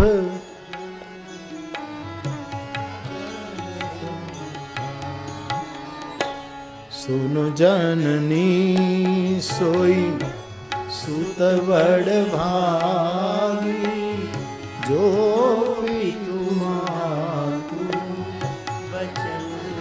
આપણે ત્યાં જનની શબ્દનો અર્થમાં જ થાય, પણ જનની અથવા તો જનેતા શબ્દ પ્રસૂતા માટે જ વપરાય. જેની કુખે આપણે જન્મ્યા હોય, એ જ આપણી જનની ગણ. બીજી કોઈ પણ સ્ત્રીને આપણે માં કહી શકીએ, જનેતા નહીં. રામજીની જનેતા તો કૌશલ્યા છે, પરંતુ તુલસી કહે, રામે આજ કઈ કઈને જનની કહ્યા. એટલા માટે કે રઘુવંશના રામને તો કૌશલ્યાએ જન્મ આપ્યો, પણ રામ રાજ્યના રામનો આજે તે જન્મ કર્યો છે. વનમાં જઈશ એટલે રામ રાજ્યનો રામ જગતને મળશે, માટે તું મારી જનેતા છે. એ દીકરો બળભાગી જે માતા પિતાના વચનને પાળે. માતા પિતાને સંતોષ આપે એવો દીકરો જગતમાં દુર્લભ હોય છે. મા હું વનમાં જઈશ. સમજદાર માણસ કેવી પરિસ્થિતિમાં સારું જ ગોતે, સારું જ ગોતે.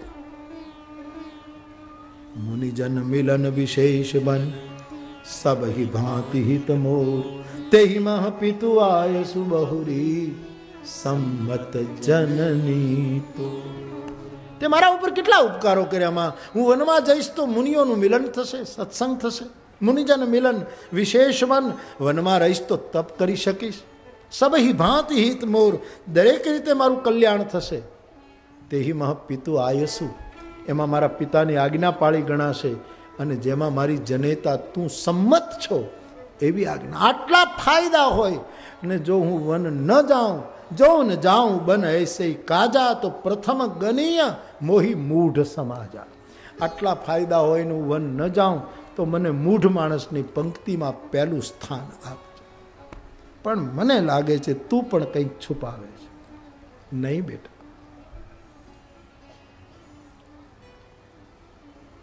માં, હું હમણાં કૌશલ્યામાના આશીર્વાદ લઈ અને આવું છું.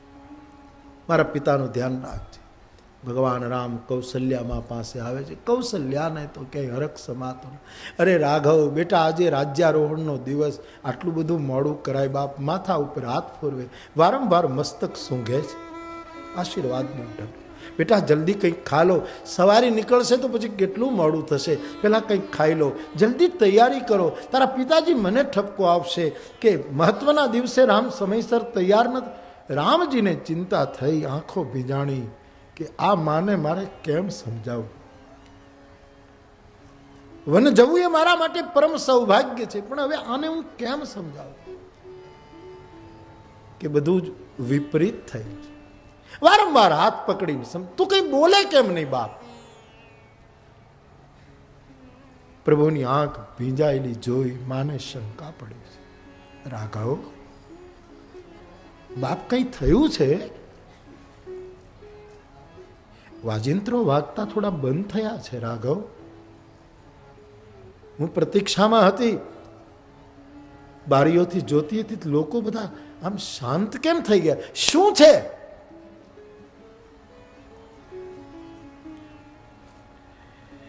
માં, તું મારી માં છો. હા, બેટા? મારી વાતને બરાબર હિંમત રાખીને સમજીશ? શું? મારા પિતાએ રાજ્ય મને આપવાનું જનતાને વચન આપ્યું એ પૂરું કર્યું. પિતાનો બચાવ તમે જુઓ. વચન પૂરું કરે. કૌશલ્યાએ કહ્યું, પણ એમાં નવી વાત શું? આ રઘુકુળ છે, વચન પૂરા જ કરવા જોઈએ. નહીં માં. મારા પિતાએ રાજ્ય આપવાની વાત કરી, પણ એ વચન આ રીતે પૂરું કર્યું. કઈ રીતે? શું છે? પિતા દિન મોહિકાનન મારા પિતાએ મને વનનું રાજ્ય આપ્યું છે, બા. અયોધ્યાના રાજ્યને તો સીમા પણ હોય, મને કેટલું વનનું મોટું રાજ્ય મળ્યું હું વનનો રાજા બન્યો છું. જ્યાં દરેક રીતે મારું હિત થશે. જાણે કંઈ બન્યું નથી, એવી રીતે વાત રજૂ કરી. તારા પિતાજીએ તને વનનું રાજ્ય આપ્યું એટલે હું શું સમજુ આનો અર્થ? માં, ઢીલી ન થઈશ. તું બતાવ. સચિવનો પુત્ર રામની સાથે આવ્યો છે ભવનમાં એટલે ભગવાને સચિવ પુત્રને ઈશારો કર્યો કે જે કંઈ ઘટના ઘટી એ કૌશલ્યાજીને તું બતાવી દે. કૌશલ્યાજીને સચિવ પુત્ર કહે છે, માં કઈ કઈ માએ અવધપતિની પાસે બે વરદાનો માંગ્યા? મંથરાએ એને આવું બધું શીખવ્યું. અને એમાં રાજકુમાર ભરત માટે રાજ્ય માંગવામાં આવ્યું છે અને રાઘવ માટે વનવાસ. સમજણ કોને કહેવાય સાહેબ? કોના કોઠામાં રામ પાકતો હશે? આની સમજણ તમે છો આંખમાંથી આંસુની ધારા થઈ, પણ ધૈર્ય ધારણ કરી રામ સચિવ પુત્રના કહેવા પ્રમાણે, તારા પિતાએ જ તને વનવાસ આપ્યો હોય તો પિતા કરતા માનો અધિકાર પુત્ર ઉપર દસ ગણો હોય છે. એ શાસ્ત્ર ન્યાય હું તારા પિતાને કહીશ કે તમે નિર્ણય કર્યો હું મારા અધિકારને અજમાવીશ નહીં. કારણ કે રઘુકુળની રાણી છું. પણ એટલું પૂછીશ કે મારા પેટે જન્મેલ રામે શું અપરાધ કર્યો કે તમે એને વનમાં મોકલો છો? ખાલી જવાબ માટે અટકાવીશ નહીં, પણ જવાબ જોઈએ છે. જો તારા પિતાએ વનવાસ આપ્યો હોય તો હું પૂછીશ. પરંતુ સચિવ પુત્રના કહેવા પ્રમાણે કઈ કઈનું નામ ન લીધું કૌશલ્યાએ. મોટા હોય નહીં, મોટા જ રહે સાહેબ. એ કોઈ દિવસ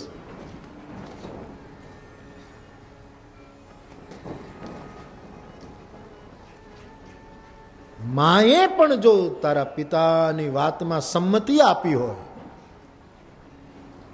એટલે કે કઈ કઈ પણ જો આમાં રાજી હોય, તો તારા પિતાએ જ કહ્યું હોય તો ફેરવાર.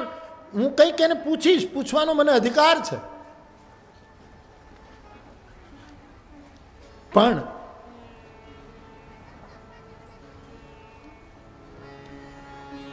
જો પિતુ માતુ કહેવું બન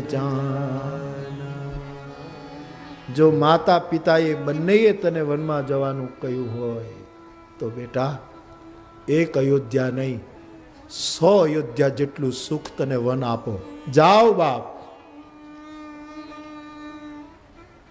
નહીતર કહી શકે ને કે મારા દીકરાને શું કામ વનવાસ? રાજ ના આપો તો કંઈ નહીં. પણ એને એમ કહ્યું કે માએ પણ કીધું હોય અને તારા પિતા અને મા બંને સંમત થઈને તને વનવાસ આપતા હોય તો સો ગણું વન તને સુખદ બને. તો કાનન સત અવધ સમાના. જાઓ બાપ. કેટલો મોટો ત્યાગ આવી રહ્યો છે. પણ આખરે માં છે. આટલું બોલ્યા પછી એ પડી જાય છે. જાનકીને ખબર પડે દોડતા આવ્યા, મારા માટે શું નિર્ણય લેવાશે? એણે પોતાની વાત રજૂ કરી. કૌશલ્યાજીએ સમજાવવાની કોશિશ કરી, બેટા, તને અમે ખોળામાંથી પાટલા ઉપર અને પાટલા ઉપરથી પિંડ ઉપર બેસાડી છે. અમે દૂતોને કહેલું, દાસીઓને કહેલું જાનકી ધરતી ઉપર કેટલી વાર દિવસમાં પગ મૂકે એની ગણતરી કરજો. આમ તમે તને સાચવી છે. બાપ, તું વનમાં જવાની જીદ ન કરીશ. કૌશલ્યાને જાનકીએ કહ્યું, માં આર્ય નારીનું કર્તવ્ય શું એ તમે મને નહીં સમજાવો? કાલે જનકના તરફ કોઈ આંગળી નહીં ચીધે કે આ જનકની દીકરી પરિવારને સુખમાં સાથ આપતી હતી દુઃખમાં નહીં જાણ્યું કે જાનકી નહીં રહે, લક્ષ્મણજી આવી જાય છે. લક્ષ્મણજીને સમજાવવાની કોશિશ થઈ. લક્ષ્મણજી તો ઉગ્ર માણસ છે. એને રામ સિવાય કોઈ દેખાતું જ નથી. રામજીએ કહ્યું કે તું ઘરે રહીને માતા પિતાની સેવા કરજે, ત્યારે લક્ષ્મણજીની આંખમાં રોષ અને કરુણા બે મિશ્રિત ભાવ અને એમણે રામજીને એમ કહ્યું કે આપને ખરાબ લાગે તો મને માફ કરજો. માં કૌશલ્યા અહીંયા ઊભા છે, મને ક્ષમા કરે, પણ મારા મા બાપ કોણ છે એની મને ખબર જ નથી. લખાણ? હા. હું કોઈ મા બાપને ઓળખતો નથી. મારા મા બાપ રામ અને જાનકી સિવાય કોઈ નથી. અને આ મારા મા બાપ જ્યાં હશે, હું એક પ્રશ્ન પૂછી શકું અયોધ્યાને? કે શું અપરાધ કર્યો છે આમણે કે એને વનવાસ મળે? અરે રાત જેને જોઈતું હોય રાખે ભગવાન રામને લાગ્યું કે લક્ષ્મણ કંઈક અનર્થ કરી નાખશે. પ્રકરણો તો બહુ મોટા છે સાહેબ. એક એક પ્રકરણ, એક એક કથાની સામગ્રી છે. લખન. માં સુમિત્રાની આશીર્વાદ લેવા લક્ષ્મણજીએ કહ્યું, પણ મને બીજાની સામે મોકલો છો, શું કામ? મારી માં તો સીતા છે. મારે કોણ મા બાપ? બોલે, નહીં ભાઈ, મા પાસેથી વિદાય લઈ આવ લક્ષ્મણજી સુમિત્રાની વિદાય લેવા માટે ગયા છે. હજી સુમિત્રાને ખબર નથી આ ઘટના કઈ રીતે ત્વરિત ઘટે છે સાહેબ. અને કોઈની હિંમત નથી સુમિત્રાને આ ખબર આપવા જવાની. રાજરાણી છે, પરંતુ પોતાના મહેલના ચોકમાં સાથિયા પૂરે છે. મણીઓની રંગોળીઓ કાઢે છે. ચોકે ચારુ સુમિત્રા પૂરી. એમાં લક્ષ્મણ આવ્યા છે, ઊભા રહ્યા, પ્રણામ કર્યા. માં, લખન ક્યારે સવારી નીકળવાની છે બાપ? આજ તો રાજ્યાભિષેકનો દિવસ. ભોળી માતા, બધી વાત ફરી ગઈ છે. રામ વનવાસ છે. જાનકીજી સાથે જાય છે. હું આપની રજા લેવા આવ્યો છું. પ્રભુએ મને મોકલ્યો છે. પામી ગઈ બધી.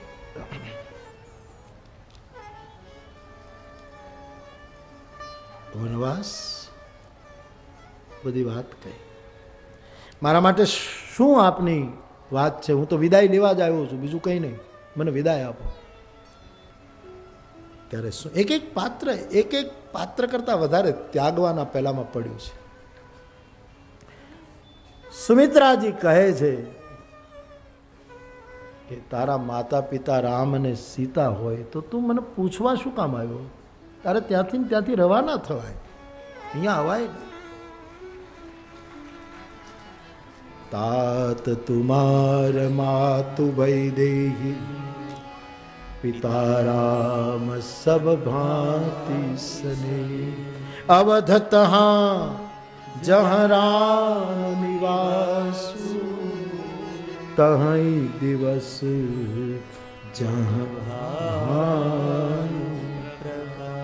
તારી માં વૈદેહી છે દેહવાળી માં હું છું પણ જે વિદેહરાજની કન્યા વૈદેહી તારી મૂળ માતા છે તારો પિતા રામ છે તારી અયોધ્યા ત્યાં છે જ્યાં રામ રહેતો હોય દિવસ ત્યાં જ હોય બેટા જ્યાં સૂરજ હોય જાઓ આશીર્વાદ આપ્યા, સલાહ આપી, આદેશ આપ્યો, પણ એક સૂચના આપી. રાગ, રોષ, ઈર્ષા, મદ, મોહ.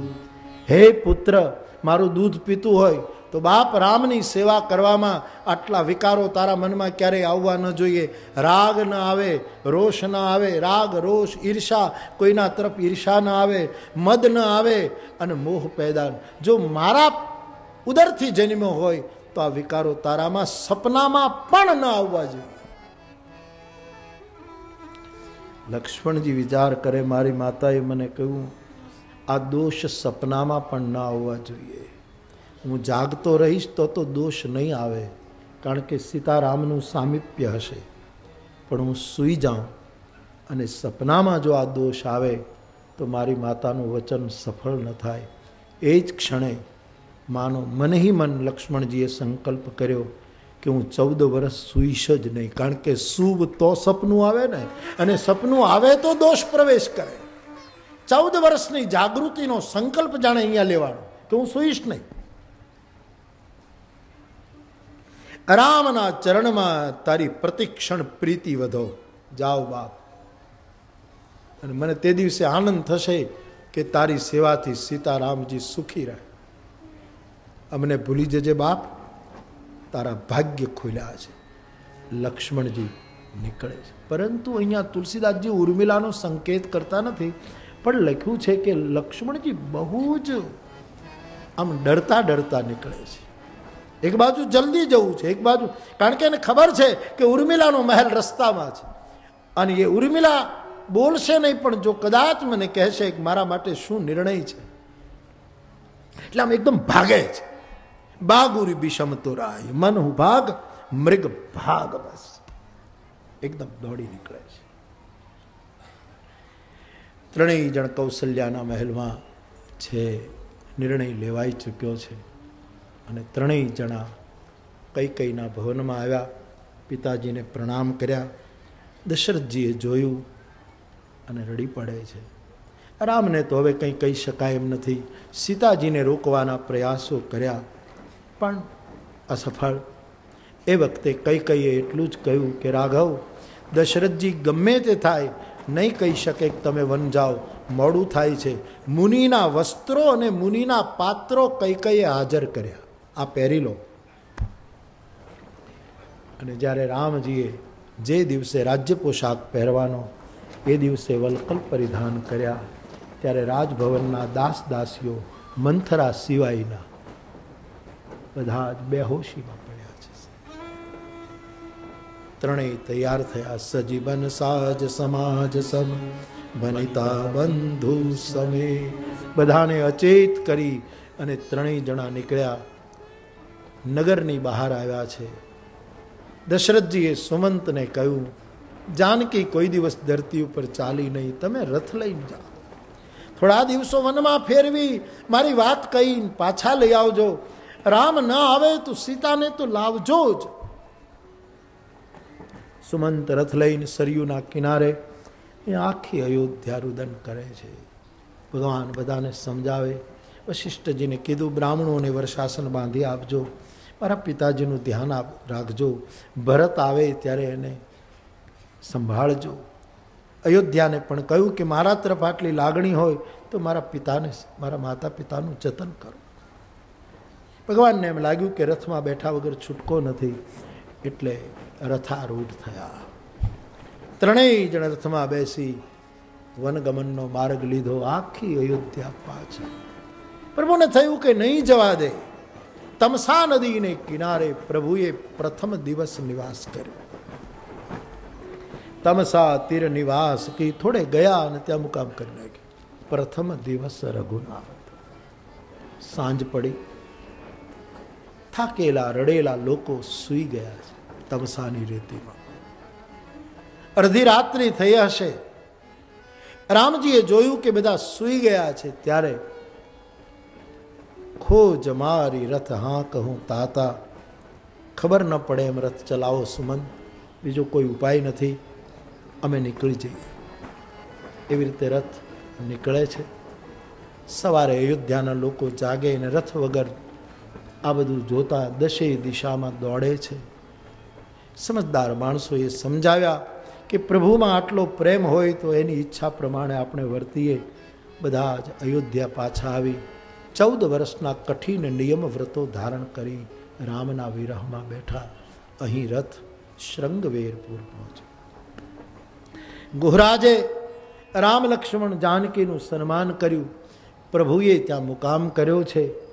એક રાત્રિ મુકામ ગુહને ત્યાં થયો. રાત્રિએ ગુહનો વિષાદ યોગ અને એમાં લક્ષ્મણજીએ એને જ્ઞાન આપ્યું. એ લક્ષ્મણ ગીતાની પણ ચર્ચા આવે છે અને બીજા દિવસને સવારે સુમંતને સમજાવીને વિદાય કરે, વડલાનું દૂધ મંગાવીને જટા બાંધે અને પછી રામ ગંગા પાર કરવા માટે બરબસ રામ સુમંત પઠાય સુરસરી તીર આપ ચલ્યા ભગવાન ગંગાને કિનારે આવ્યા છે, જ્યાંથી એક કેવટની નૌકામાં બેસી પ્રભુને ગંગા પાર થવું છે. એ કેવટ પ્રસંગની કથા કાલે કહીશ. આજે આ રામકથાને અહીં જ રાખીને આગળની કથાનો ક્રમ કાલે પાર્વતીનો. ભગવાનને વનમાં જવું પડ્યું. એ કયું દૂષણ હતું? એનો જવાબ વનવાસની કથામાં નિહિત હતો. એટલા માટે આ પ્રશ્નના ઉત્તરમાં સંક્ષિપ્ત કથા આપને કહી, આજની કથાને વિરામ આપું. એના પહેલા એક બે મિનિટ. હરે રામ રામ રામ, સીતા. રામ, હરે રામ રામ. હરે રામ રામ રામ સીતા રામ રામ હરે હરે રામ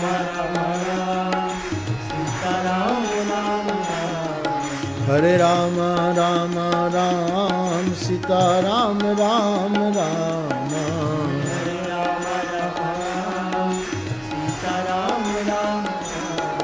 હરે રામ રામ રામ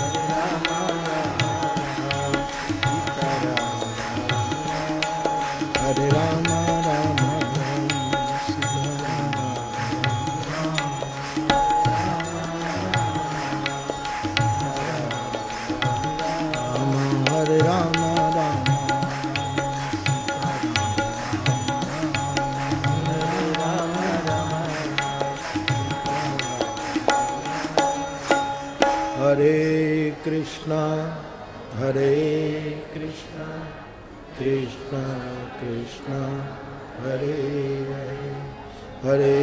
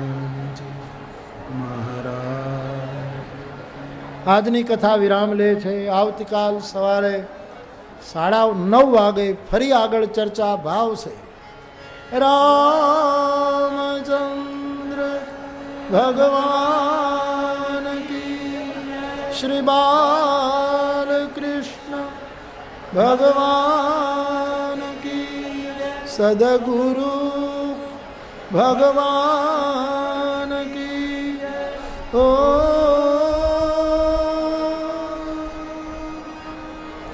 નમઃ પાર્વતી પતયે હર હર મહાદેવ પુકારત ભયો તવ દર્શન પગરાય આય સુદેવ સુકરમ બળ પ્રભુ આયો સદા પિતા ચરણ પગમાં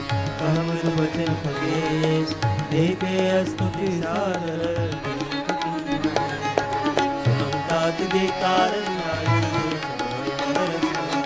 ਦੇਖ ਪਰਮ ਪਾਵਨ ਤਵਾ ਸੰਭਇ ਸੰਭੈਨਾ ਸ੍ਰੀ ਰਾਮ ਕਥਾ ਤੂ ਪਾਵਨ ਸਦਾ ਸੁਖ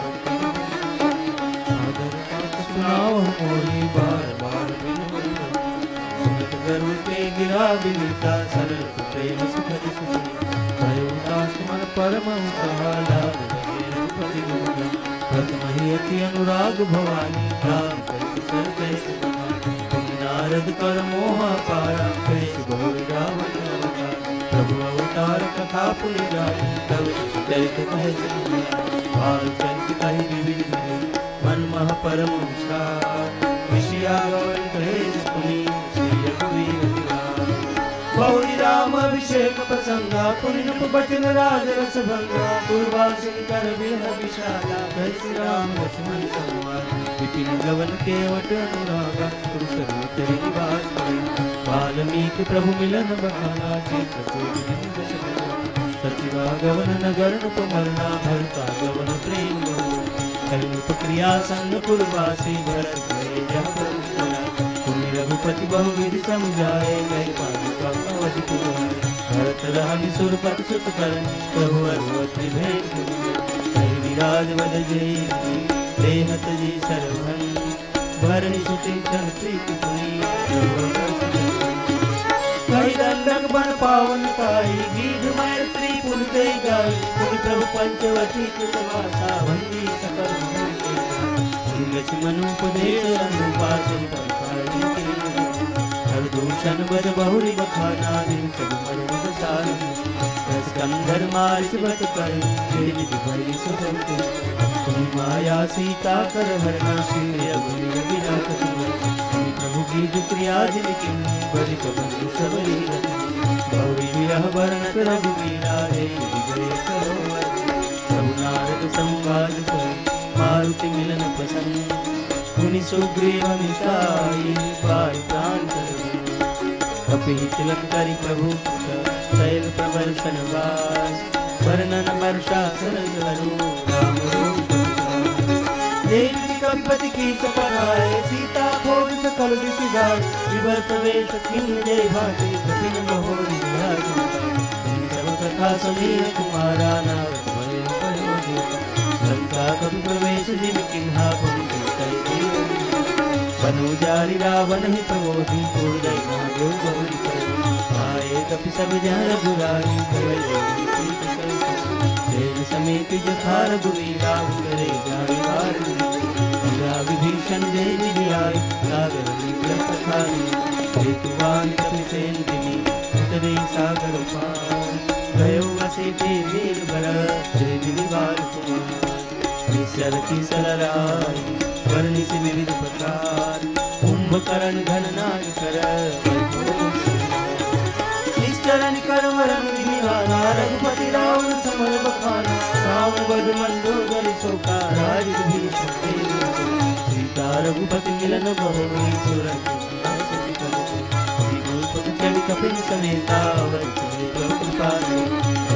राम राम अभिषेका। सुंदर जो हम सब राम कथा भगना कर वचन पर भयो मोर संदेह, सुनियो सकल रघुपति चरित भयो राम पद में जो प्रसाद वाय शिखा भूषण लीजिए महाराज की जय। आरती श्री राम।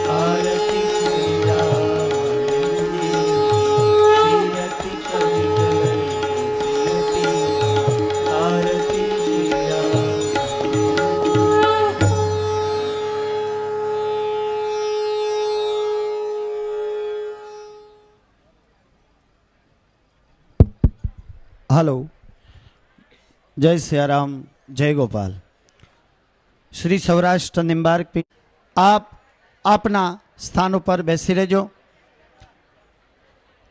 શ્રી બપોર પછીની જે ધર્મસભામાં જગતગુરુ શ્રી રામાનંદાચાર્યજી શ્રી હરિદ્વારથી પધારવાના છે બીજા સંતો મહંતોની ધર્મસભાનો રૂઢી રીતે સાંજનો જે સંતો પોતાના વક્તવ્યો અને શુભેચ્છાઓ અને આશીર્વાદ પ્રદાન કરશે તો બપોરની સભામાં સૌ ભક્તજનોને પધારવા પૂજ્ય મહંત મહારાજ શ્રીનું રૂડું ભાવભર્યું આમંત્રણ છે.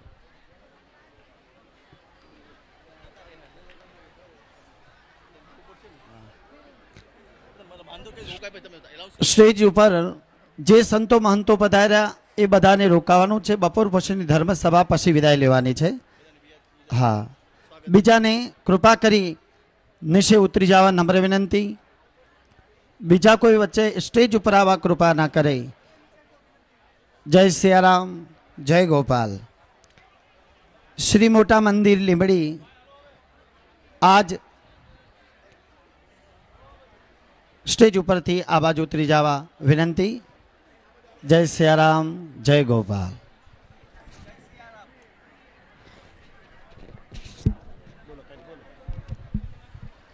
ફુલહાર કમિટી જે મિત્રો છે એને ચાર વાગે અહીંયા કથા મંડપમાં આવી જવા વિનંતી.